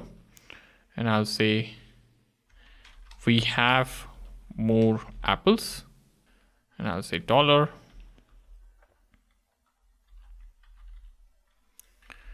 Apples are sorry not all apples are dearer. I'll say more apples. This variable. And I'll add a semicolon here okay I'll copy this line. I'll duplicate it here okay? And I'll just expand this a bit and I'll say apples are dearer.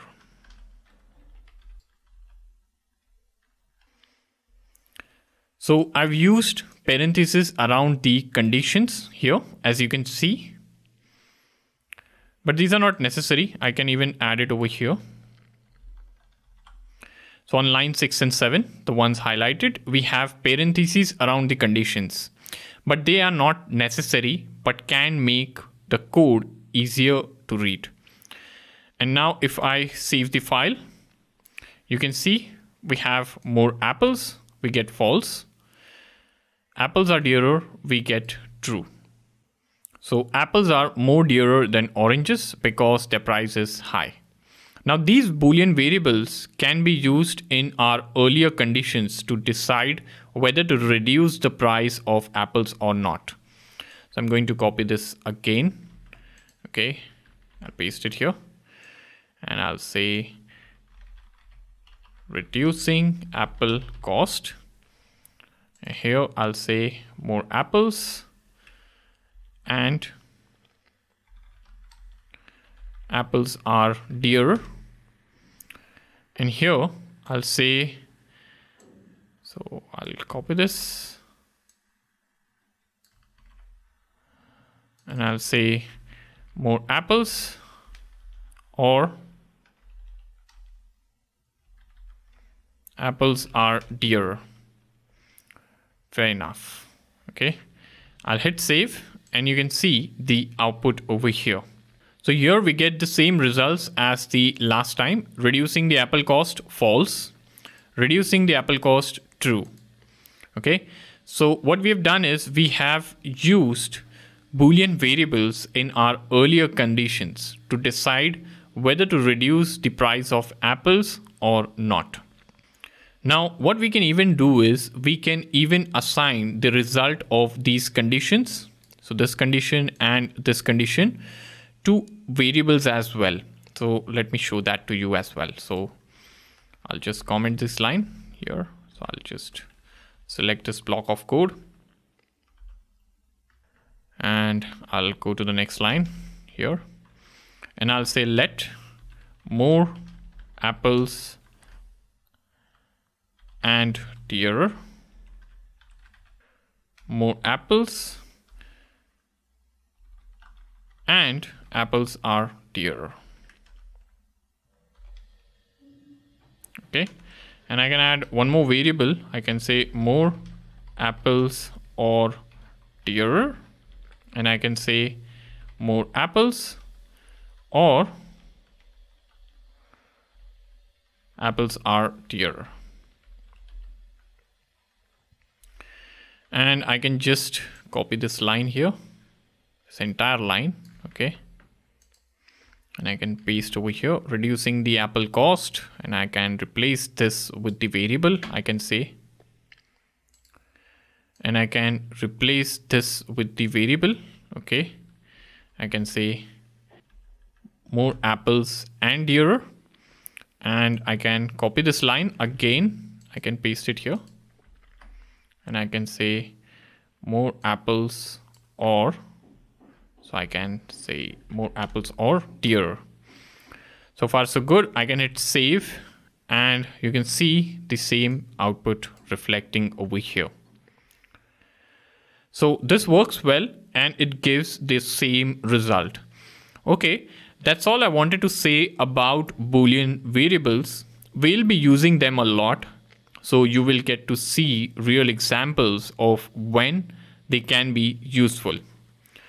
There is only one oddity that I would like to point out before stopping this video. Whenever we have printed out the values of conditional expressions or boolean variables, we got true or false with the lowercase letter. The boolean literals are all lowercase as well.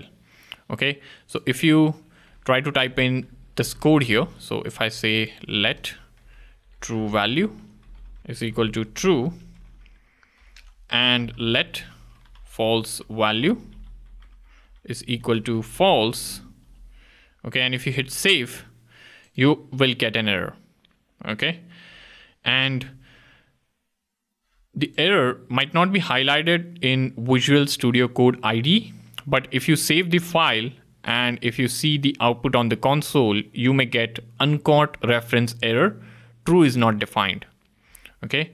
Now this error goes away if you replace them with the lowercase letter. Okay. And if I say save, the error goes away. All right. So far, so good. So that's about this class, guys. In this lecture, we understood what are Boolean variables, we created a few boolean variables and we learned how we can use them in our code. So I hope you guys enjoyed this class and found this class valuable. I shall see you guys soon. Thank you. Hello guys, welcome back. So in this lecture, we are going to discuss the booleans in Hammer Bitcoin project. So by the end of this lecture, you will have a complete understanding as to how booleans are used in a real program. So that's the objective of this lecture. So now that we know what booleans are, let's take a look at some real uses for them. So I'll close this file for now and I'll open up the Hammer Bitcoin project and I'll click on bitcoinminer.js and I'll collapse this. So we'll scroll up. Now, if you start scrolling from the top in the Hammer Bitcoin project, on line number 19, which I have highlighted here within Bitcoin Miner class, you will see we have a boolean declared. Now this variable still in office has a boolean value and it keeps the track of whether the player has been fired or not. Now if you scroll down further from line number 47 here to if you keep scrolling line number 72 so this part that I have selected here this entire part is the if statement we will be looking at if statements in the later section of this course but basically the code in the block will keep on executing as long as the condition remains true and the condition here is this now there are two parts to the condition. The first part is that the year must be less than equal to 10. If that's true, so we haven't gone beyond 10 years and then the next part will be checked. Is the player still in office? When the code first checks the condition still in office will be true. It was initialized to true early on like you saw in the early part of the code here. And year is initialized to 1. So if you scroll up at the top again, you will see year is 1, which means both the part of the condition will be true in the first go. We know that compound boolean expression true and true evaluates to true, which means we will start executing the code within the if statement. And it also confirms that this if statement will be executed at least once because by default these two conditions are true any which ways. Because there are two parts to the condition, there are two things that can happen to make it evaluate to false. And if you scroll down, the first thing is on this line. So on line number 60 to 62, now, if more than 45% of the employees staffed still in office will be set to false. You can check that yourself and you can run the program and enter zero amount to pay for employees. It doesn't matter what values you enter for other questions, but if you enter zero for all, then the results will be employees are starving and the condition is evaluated as false. So let me show that to you. So I'll open this with live server and I put any value here and I'll keep this to zero. Okay, so this third one will be zero and I'll say next turn. And you can see 100 of your team member starved. So all the employees have starved. Okay, and that is not good. Okay, so our final rating is terrible okay and we are out so that's that's what it means. So that happened because of this condition over here. Now at the bottom we get the final score being printed out over here okay? And that is the result of print final score method over here. And it is being called here on this line number 73 and not surprisingly we haven't done very well. So this statement print final score is outside the if statement if you see. So the if statement ends on line 72. Okay, you can see it ends on line 72 and if the condition of if statement is false then these lines are executed. And since this was executed it proves that the condition was not evaluated again because the compound condition at the top here was evaluated to false. Okay, now let's assume that we don't starve our employees and uh, manage to keep going for full 10 rounds. So if you scroll down at the bottom, you have this statement here wherein we are increasing the value of year by one. So each time the control enters this if loop or this if loop is executed, the last thing it does is increase the year and just before closing the if statement over here. So it increases the year here. Eventually, the year will be 11 and the first part of the condition on line 47 here will be evaluated to false. When that happens, the code inside this if statement is not executed, but instead the execution continues at line number 73 over here, and these are executed. In this fairly short method, so this method so the entire code is part of the play method and this is very short method like from line number 42, sorry, 44 to 75 over here. It's very short. And in this fairly short method, we have got Boolean assignments and Boolean expressions as well. Okay. I'll go through the Boolean expressions later on and then set you a challenge to find all the other Boolean expressions in the rest of the code. Okay. So there is a Boolean declaration here at line 19, like we discussed. The variable still in office is declared and assigned the value true. So there is a Boolean assignment on that line. Technically, the Boolean literal true is an expression. So you can count that as one of the Boolean expressions. If you scroll down around line 47 here, we have got a compound Boolean expression, okay? And that's made up of two parts, two other Boolean expressions. So we could count that as three expressions in total. That is the case, year less than equal to 10 has to be evaluated before the complete expression can be.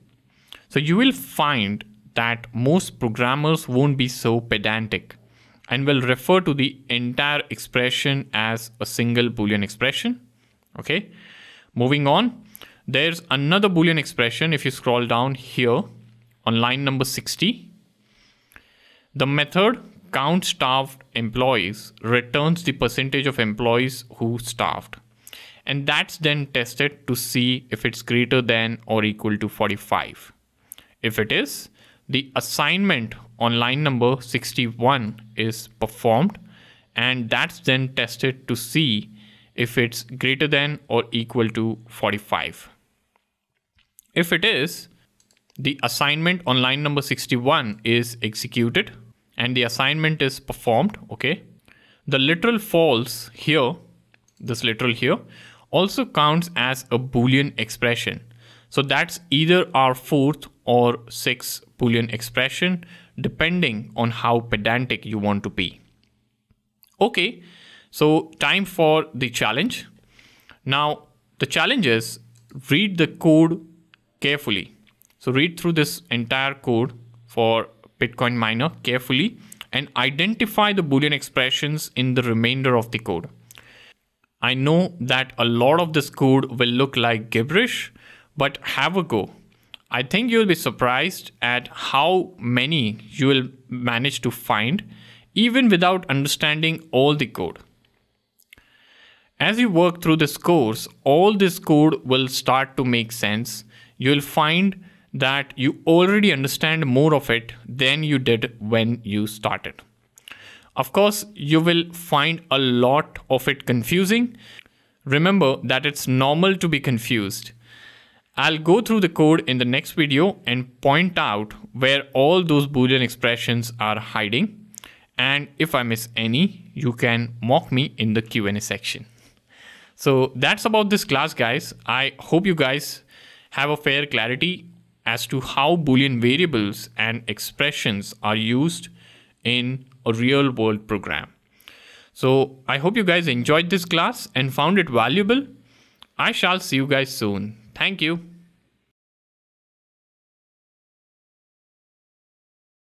Hello guys, welcome back. So in this lecture, we are going to discuss the solution to Boolean expression challenge. So how did you get on?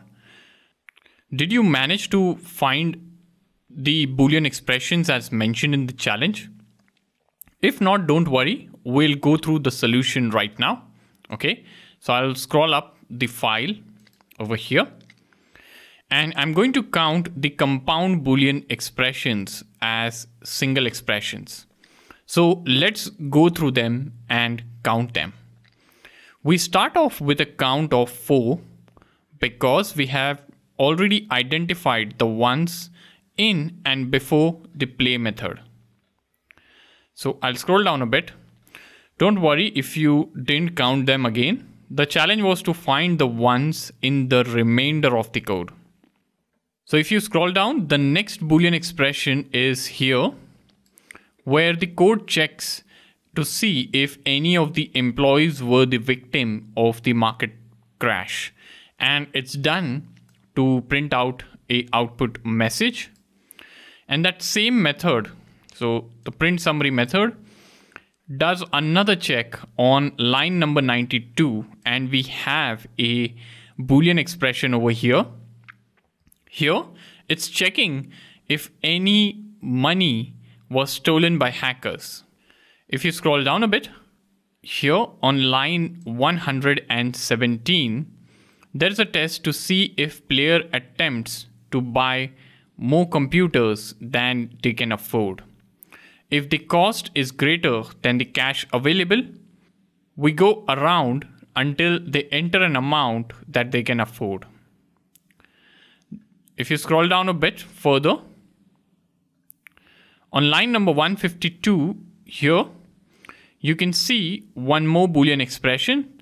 This time the code checks that they are not trying to sell more computers than they actually have. And if you scroll down further, similar thing is done on line number 174 where you can't pay the employees more than you have. And this loop is similar to the one when buying computers. Now, if you scroll down, you have maintain computers method, and we have three Boolean expressions in maintain computer method. One on line 196, then 199 and 202. There's a normal check that players have enough money on line number 196. The code also makes sure that the player doesn't spend too much on the maintenance. It only costs 2 Bitcoin to maintain each computer and the condition on line 199 checks this. It also makes sure that there are enough employees to carry out the work. Each employee can only maintain 10 computers. At 2 Bitcoin per computer, the amount shouldn't be greater than 20 times the number of employees. And you can see that over here on line 202. If you scroll down further, you have line 222 where a random number is tested to see if it's less than 0.15 or 15%. The game has a 15% chance of a market crash, and this is a code that checks that. If you scroll down further, in count starved employees method, on line 241, the code checks that all employees have been paid. If not enough money was given to the employees, it calculates the percentage of employees who staffed. If you scroll down further, on line 264, you have another Boolean expression. And this is within count new hires method. And it also checks the number of staffed employees. So if the player did staff anyone, they don't get any new employees for that year. Would you go to work for someone who didn't pay all their employees? No, right? So that is what this checks for. And there's a 40% chance of being hacked, and that's handled here down on line number 292 in the check for hackers method. Then if you scroll down further, you have print final score method that has four boolean expressions to decide what kind of rating to give the player. And they are on line 321 here. Then if you scroll down a bit, you have one on line 338 Then if you further scroll down, you have one on line 342 and then on line 356. So these are the Boolean expressions within this method. If you scroll down further, the Boolean literal on line 396, true, so this literal true, also counts as an expression.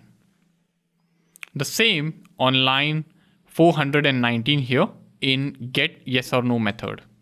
There is also a boolean expression on each line from line 422 to line 425. So this is one boolean expression wherein we are evaluating this. Then you have this boolean expression, then this one, and then this one. Don't feel bad if line 422 and 424 did not uh, seem obvious and you missed it. That's perfectly fine. You may have noticed that the if keyword is always followed by a boolean expression so that they may have given it away. Okay, so I make that 27 including the original 4, 23 if you don't count them. That's a lot of boolean expressions in only about let's say 500 lines of code. As you can see, they are an important part of programming. Round about now, you are probably about to go to straight Q&A section to mock me. And I'm sorry to disappoint you, but I could not resist. I deliberately skipped three of them. So if you scroll up, so I'll go somewhere here. Yes, so on line 192, okay, there's a Boolean expression in the while loop have good answer is a boolean variable and the while loop uses not the exclamation mark to keep looping if we don't have a good answer. As long as have good answer is false in other words. And online if you scroll down to not 6 here this line. Have good answer is assigned the value true. So that also counts as a Boolean expression. The initialization, if you scroll up on line 190, also counts as a Boolean expression. So that's another three, taking the total to 26 or 30 with the original four. So I hope you have enjoyed the challenge. Were you surprised at how many you could found in code that still probably doesn't make a lot of sense. Even if you didn't find many of them, reading through the code carefully is a great practice. As you work through the next videos, you will find that you picked up all sorts of things just by reading this code. We have already covered a lot of basics of JavaScript types in this section. We will finish this section by looking at classes and object and we'll be covering them in detail later on. Okay. So that's about this class guys. I hope you guys have a fair clarity on this challenge now and the importance of Boolean expressions. So I hope you guys enjoyed this class and found it valuable. I shall see you guys soon. Thank you.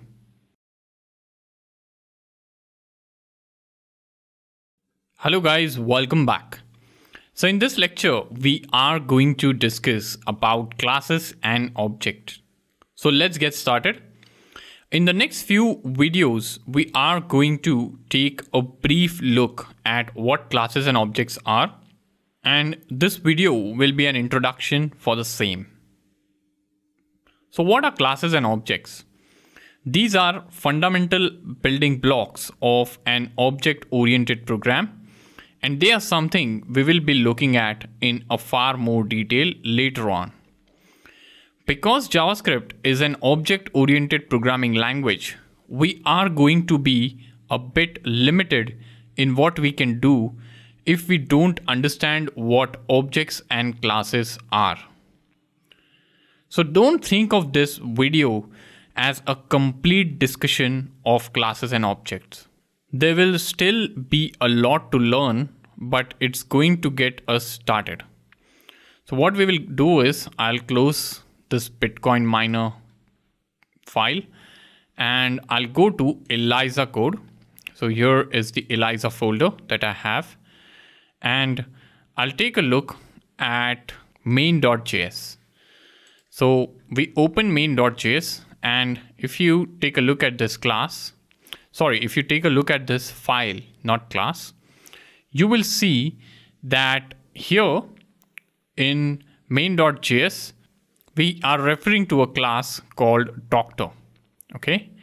And this is something that we are getting from doctor.js. So if you scroll up at the top, okay, here you have your class doctor. Now, if you scroll down into this class, you will notice you have functions like intro. This is a method called intro. This is another method, make response, and so on. So if you are coming here after learning programming languages like Java and C Sharp, their all method appear to be in a class. It's not just methods either. All the variable have to appear inside a class or inside a method of a class. But that's not the case with JavaScript. So in JavaScript, you can have methods outside the class as well. Same goes for variables as well.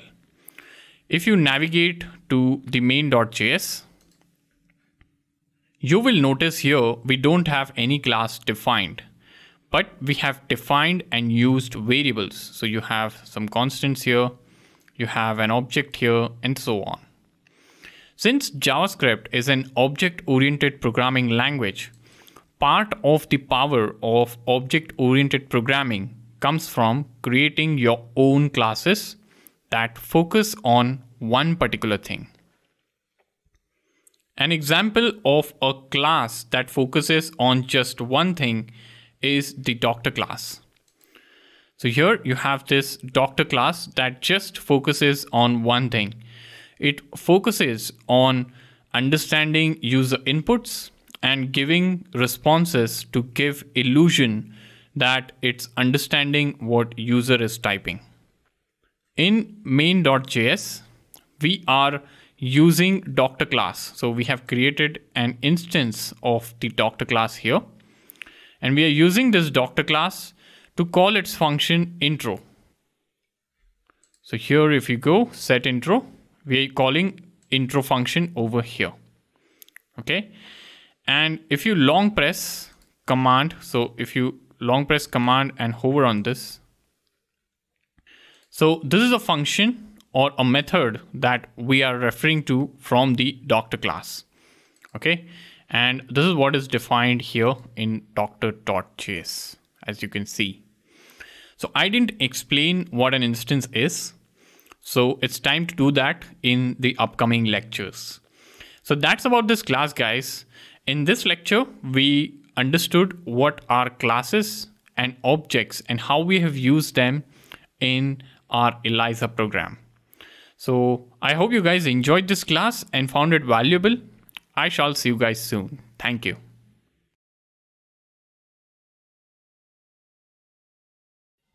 Hello guys, welcome back. So in this lecture, we are going to discuss about class instances.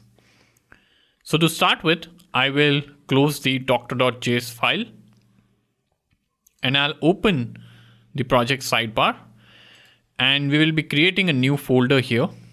I'll say classes intro.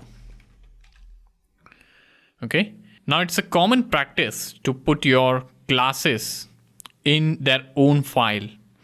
That can be a good way to organize your code, especially if the class becomes quite large.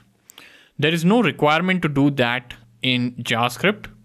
Although I wouldn't recommend having huge files. You can put as many classes as you want in a single file.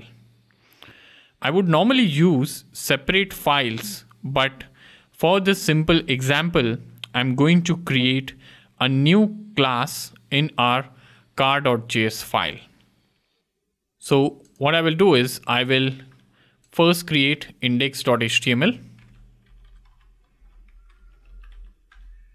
okay and I'll probably copy some code from here, the built-in project, and I'll paste it over here.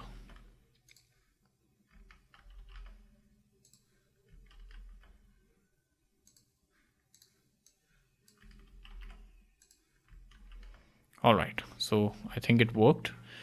And instead of car.js, I'll stick to main.js. Okay, so I'll name the file as main.js.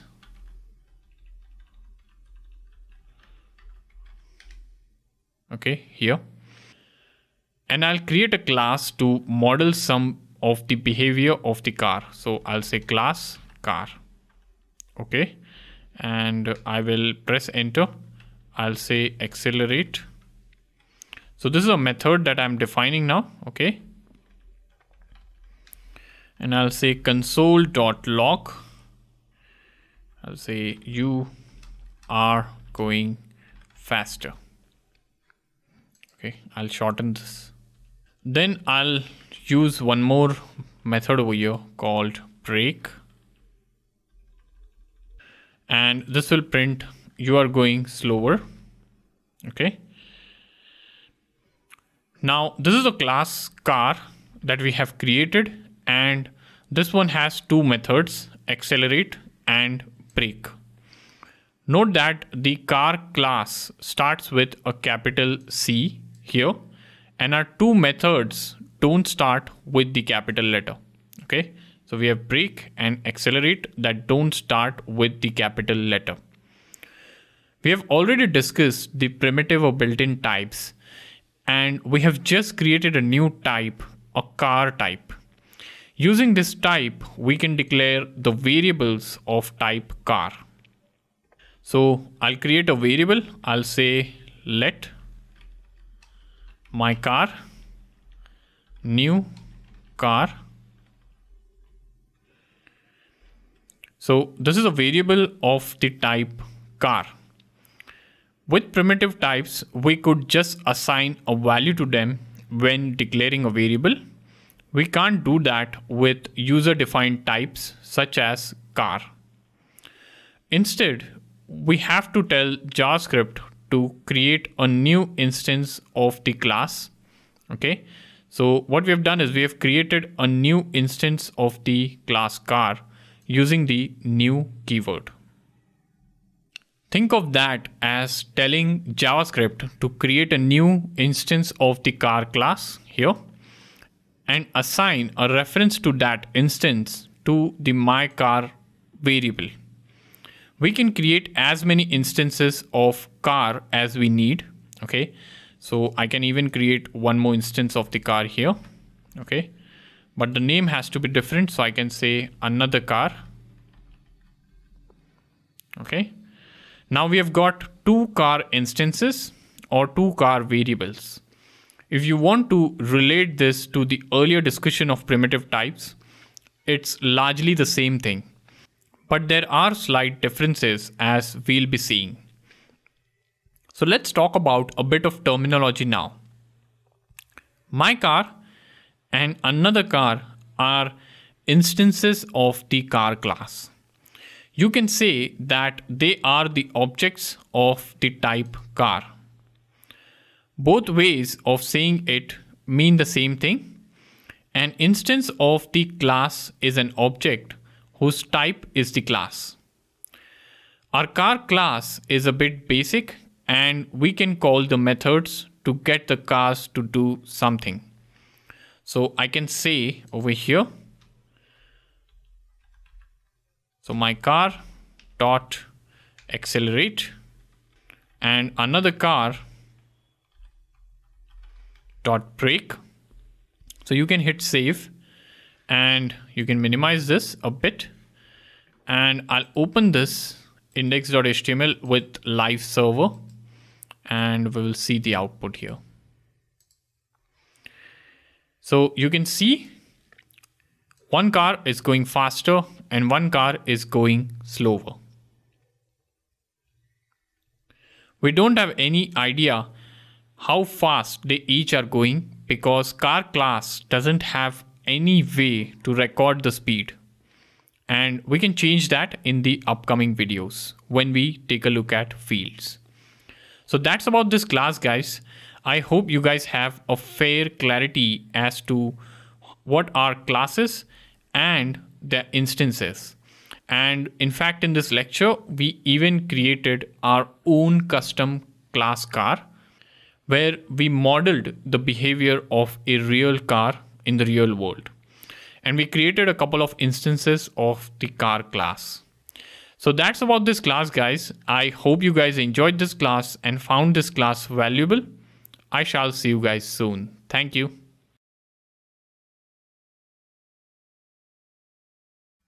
Hello guys, welcome back. So in this lecture, we are going to discuss the class members and fields. By the end of this lecture, you will have a complete clarity as to what they are and why do we need them. In fact, we will even go ahead and define them in our class car program. So let's get started.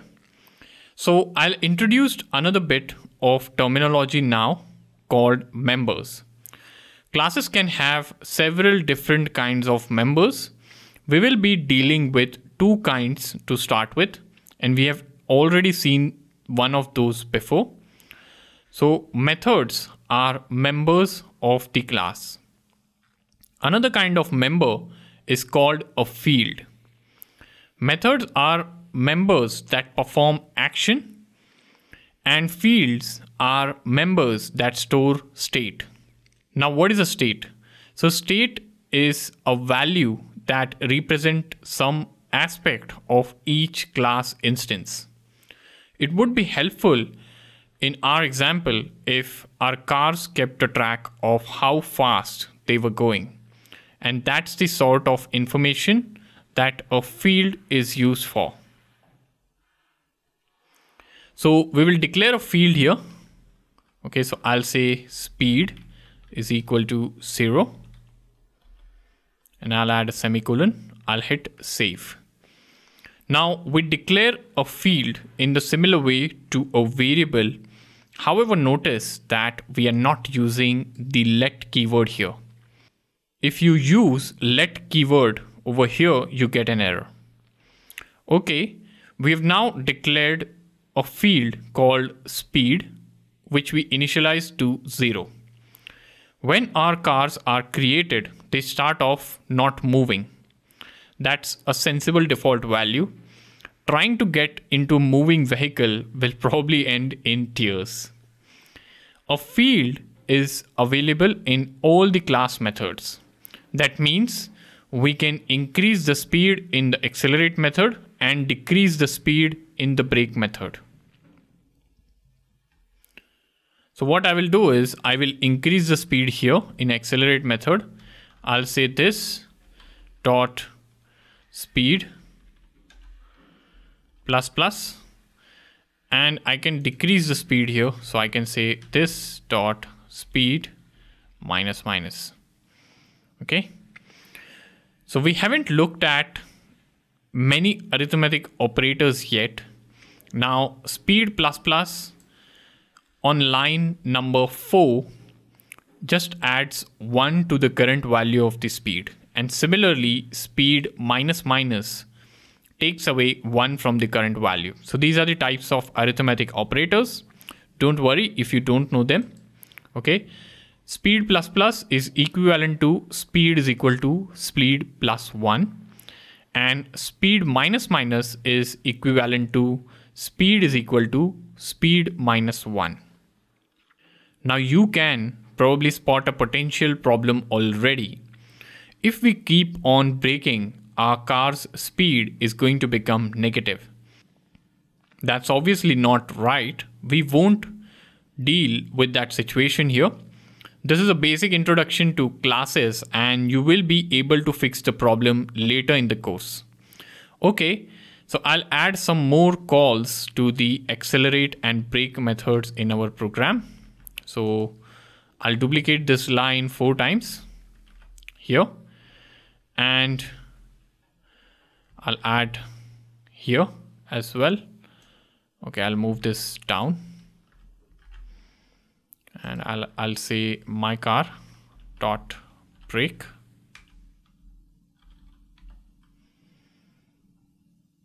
Fair enough.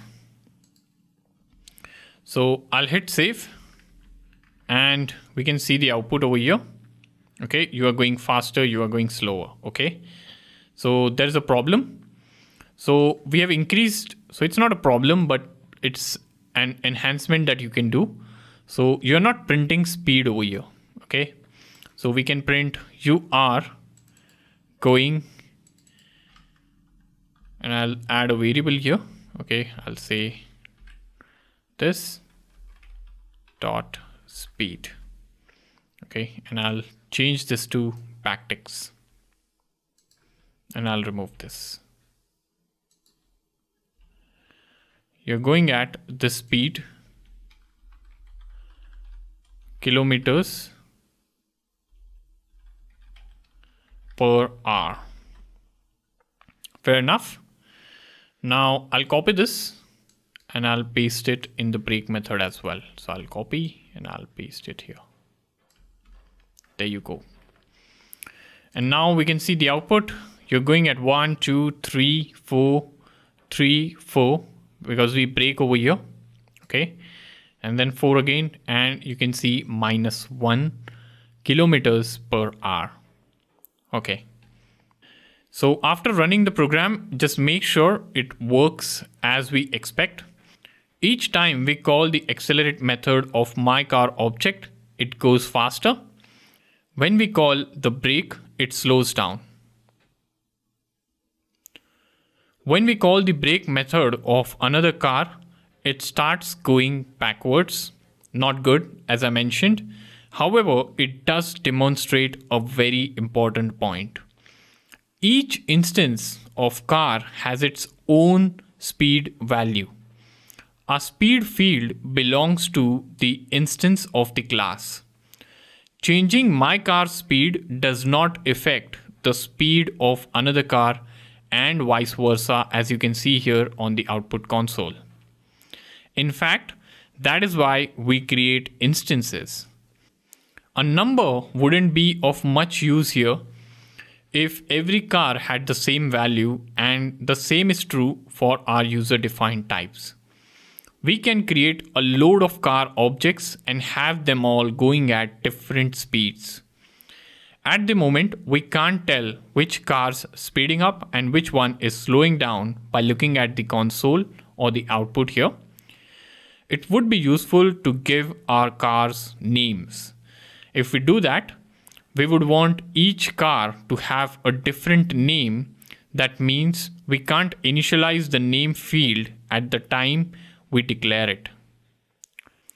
To handle situations like that, we have something called as constructors.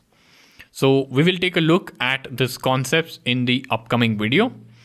But that's about this class guys.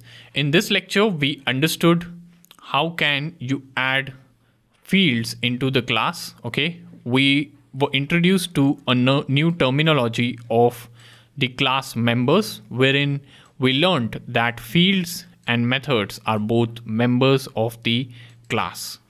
And we in fact implemented or added a field called speed and we learned that every instance of the car class has its own value of speed.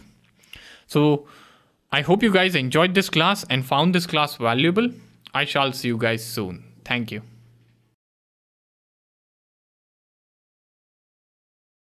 Hello guys, welcome back. So in this lecture, we are going to discuss class constructors.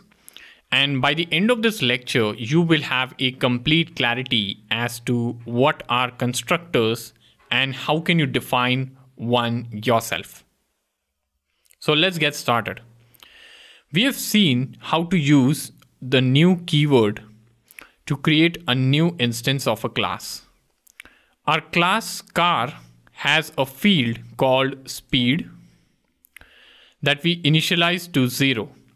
There's another way to initialize class fields and that's to use a constructor. Our car class doesn't have a constructor at the moment and that's fine. JavaScript classes don't have to define a constructor compulsorily. Often they will. So let's see what a constructor is and how can they be useful. A constructor is just a method defined using the name constructor. Programming languages like Java and C Sharp have constructors defined with the same name as that of class. Okay, so I'll create a constructor here and I'll say constructor have a value here okay so that's a basic constructor but it doesn't do anything. One thing we could do in our constructor is to initialize a field. Our cars don't have names as of now and it's very hard to tell which car was speeding up which car was slowing down and so on. We can fix that by giving the car class a name field and providing a name when we create each instance. So we can say this dot name is equal to name. So this name is the name that is coming as a parameter and this dot name is the field of the car class. When we create a new car, this constructor will be called automatically. You don't need to call it explicitly. We pass in a string and that string will be used to initialize the name field. Our accelerate and brake methods can print that name so that we can tell which car is speeding up or slowing down. So what I will do here is I will add a variable here and I'll say this dot name okay is going so I'll add is keyword here and I'll copy this and I'll paste it here and I'll hit save if we save the file and refresh the page you will see that undefined is being printed because the constructor expects an argument which we haven't passed yet. So this is the argument that we have.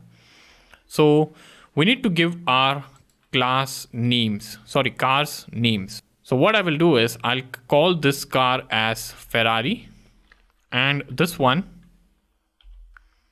as the Batmobile. So I'll say Batmobile and I'll hit save.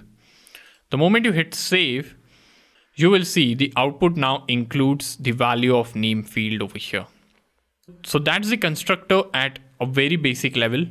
A constructor is a method that's called automatically when you create new instances of a class. The code in a constructor can be far more complex than our simple example, but this shows the basic of using a constructor. We will learn more about this a bit later when we look at classes in far more detail. There's one more thing to cover in the brief introduction to classes, okay, which we will be discussing in the later lectures, okay.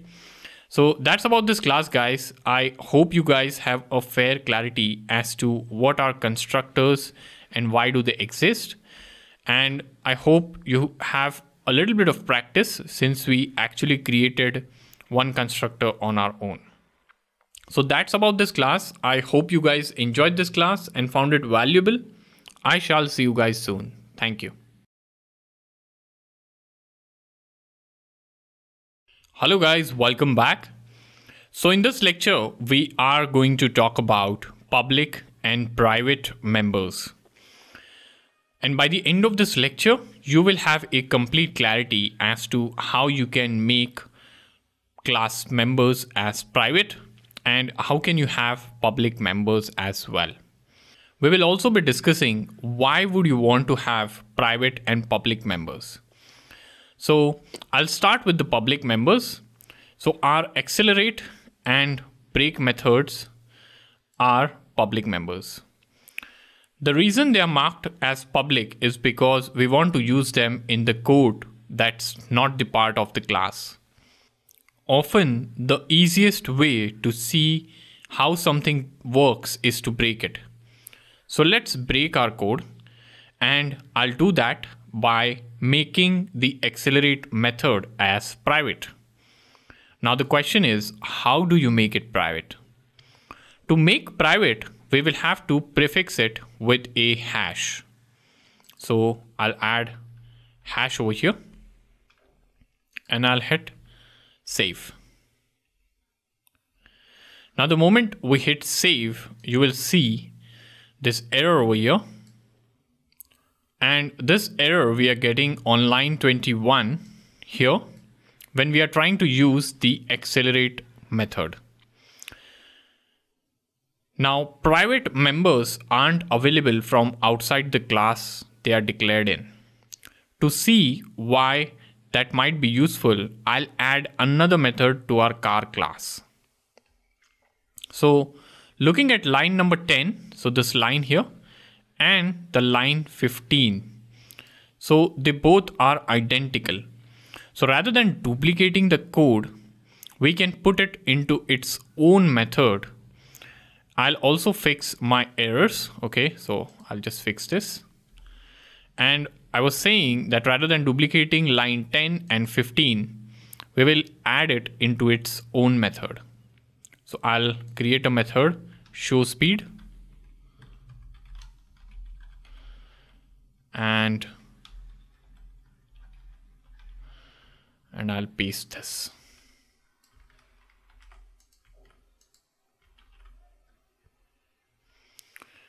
Okay. Now we can call this method from each of the other method. Okay. So I can say this dot show speed and I'll copy this okay and I'll paste it here as well okay if we want to show the speed in miles per hour rather than kilometers, we now only have to make the change in one place. Okay. So as opposed to the earlier one, wherein we had to make change at multiple places, we'll now make change at one place. We'll say miles per hour and we are done. So you can see the program is working as expected. Okay. Now let us make the show speed method as private. I'll make it private by adding a hash symbol and we get an error. So the error is show speed is not a function, which is perfectly fine. Okay. So I'll have to add hash over here as well. Okay. I add that and I hit save. And you can see program working again. Okay we have got a private method show speed that can only be used inside the car class. Now you could argue that it should be public. After all, it's a useful function to have available outside the class. So that's a decision that you can make when designing your classes. If a member, particularly methods, are going to be useful in the other parts of the program, then it makes sense to mark them as public.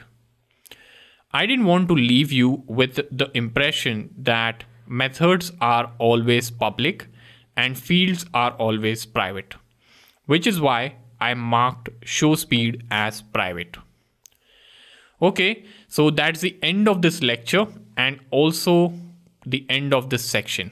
Okay, so I hope you guys enjoyed this class and I hope you guys have a fair clarity as to what are public and private members.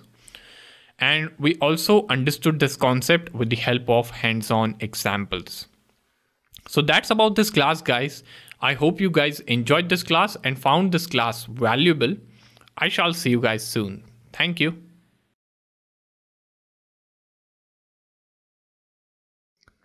Hello guys, welcome back. So in this lecture, we are going to summarize this entire section. So in this section, we have looked at the built-in primitive types available in JavaScript. We learned how you can use the primitive types in our programs. Number type can be used to store whole numbers and floating point values. We also learned about numeric expressions and how to recognize them. We discussed Boolean expressions and variables with some simple examples. We also did a challenge to spot Boolean expressions in our Hammer Bitcoin program. And we also learned how can you use and or when working with the compound Boolean expressions. Then later on, we took a brief look at classes, objects, and class instances. We also discussed about fields and the information that can be stored in them.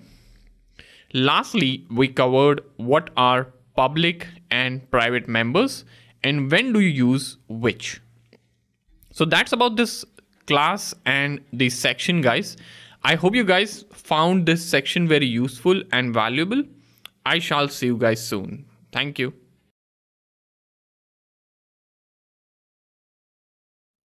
Hello guys, welcome back. So in this lecture, we are going to do an introduction to this section. In the next three sections, we are going to look at various ways that we can alter the flow of execution of our code. In all the previous examples, the code has been executed step by step. It starts at the top and obeys the instructions on each line until it gets to the end of the code. That may be okay for simple examples, but if we want our programs to perform more complex operations, we need to alter the flow of execution. One way to do that is to get the code to repeat. We will look at two ways to do that in this section. We can either repeat code a set number of times or we can repeat it as long as some condition is true. Another way to change the flow of execution is to test conditions. The code can then perform one action if the condition is true and do something different if it's false. We will cover how to do that in the section 6. We have seen another way to alter the flow. We have used methods in some of the examples. And in section 7, we will look at them in far more detail. If all that isn't enough, we have got something extra lined up.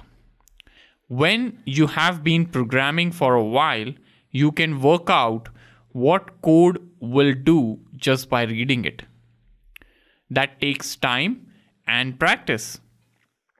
At first, it can be hard to work out what's going on. Most modern IDEs have something called as a debugger that lets you execute your code line by line. Basically slowing everything down so that you can see what's happening. In this section, we are going to use the debugger for JavaScript to examine our code and see what it's doing. So that's about the introduction guys. I'll see you inside. Thank you.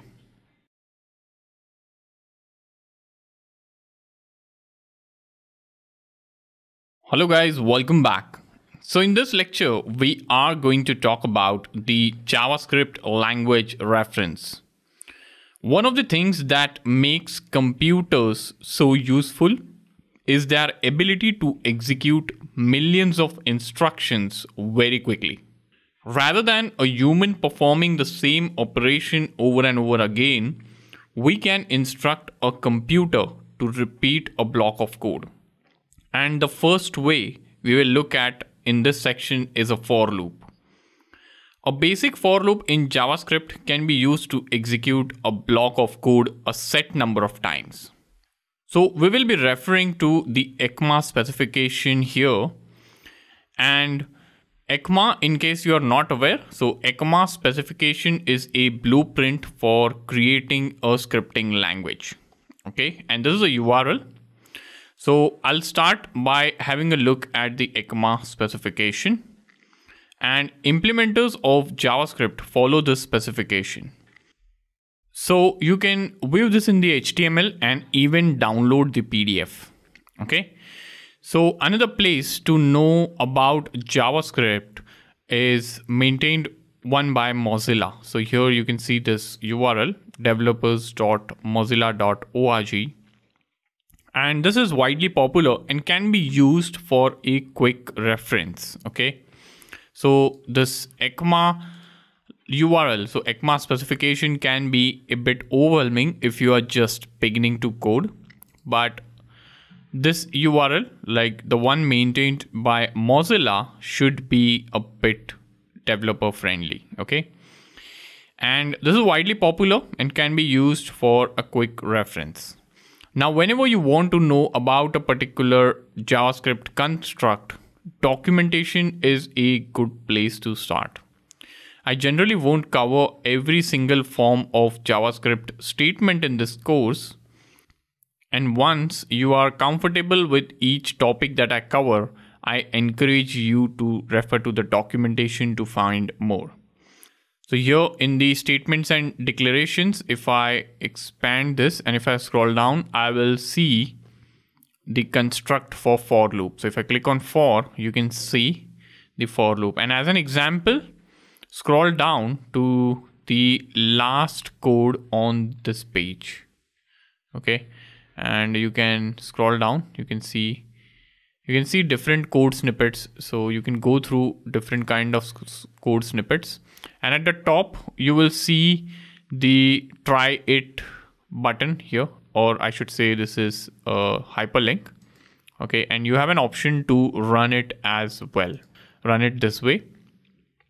So don't worry about uh, this code just yet or what this strange code is doing at the moment. I'm pointing out that you will find more information by checking this documentation.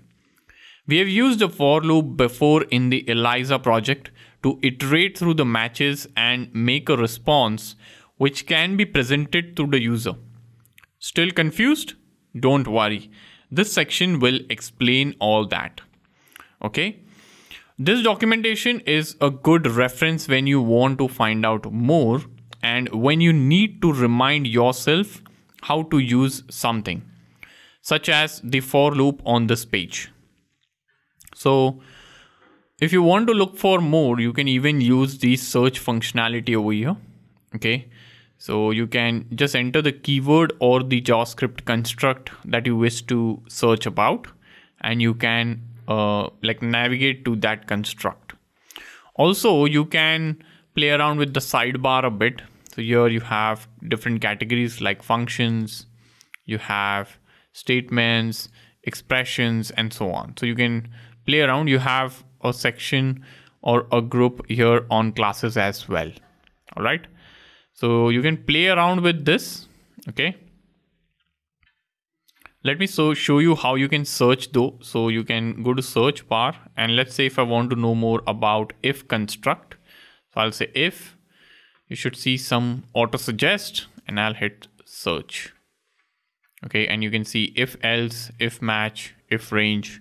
So I can go to if else and this is the if else statement over here.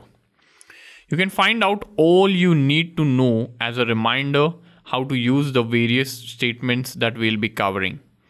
We are starting this section by looking at the for loop. So I will type for into the filter box over here. Okay. So I'll say for, I'll say search and we'll go to the first result here. The structure of the for statement is shown over here and documentation explains that there are three parts the initialization, the condition, and the afterthought. So that's the JavaScript documentation and how you can use it to find more information about various JavaScript keyword. Okay. So that's about this class guys. I hope you guys enjoyed this class and found this class valuable. I shall see you guys soon. Thank you.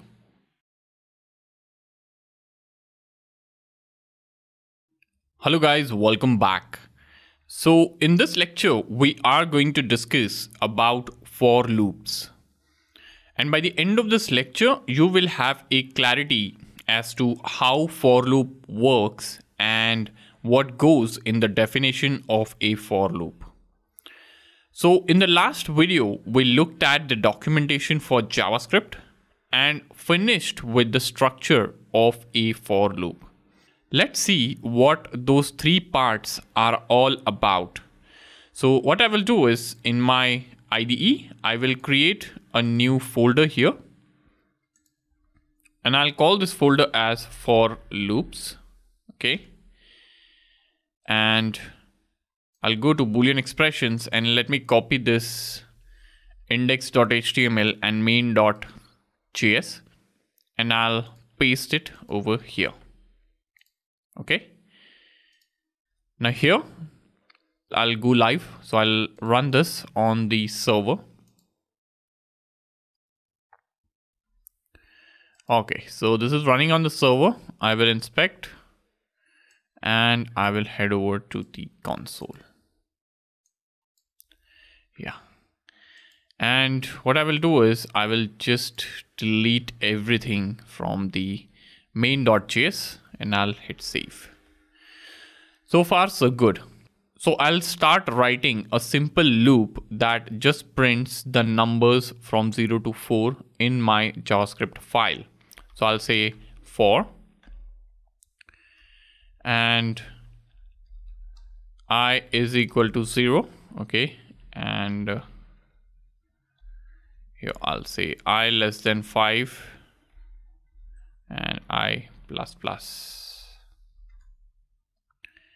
Console dot log i. And I'll hit save. So you can see the output here.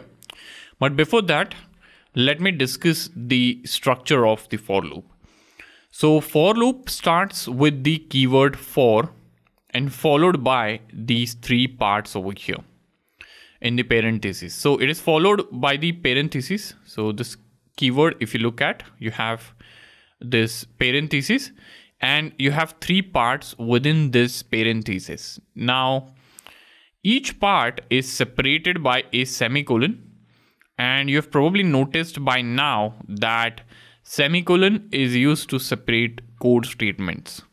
We have been putting a semicolon at the end of the lines of our code. And as you can see from this example, we don't put a semicolon before an opening curly brace like over here. So we don't have one at the end of the lines of 1 and 3 for example. Okay, back to the parts of our for loop. So for loop consists of three parts separated by semicolons. The first part is the initializer. Okay, that's usually the declaration and initialization of a variable. And we have seen the code like let integer i is equal to 0 a few times now. So this creates a new number variable called i and assigns value 0 to it. After initializer, we have a condition. So this is a condition part and we have looked at boolean expressions and this is just one of those. Here the condition is that i is less than 5. The loop will continue to go round as long as that condition is true. We have started off by setting i to 0 over here. So the loop will definitely go round at least once. 0 is less than 5, right? And the condition starts off true unless something happens to alter the value of i. The loop will keep going round forever and that's the purpose of the third part of the loop over here. So in this example, this part just increments i. i++ plus means adding 1 to the current value of i. Okay, so i starts off at 0 over here. gets incremented each time around the loop, okay? And it stops when i is 5 or greater. In the body of the loop, we just print the value of i over here. Now run the program and if I hit save, you will get 0 to 4 printed. Now that's a basic for loop, but it can be hard to understand what's going on at first. All right. So that's about this class guys. So in this lecture, we understood what is a for loop. How can you write a simple for loop that just prints values less than five. For example, zero to four is what we have printed over here. So I hope you guys enjoyed this class and found this class valuable. I shall see you guys soon. Thank you.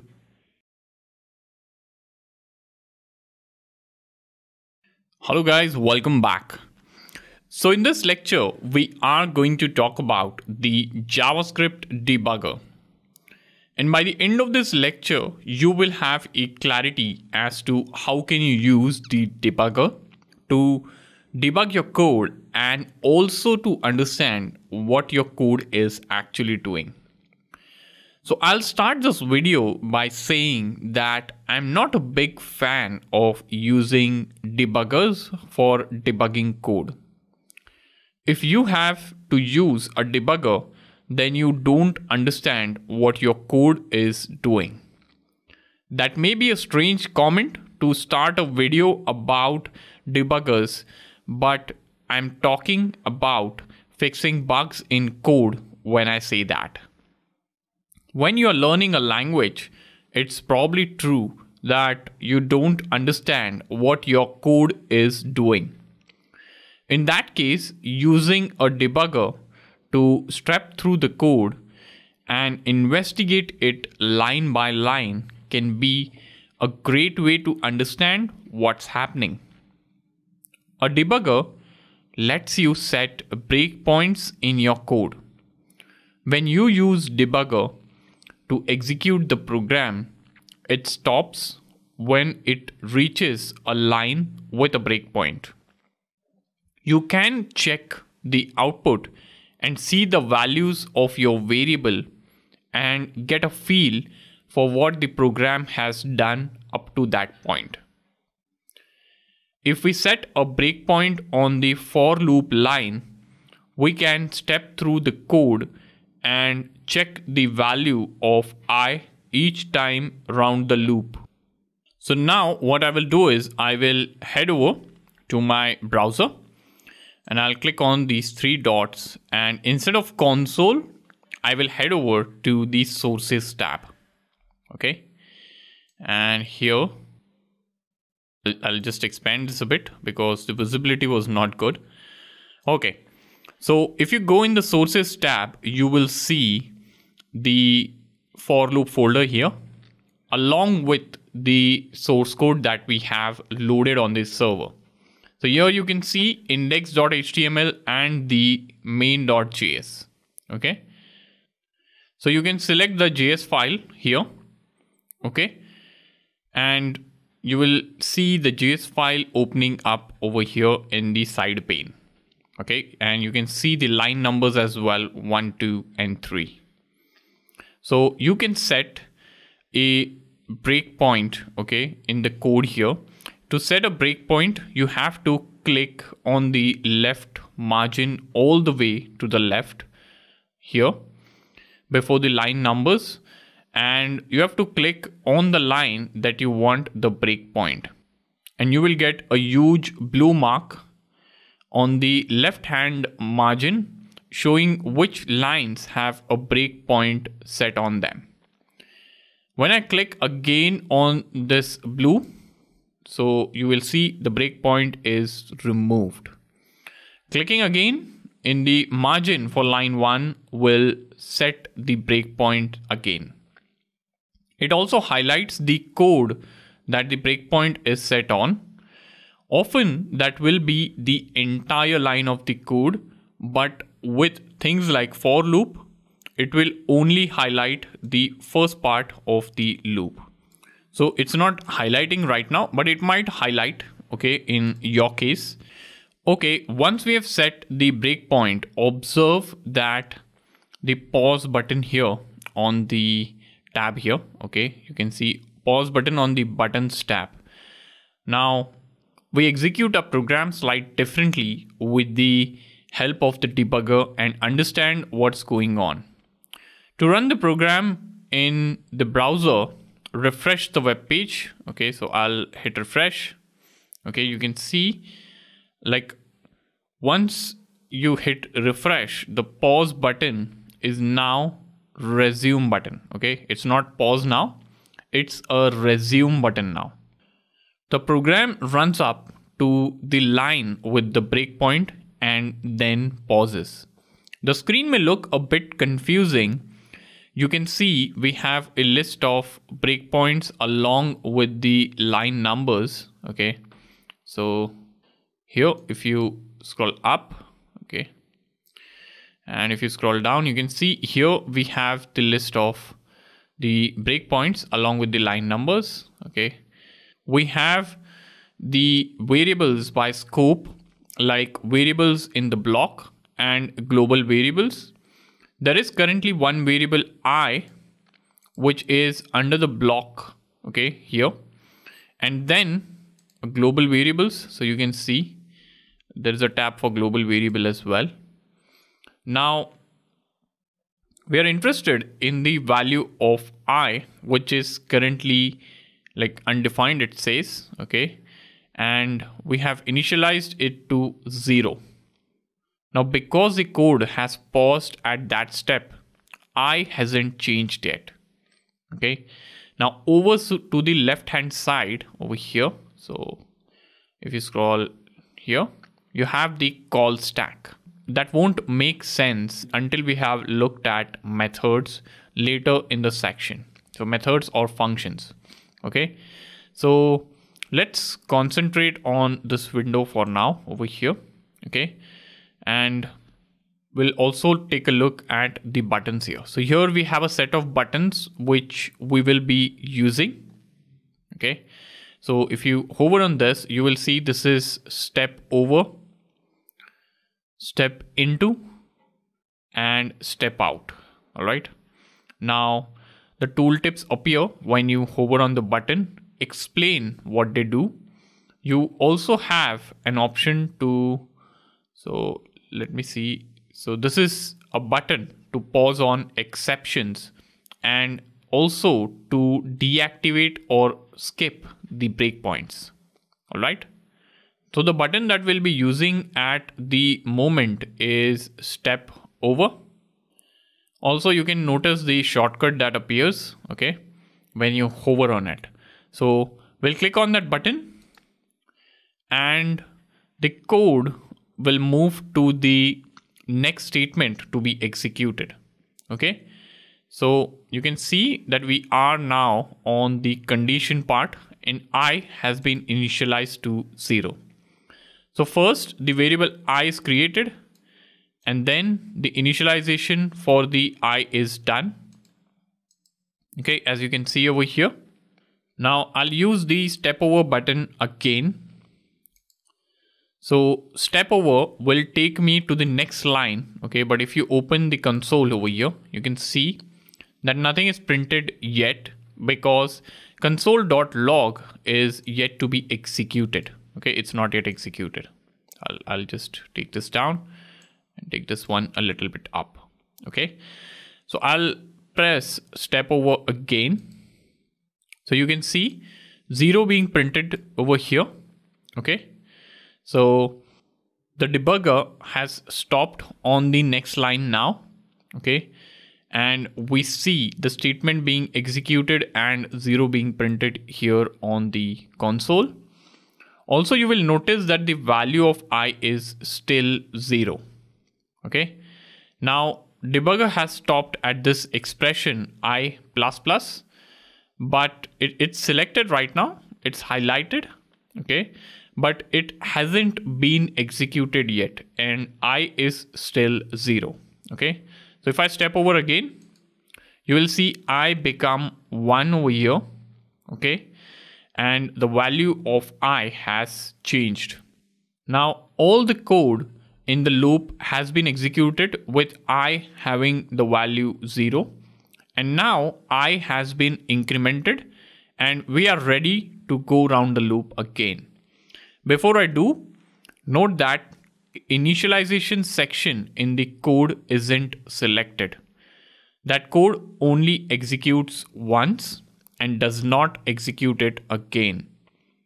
It is still highlighted because that's where the breakpoint has been set, but it's not executed.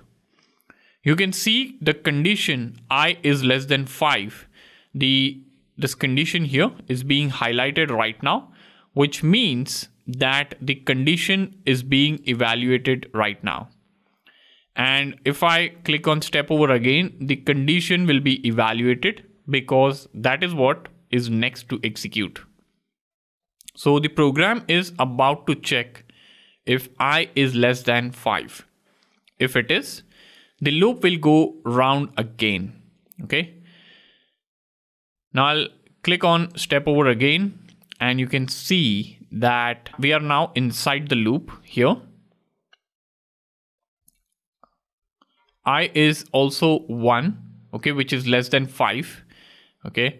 And if i step over again you will see there is one more statement being printed on the console okay? Here 0 and 1 you have 1 also being printed now so I can keep going around the loop using step over and each time we get back to line 1 i is incremented. So it's not incremented yet.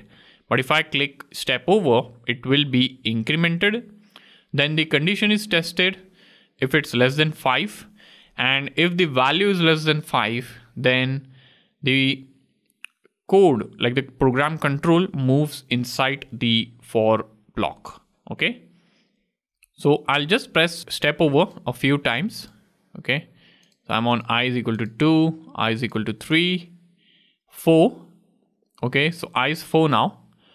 Now 0 1 2 3 i print 4 okay here. 4 is printed. Now i is incremented. So if i say step over again i is 5 now. And now like this condition is about to get tested and as you can see i is less than 5 is now being tested and you can see this condition when I select will be evaluated to false. Okay. And this condition is about to get false. So if I press step over again, you will see that the debugger jumps to line number three here. Okay. It is no longer executing the for loop. Instead, it's gone to the end.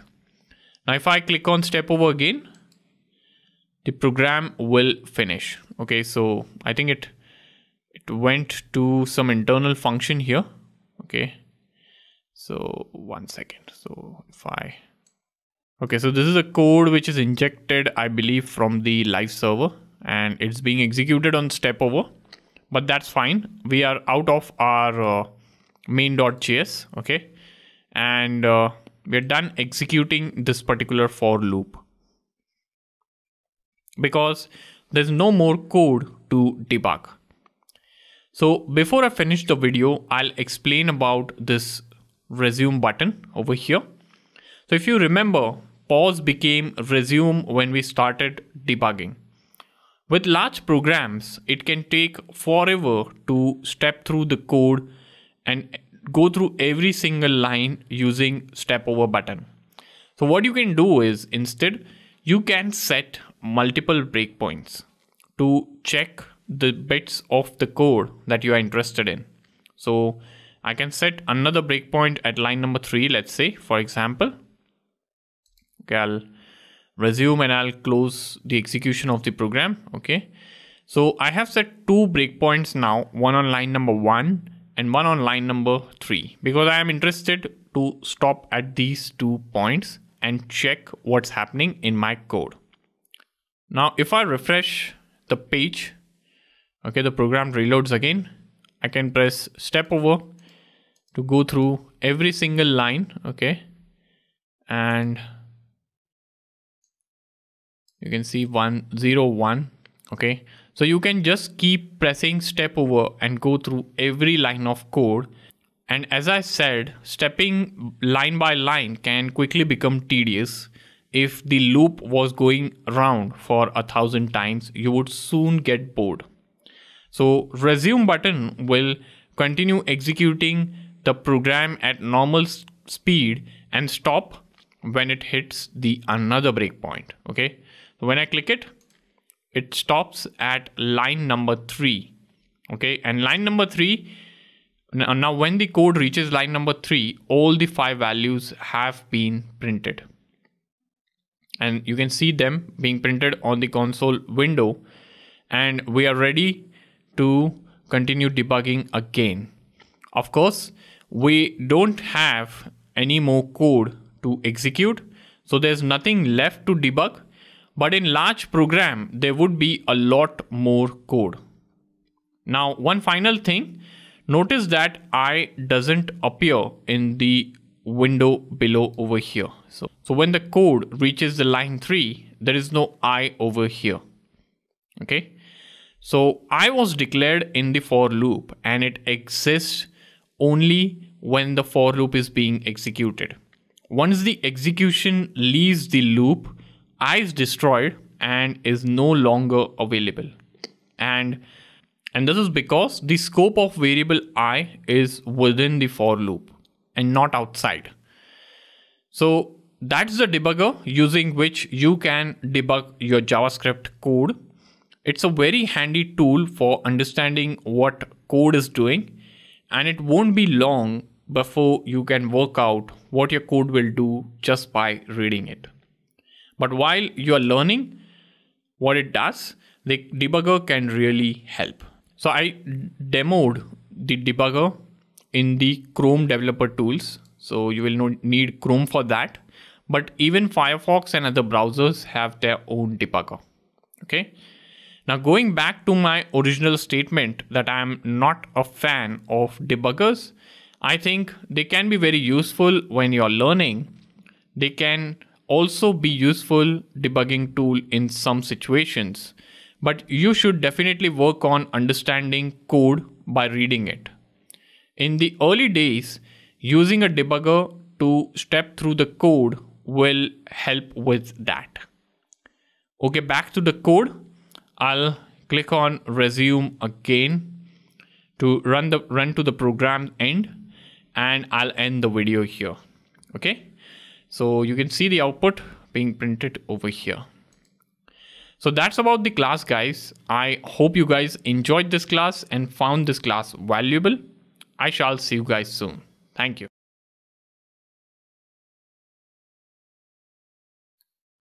Hello guys, welcome back. So in this lecture, we are going to discuss a bit more on for loops. So now that we have seen how to use the debugger to step through a code line by line, we will have a look at the for loop in far more detail. So I'll just open the Visual Studio Code. So if the code doesn't make sense right away, step through it to see exactly what's happening. So I'll continue this for loop project that we have created okay? And I'll make some changes here. So let's say if we wanted to count in the steps of 2 rather than 1 we will change the incrementing part of the loop here. So we'll change this to so I'll say i is equal to i plus 2 okay and I'll hit save. And I'll switch over to the browser here and I'll just collapse this part. So you can see that we are now at the initializer of the for loop. And we will step through the code okay and we'll keep the eye on the values for i as we go around the loop Remember to set a breakpoint on line number one if you removed it because we are going to be using i is equal to i plus 2 instead of i plus plus. The next value of i is going to be 2 and the next time round it becomes 4 and then 6. When i is 6, the condition i is less than 5 becomes false and the loop terminates. So I'll just disable this breakpoint and I'll step through. So you can see we are here on the second line. Step through. You can see 0 being printed and now we'll be executing the incrementing part. So I'll step through again. You can see I is 4 now. Okay. So I'll step through. Okay. We'll print this. So we'll, we saw 0. So, so far we are seeing 0, 2 and 4 being printed here. And we are now at the incrementing part. And this will increment now to, let's say 6. So value of i is 4. Okay. Oh, so it became 12 because I, I think selected it. Okay, so let me start again. Okay, so sometimes it behaves weird, but but yeah, it's it's a good tool still to learn about debugging. So we are now at two, four, okay, and we print 4 then this will become 6 now okay so now we are now evaluating the condition okay and the condition is false and you can see that we are outside the loop now okay so loop has terminated and if I press resume the code has terminated from the execution so if I switch over to my IDE, we can even further modify this code to count backwards. Okay. So I can say i is equal to 9. Okay. i is greater than 0. And then i is equal to, or i is minus minus. Okay. And I can save the file okay so the file is saved okay now we will step through the code again so i'll step through we printed 9 okay we will evaluate the condition. We printed 8 and we printed 7 and it will go on okay? So if i select this this part of code is let me see what happens. Okay so i becomes 3 so if i select this this is executed. That is the thing okay? So 2 1 and this will terminate now. All right so we saw an output of 9 8 7 6 5 4 was skipped because i selected the incremental part and 3 2 1 okay? So this is how you can create a for loop that goes reverse. Okay? Now it's time for a mini challenge okay so the challenge is to modify the for loop in such a way that it also prints the value 0 so so far it's not printing the value 0 it's printing till 1 so you have to modify it in such a way that it also prints the value zero. So pause the video now and start it again when you want to see my solution and after you have tried. So welcome back. I hope you gave an attempt to the challenge. Now we'll take a look at the code here. Okay. So whenever you want to change the final value of a for loop, its condition part needs to be changed here, this part. Okay. Sorry, the for loop will continue executing until i is greater than 0. The moment it becomes lesser than 1 okay it will stop. So in order to change this I will add an equal to sign over here. Sorry. So I'll add an equal to sign here okay. And if you want to include 0 we can change this part okay and see 0 being printed. So if I disable the breakpoint and if I just collapse this and if I hit save you can see 0 being printed here. Okay? Now if we want to include 0 we can change the condition in two ways okay? So this is the first way and this is my preferred way okay as well. The another way is to remove equal to and add minus 1 and hit save.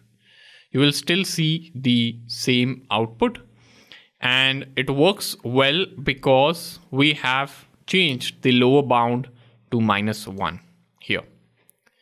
And it is exactly doing the same thing, but I think the previous way was a bit easier to read, but use whichever condition makes the most sense to you. Okay. So that's about this class guys and that's about the for loops so i hope you guys enjoyed this class and found this class valuable.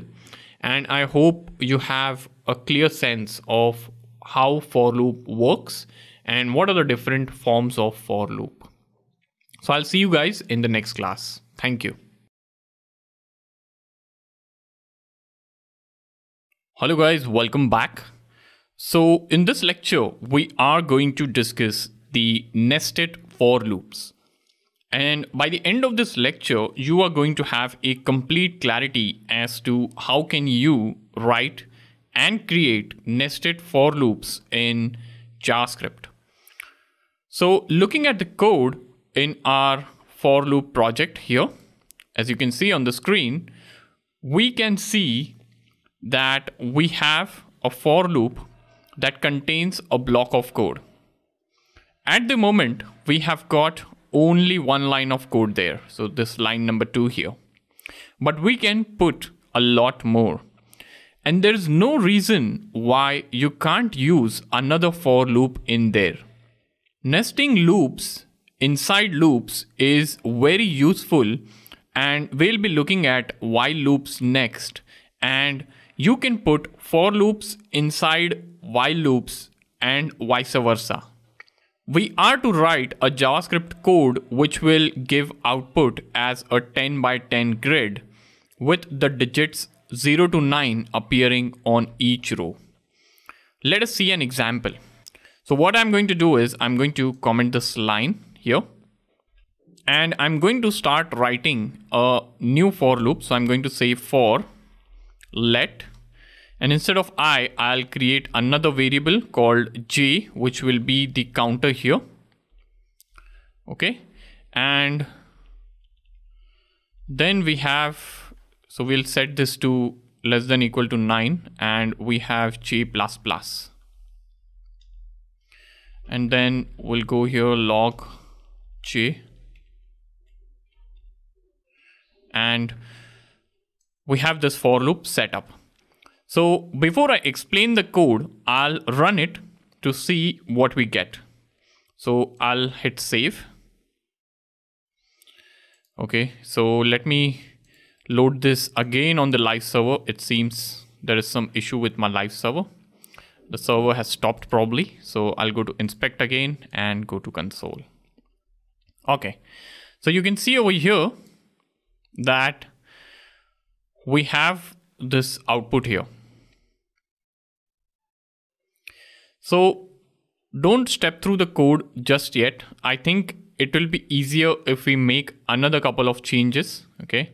So I'll just close this here. So first, it's a bit confusing to set the loop backwards. Okay, so on line number one here, the line that is selected, the outer for loop, this goes backward. So I'll change that to count forward. So I'll change this to i is equal to 0 and i is less than equal to 9. and we have i plus plus. I'll hit save. Okay, this refreshes again. We are seeing some numbers being printed here. Right now, we are not seeing a 10 by 10 grid, but we are getting every number printed on a single line.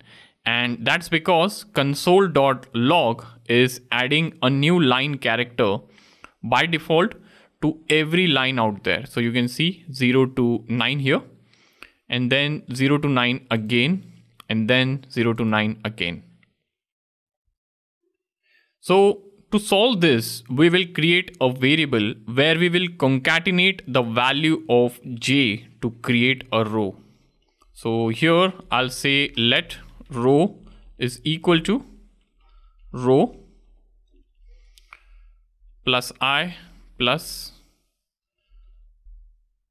okay so what I've done here is I have created a new variable row and then I have concatenated the value of j into this row variable and I'm printing that over here.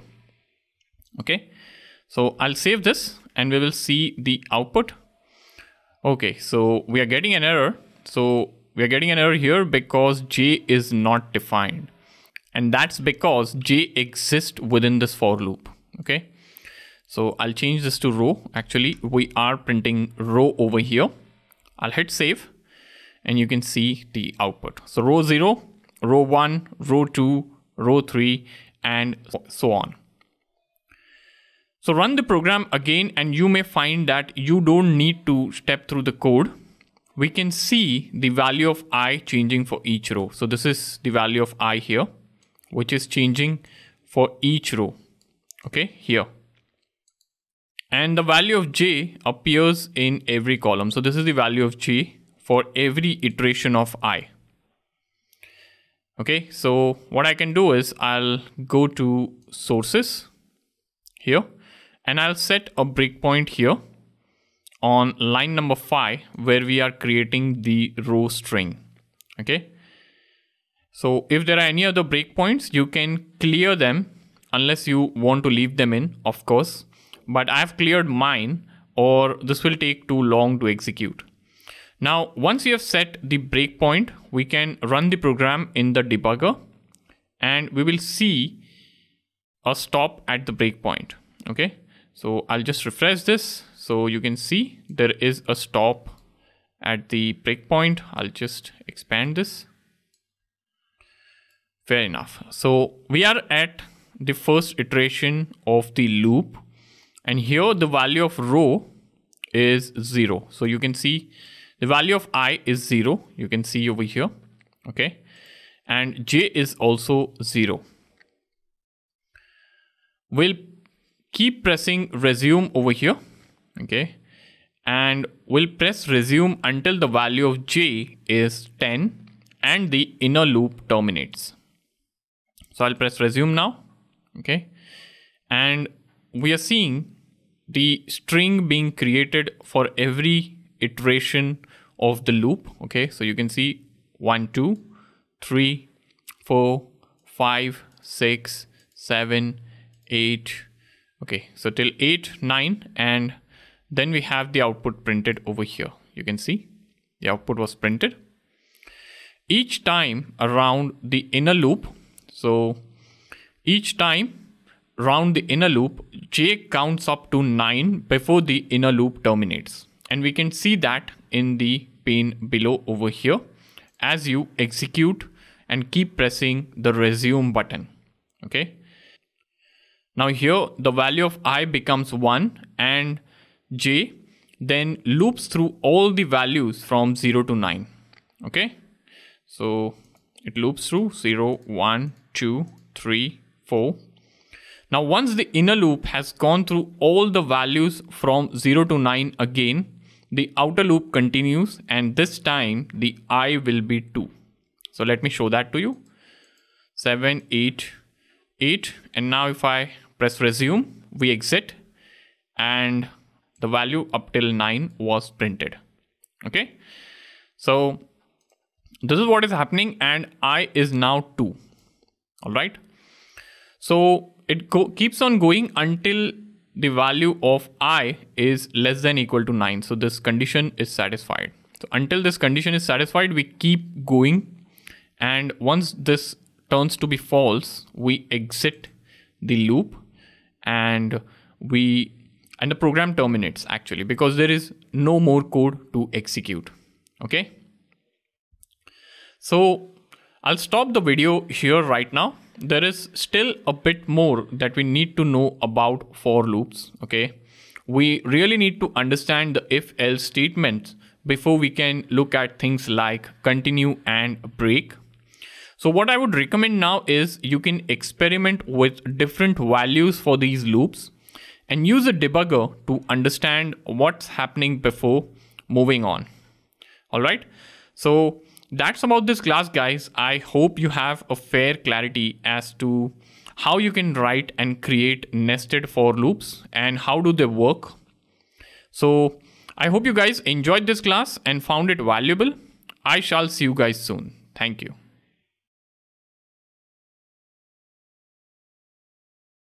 Hello guys, welcome back. So in this lecture, we are going to discuss how can we use a debugger with the Hammer Bitcoin project. And by the end of this lecture, you will have a clarity as to how Hammer Bitcoin project works because we'll be using debugger to understand a bit of code within that project. All right. So what I will be doing is I will switch over. So I'll just close these files and I'll open the Hammer Bitcoin project.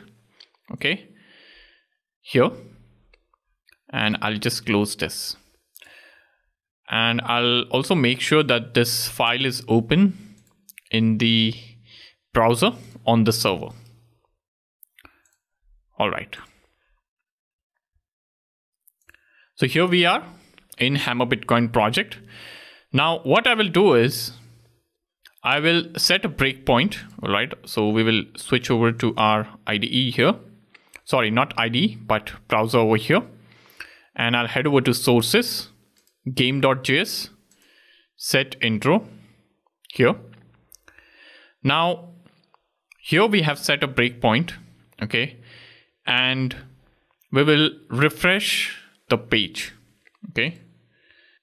So after refreshing, you will see that the program control has stopped onto the line number three here, which is the set intro call or the call to set intro function. Okay. Now this function has not been executed yet all right so so before i just start explaining this function i would also like to highlight that i have used terms like method and function okay so method now what is a method and what is a function? So method is nothing but a function itself within a class okay? So if a function is defined within a class okay it is usually termed as methods in object oriented programming. And function is the function that we have defined here okay? So i was saying that we have this set intro function defined over here okay? And this is not executed yet. So what i will do is i'll use the step into method here. Sorry step into button here. Since we want to step into this function okay? So we go over here, okay, and we will go through step by step, okay, and you can see that uh, every line of code. So you can see here. So we are within this class uh, Bitcoin miner now since we pressed step into a few times. Okay. And we came here from this line seven here. Okay. So what we did over here is we are creating an instance of this Bitcoin miner class. Okay. And when we did a step into over here, we were taken to this particular class over here. Okay. And what we are seeing now is we are seeing what happens when you create an object. So when you create an object, okay, you can see that we went into the class and all the variables that are defined over here, the class members or the field, they are being created and initialized one by one. Okay. Now I mentioned that we create instances of the class and that's used to create a new object. And new object meaning a new instance of Bitcoin miner in this case here, as you can see. Now, it's not quite same as assigning a value to one of the primitive types. Instead, it runs some code in the class, as you can see over here. Okay. And it happens that when a new instance is created, usually for a class, the constructor of that class is executed. But here we don't have the constructor for Bitcoin miner class. Okay. So what it did is it opened up the Bitcoin miner JavaScript file and we will have to step through the code over here. Okay. And while stepping through, a series of class members are defined over here and those are being created and initialized. Okay. Now, one thing that you will see, so we have already executed a couple of lines here. So we have already executed the line three here and the line six here. But you are not seeing the values over here in the pane at the bottom left, sorry, at the bottom right. Now, whenever a primitive variable was being created, you could see the value appearing over here. Okay. But for an instance of the class, you will see this Bitcoin miner. So you can see this this keyword here. Okay. And this is a variable. So you can see this and its value is hammer bitcoin dot bitcoin miner okay so you can see this is the bitcoin miner class okay and this indicates that it's an instance of this class in fact the word this has a special meaning over here. It refers to the current instance of a class. We have just created an instance of bitcoin miner and inside the class that instance is called this. Okay? So to see what this contains you can just expand this and you will see the two class members ogh and EO have been initialized. Now the moment i press step into you will see year also being created here. Okay? Now we have quite a few variables or I should say class members here. Okay, so we will press step into until we go to still in office, which is nothing but the last variable. Okay. Now once still in office is executed, you will see all the class members have been initialized over here. Okay. And you will notice that the properties which are initialized will have a value and one without the value won't have a value and it will be set as undefined. So here we have like computers maintained. So if you scroll up here at the top, so we don't have a value for computer price. We haven't defined a value here. So computer price is undefined. Okay. Same is for cash paid to employees and computers maintained all right so they don't have a value because and and the value that they have is undefined because actually we have not defined them okay now if you press step into a few times you will be back to game.js so if i press it again okay you will be back to game.js here so we are back to game.js because we have finished creating the instance over here on line 7. And remember, for creating the instance, some code from Bitcoin miner class was executed. All right. Now here in the bottom right pane, you will have to expand the script here. Okay. And you can see the game variable over here. So this is nothing but the instance of the Bitcoin miner class, which we have just created. So earlier, when executing the line number 7, this would have been set to undefined, okay? Because the instance was yet to be created. And it didn't have a value. But when we executed the line, the assignment part was executed and game now has a value. It's now been assigned an instance of the Bitcoin miner class. Now, if you weren't sure what I meant earlier when I said that the expression on the right has to be evaluated first, it should now make sense. Only when the new Bitcoin miner object has been created, it can be assigned to the game variable. Okay. Now what I will do is I'll press step over a few times here. Okay. So and I'll get the rest of the code executed until the debugger stops.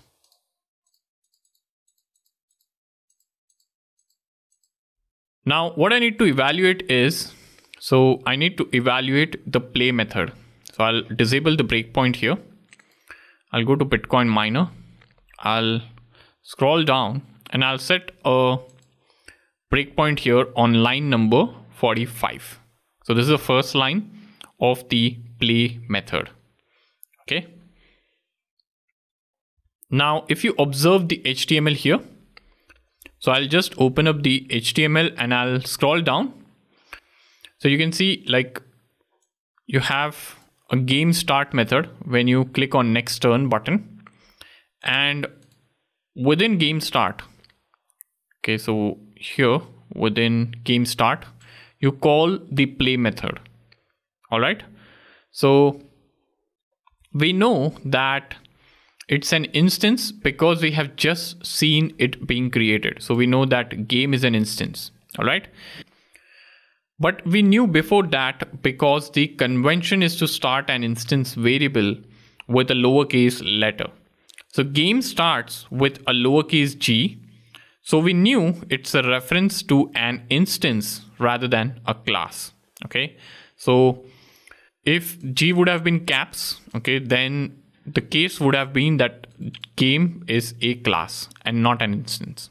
But since we are following the naming convention, so just by knowing the naming convention, you know that this must be an instance of the object. Okay. So what I will do is I'll just go over here. I'll change some values of the sliders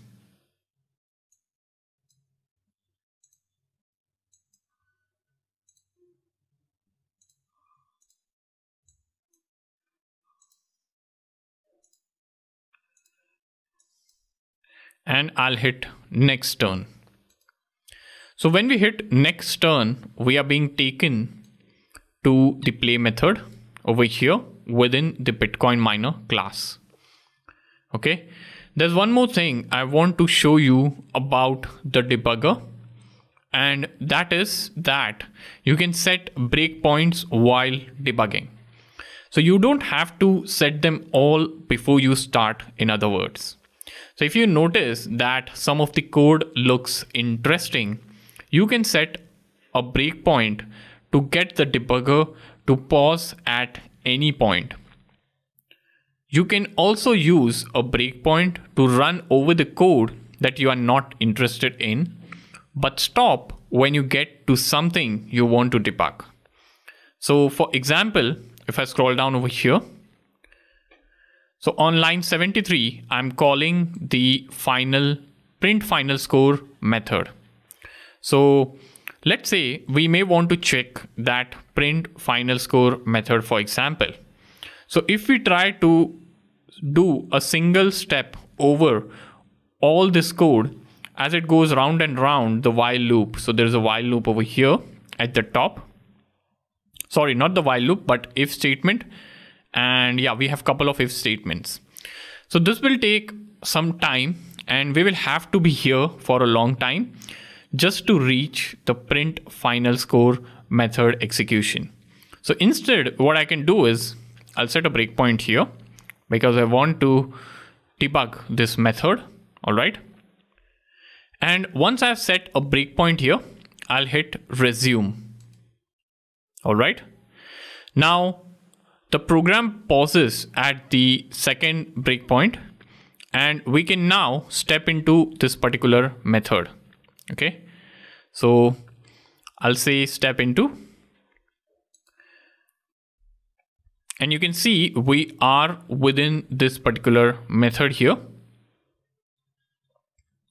and we can just keep pressing step into okay and we can like go through the entire code and we can see some output being printed over here.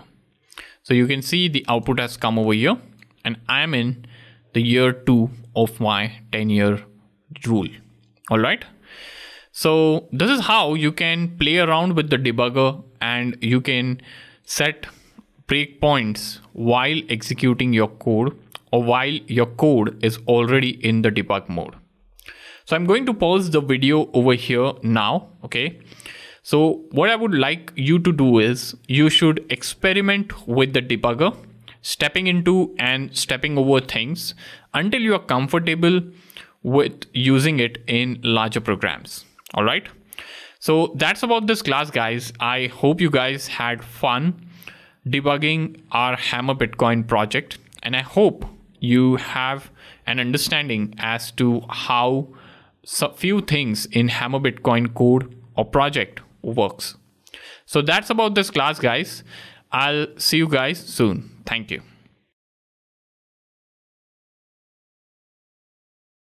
Hello guys, welcome back. So in this lecture, we are going to discuss the for loops in our ELIZA project. And by the end of this lecture, you are going to have a clarity as to what are the different loops that are working and how are they working in the ELIZA project.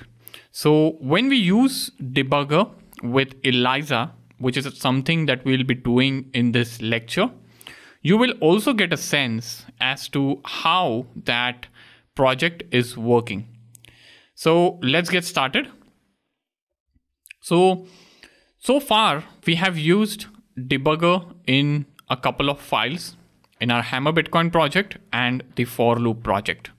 And you should be getting comfortable with the debugger now. So let's get back to looking at for loops in a real program. So I'll just collapse this. I'll go to ELIZA and I'll open main.js. Okay. So I'll just click on the eliza.html, right click, and I'll open it with a server. So live server. Now I'll navigate to the sources tab and I'll go to main.js now here, if I scroll down, there is a function called bot response. Now I'll set a breakpoint over here where we are making the response. So we are calling make response method or function from here. Okay. Now what I will do is after setting the breakpoint, I will hit refresh and you will notice that the debugger has not reached the breakpoint yet. So the reason is the code is waiting for an input from the user in order to craft a bot response. So this particular function creates a bot response and bot response will be created only when we give any input. So what I'm going to do is I'm going to go over here and I'm going to say, I need advice and I'll hit send now, after sending this message, you will notice that we, our code has reached the breakpoint. Okay. And you can see here, we have the ELIZA instance. So here we have created an variable called ELIZA. And here we have defined or we have initialized that instance variable. Okay. So if you scroll down here, you can see we have reached to the breakpoint, okay? And I will say step into, okay? So I'll press the step into button because we want to step into the function. So I'll go over here and you can see that we are into the doctor.js make response method in short. Okay. Now, if you scroll down over here a little bit, you will see there is one for loop. Okay. There is another and there is one more. So there are three for statements. Okay. In this method. And what I'm going to do is I'm going to set a breakpoint on every for loop over here. Okay. Now I'll say continue and the debugger stops on this line 148. Okay. Now what will happen is this code within the for loop will look for the match to the text that I have typed in. And the text I have typed in is in the variable user input here. You can see I need advice. Okay. And if you scroll up here, you can see we have two variables output and remainder. So these are just empty strings at the moment. Okay. Now let me press resume again. And this time the code stops on line number 160 which is the inner for loop. Okay.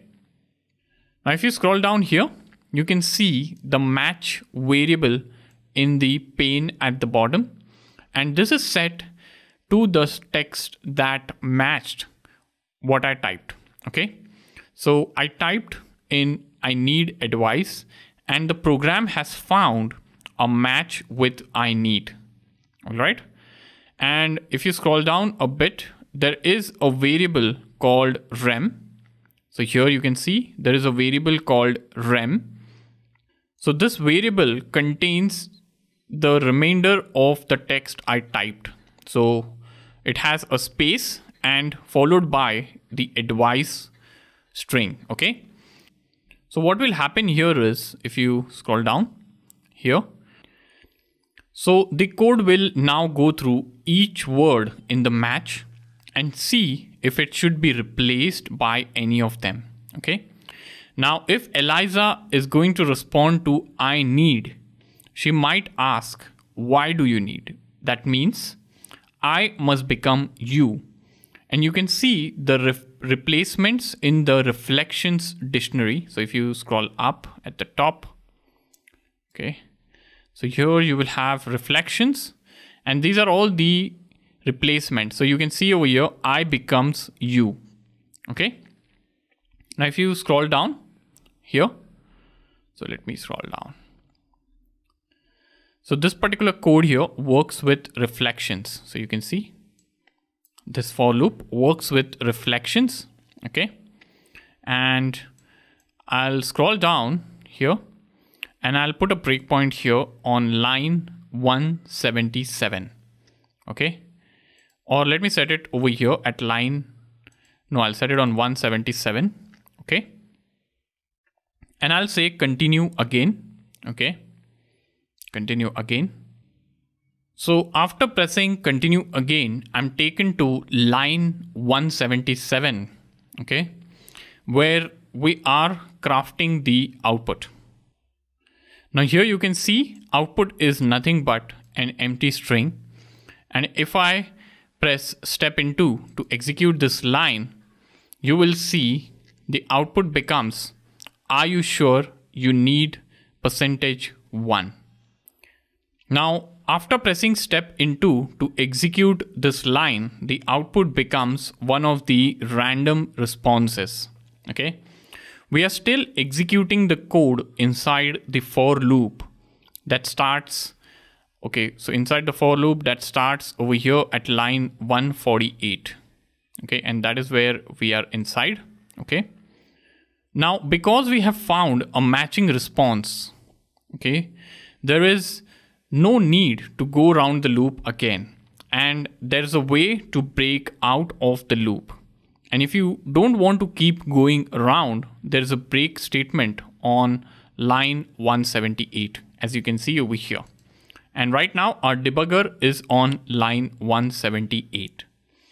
So the block of code in the loop finishes on line 178, which means break should send us to the next line after that, okay, which is over here. So I'll press step into and we go to line 182, which is outside the loop.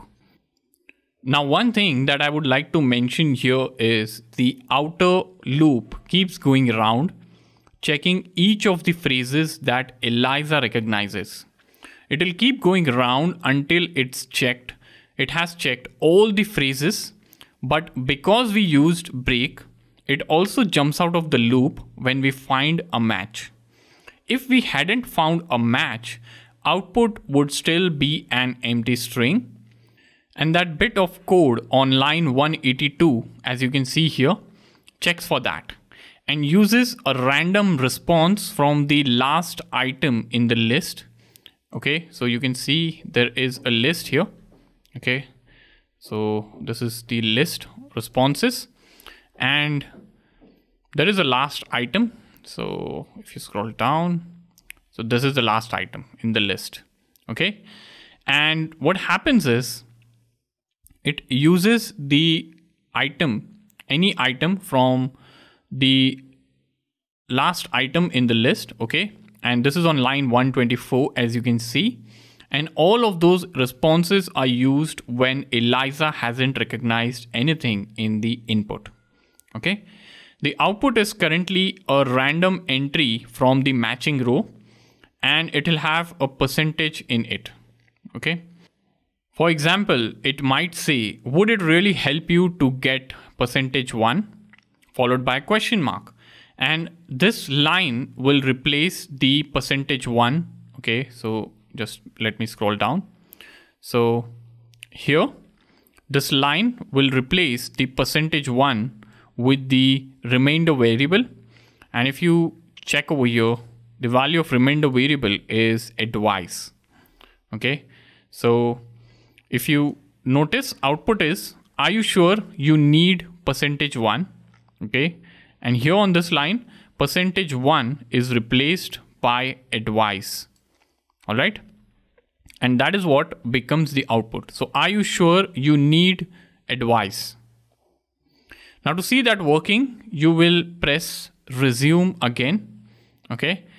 And I'll press resume and you will see here in the browser, are you sure you need advice? And that is what exactly gets printed. Okay. Now ELIZA appears to have understood what I typed and has come back with what looks like a suitable response. It's just pattern matching, of course. There's no real artificial intelligence in there.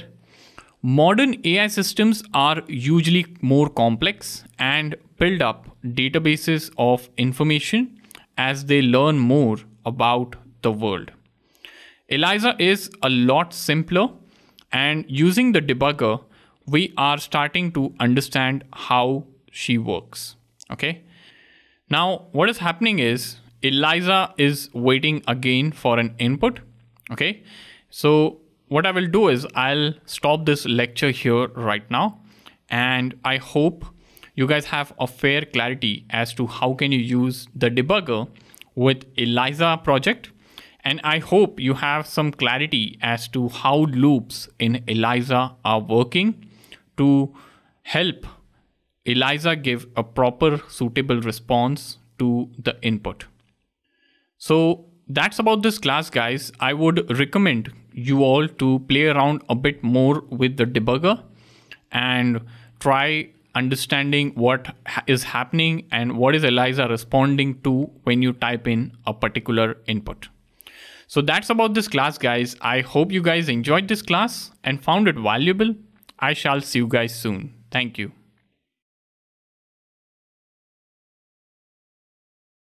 Hello guys, welcome back. So in this lecture, we are going to discuss a bit more about ELIZA.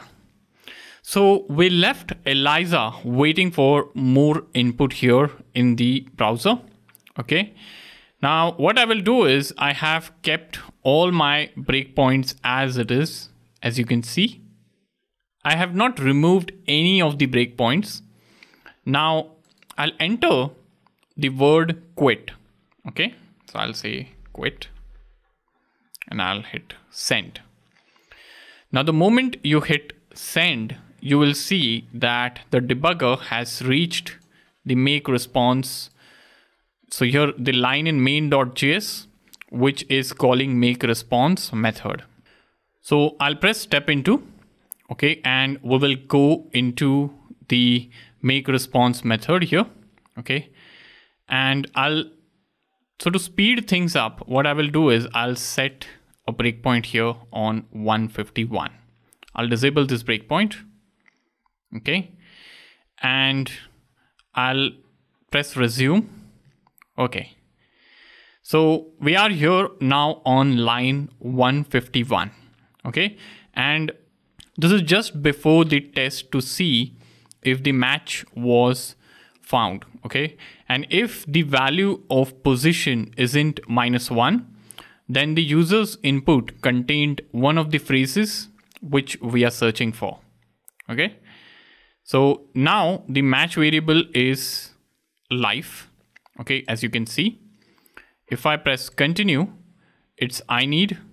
Okay. Now every time you click continue, the phrase we want to match appears in the match variable. Okay. And if you scroll up and take a look at the match list here. So earlier you had life. Now you have I need. Okay. And the matches will be performed in the order that they appear. And down below, you have quit. Okay. So if you press continue, why don't, why can't, I can, I am. Okay. You have to just keep pressing continue. So now going through the code, you're going through everything. Yes computer is it it is can you can i you are and i think we should be there near quit now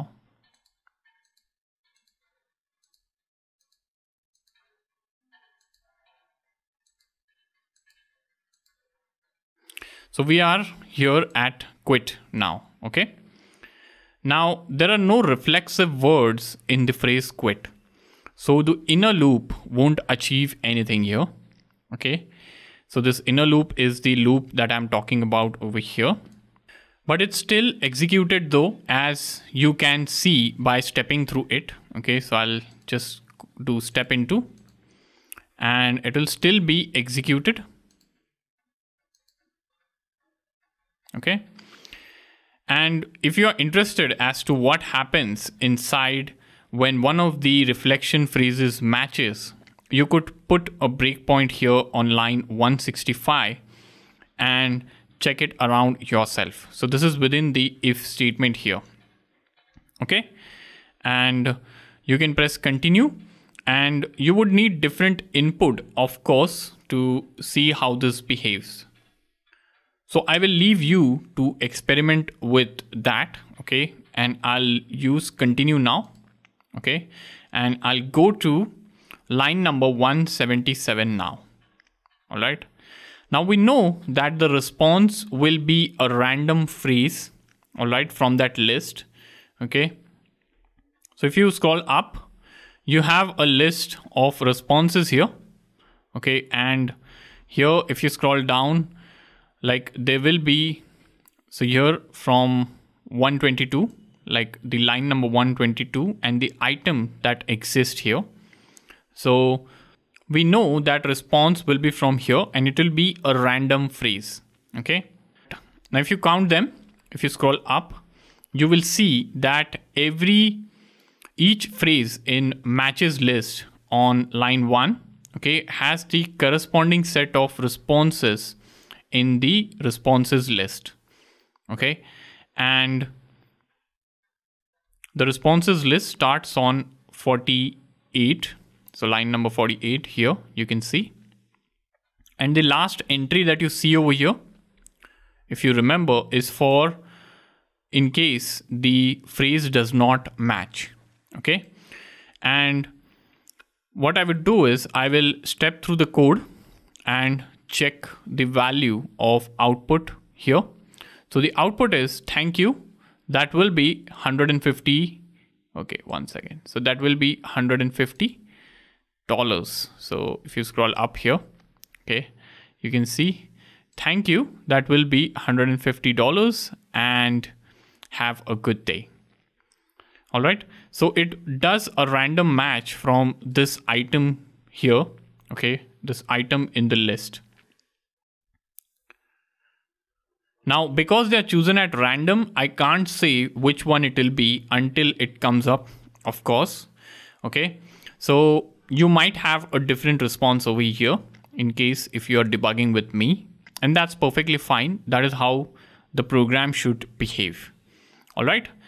And if you press resume once again, you will see this response appear over here. All right. So I'll stop this lecture right now. Okay, we have seen how the code loops through a set of phrases and attempts to match one of them with the part of the user's input. And that's performed here. So I'll just expand this again. And if you scroll here, or I'll just open the editor. So editor would be better because uh, of the better size. So I'll go over here. And here you can see, so we are checking if there is a match using the index of method. And this is used to check if the phrase exists in the user input. Okay. So we are converting everything to lowercase first and then we are using index of to check if there is a match in the position. If there is no match, we get minus one. And a return of minus one means it wasn't found. Any other number is the position in the user input where the phrase is matched. So we have also seen how the reflection list was processed here. Okay. So here in this case, this is the part that I'm talking about. And there's a lot of code that still won't make sense and that's normal. But you should be starting to get a feel of how this works and how a for loop can be useful for repeating blocks of code. Remember that you can Google the keywords that you want to know more about. So what you can do is start with JavaScript. For example, the search term JavaScript index of will tell you more about this code here. So on line number 150. So if you want to know what this code is doing, you can type in JavaScript on Google followed by space and index of and you will land an article which will help you understand what's happening over here. So we will be using for loops throughout the course and you will get plenty of practice writing them. So I'll finish this video by saying that there's a big jump from understanding code to be able to write your own. Don't worry if you feel that you will never be able to write code like this. Okay. Along with confusion, that feeling is also normal. Okay. Stick with it and you will be able to. So that's about this class, guys. In this lecture, we learned how for loops and the matching in Eliza works. And I hope you guys have a fair clarity as to how things work and how phrase matching happens in Eliza to generate a suitable response for the user. So I hope you guys enjoyed this class and found it valuable. I shall see you guys soon. Thank you.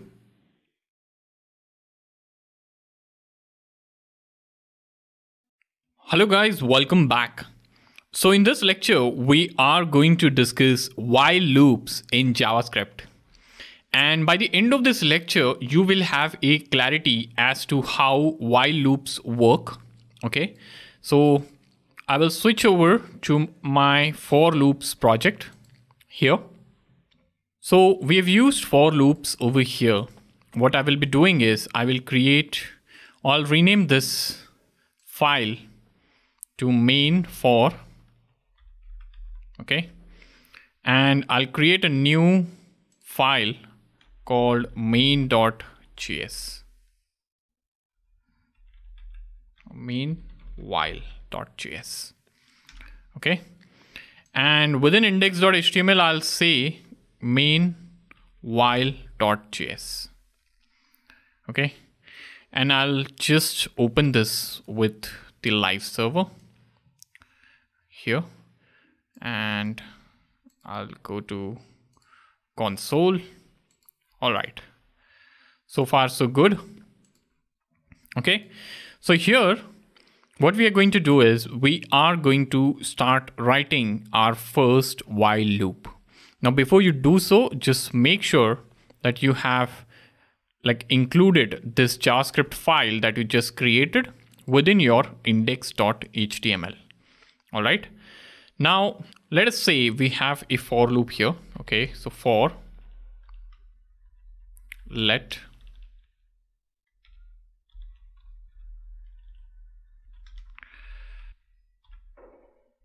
Okay, so I have written a basic for loop which just prints 0 to 5. Okay, so 0 to 4 in fact, it goes up until the value is less than 5. So if I hit save, you will see 0 to 4 being printed over here.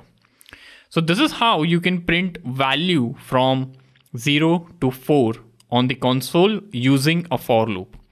Now, how would you do this using a while loop? Okay, so I'll just remove this. I'll say let i is equal to 0. So as opposed to for loop with while loop, you have to first create a counter. Okay.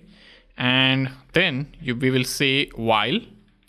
So I'll say i less than 5 and I'll say console dot log i and I'll say i plus plus. Okay. So with while loop, what we have done is we have a declaration here, the condition here, and the increment part over here. Okay. In for loop, the variable is declared in the for loop statement itself. And here, that is not the case. So whatever is part of the block is repeated as long as the condition is matched to be true. And the condition is mentioned here. This is the block, okay, that you are seeing. So this is the block. And this is repeated as long as this condition is set to true. Okay. Now, let me add a console.log statement here as well. So let me first run this. So if I save, you will see the same output here. Okay. And I can even say console dot log this is an example of while loop I hit save and you can see this is an example of while loop being printed with every iteration of the loop. All right? Now this is how you can write a simple while loop okay? Now there's a challenge. So at the moment the program displays the message again after each selection or each iteration. So your challenge is to modify the code so that the message is printed only once. Okay. So this message, this is an example of while loop should be only printed once. So give this a try. Okay. And I will write the solution in the next lecture. So that's about this class guys. I hope you guys have a fair clarity as to what are while loops and how you can define while loops yourself. And we also understood how they're different from for loops. So I hope you guys enjoyed this class and found this class valuable. I shall see you guys soon. Thank you.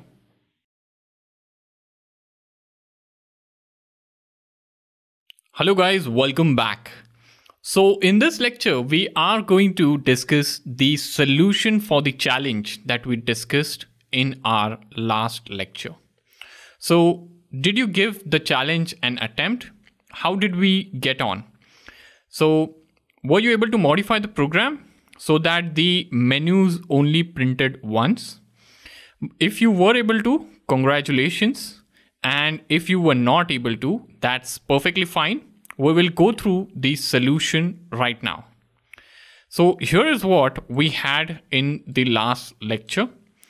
And looking at the code, the while loop is controlling this entire block of code here. So these three lines are being controlled by the while loop from line 3 to line 5. Now everything in that block will be executed each time while loop goes around again. So if you don't want this message to be printed for every iteration of the while loop, we just have to move the code out of the while loop. So what we will be doing is I will cut this. Okay, I'll delete this line here. Okay, and I'll just paste the code over here. All right. And let me hit save now.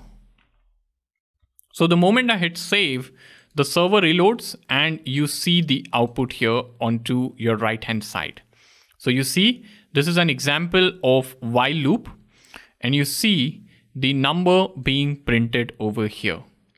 So this is how you can solve this challenge and the solution is to move the message out of the while loop.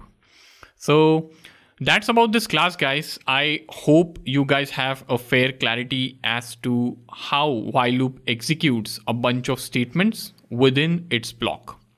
So that's about this class. I'll see you guys soon. Thank you.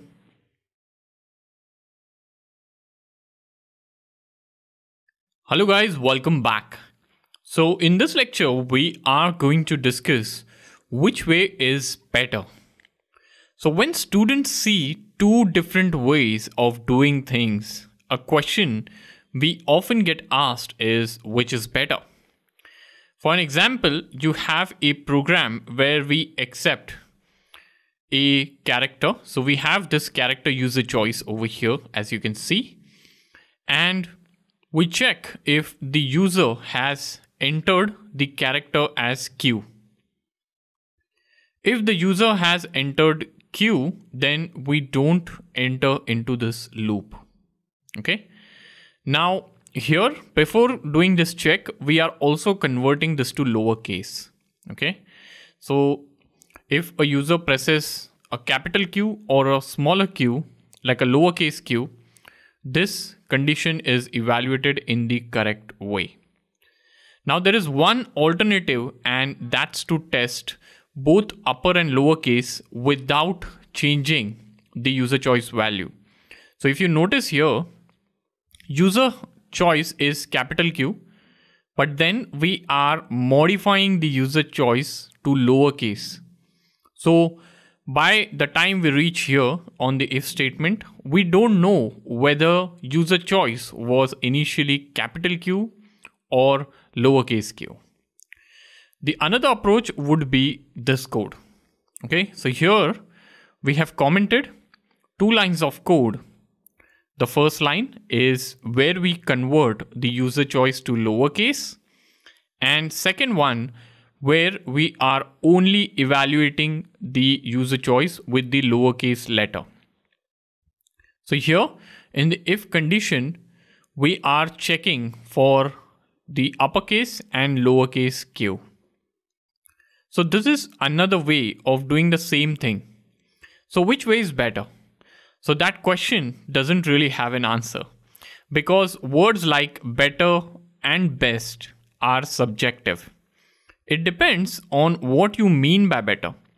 Unless you define what better means, you can't say which is better.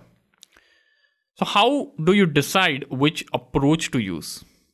So, well, in this example here, the previous one, here we are modifying the user choice. Okay.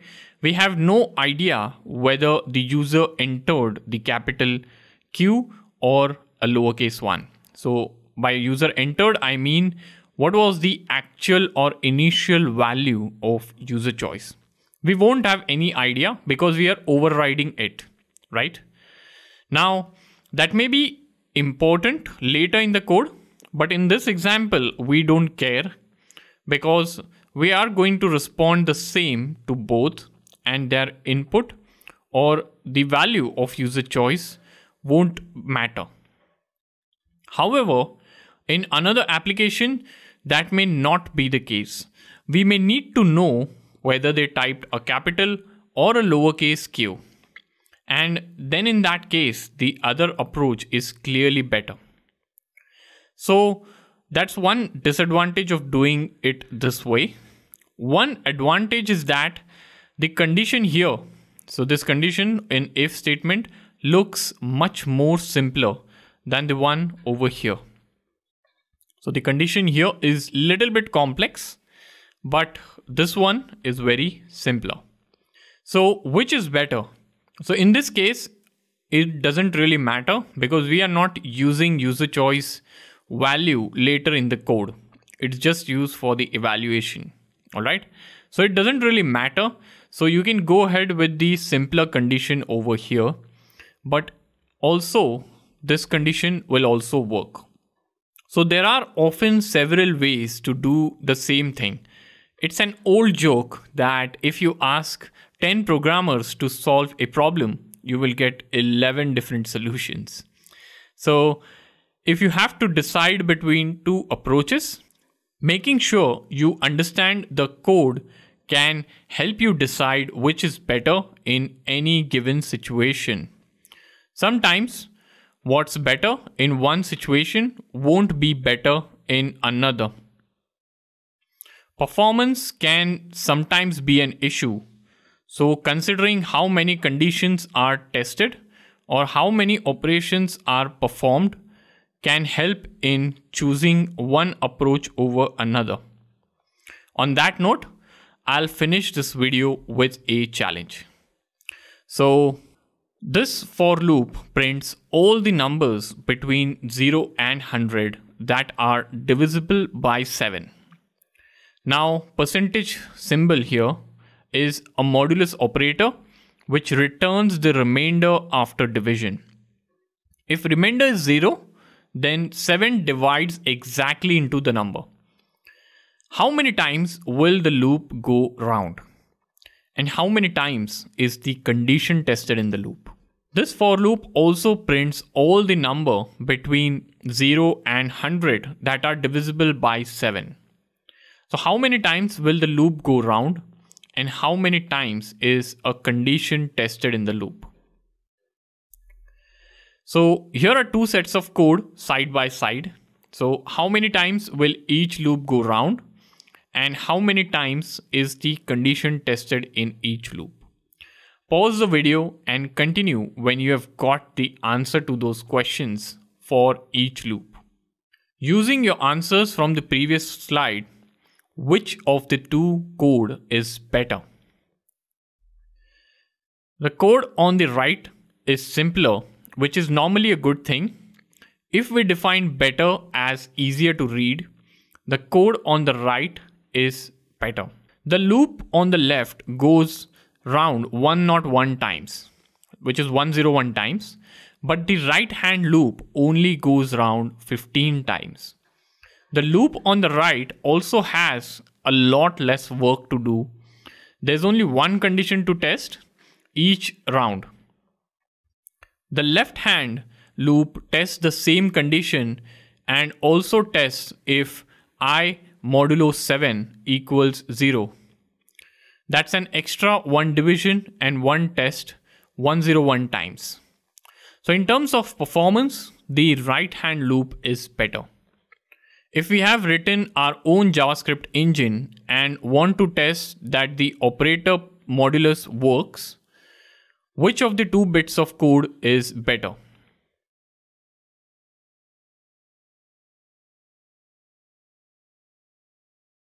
Hello guys, welcome back.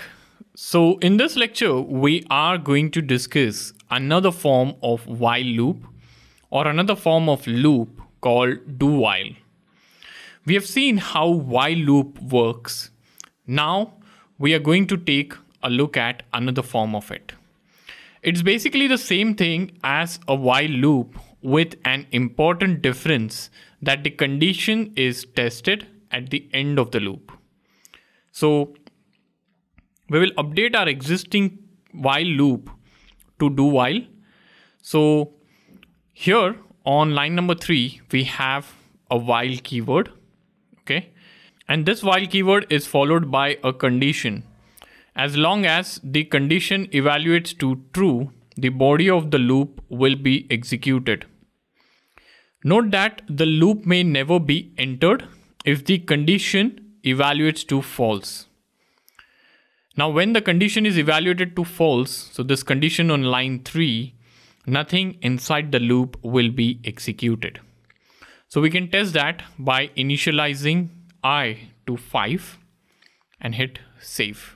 Now the moment you hit save, you will see that there is no output here. The loop doesn't execute and the program terminates straight away.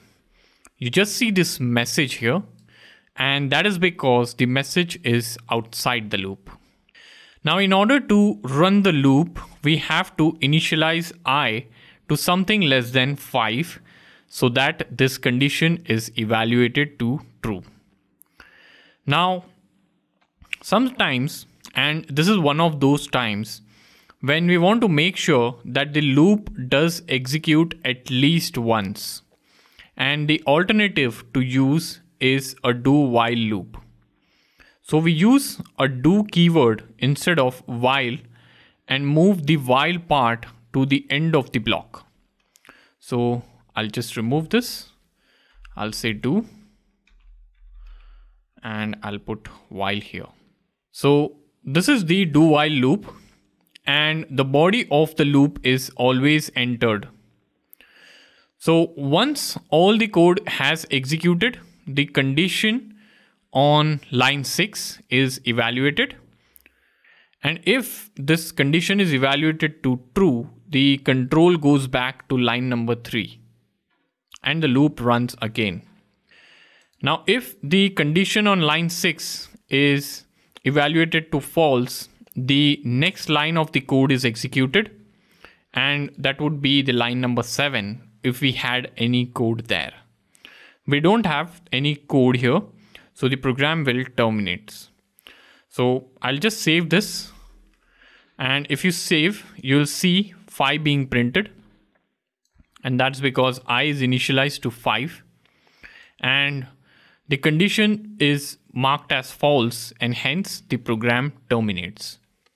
So this works fine so also one thing that you should be aware of is not all computer languages have do while loop.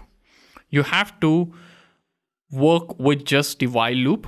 And as we saw, you can use a while loop to get the same effect as long as you initialize the variable that's used in the condition. Do while is more readable when you want to make sure that loop goes round at least once.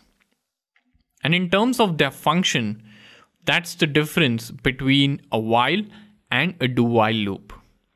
A while loop will go round zero or more times. A do while loop will go round one or more times. So that's about this class guys. I hope you guys have a fair clarity of what is do while loop and how it works in JavaScript. So I hope you guys enjoyed this class and found it valuable. I shall see you guys soon. Thank you.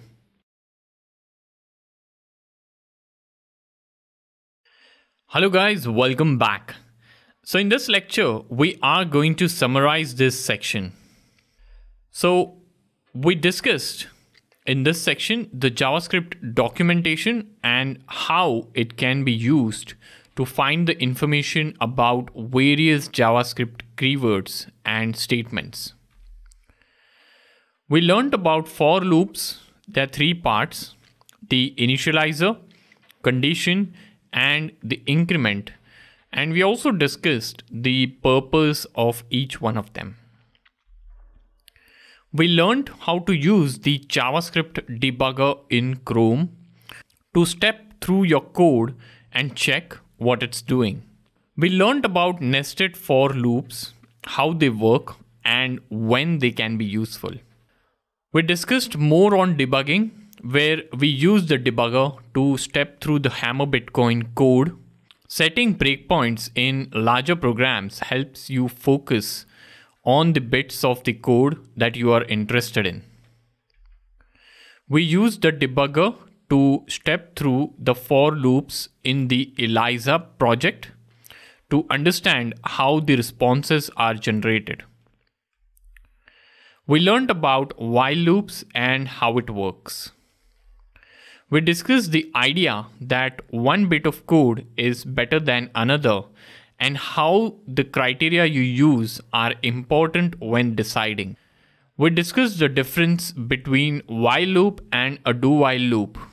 A while loop tests its condition at the start and the loop will be executed zero or more times. A do while loop tests the condition at the end, which means it always executes at least once. So that's about this lecture and this section, guys. I hope you guys had a lot of learning and fun. So I'll see you guys in the next section. Thank you.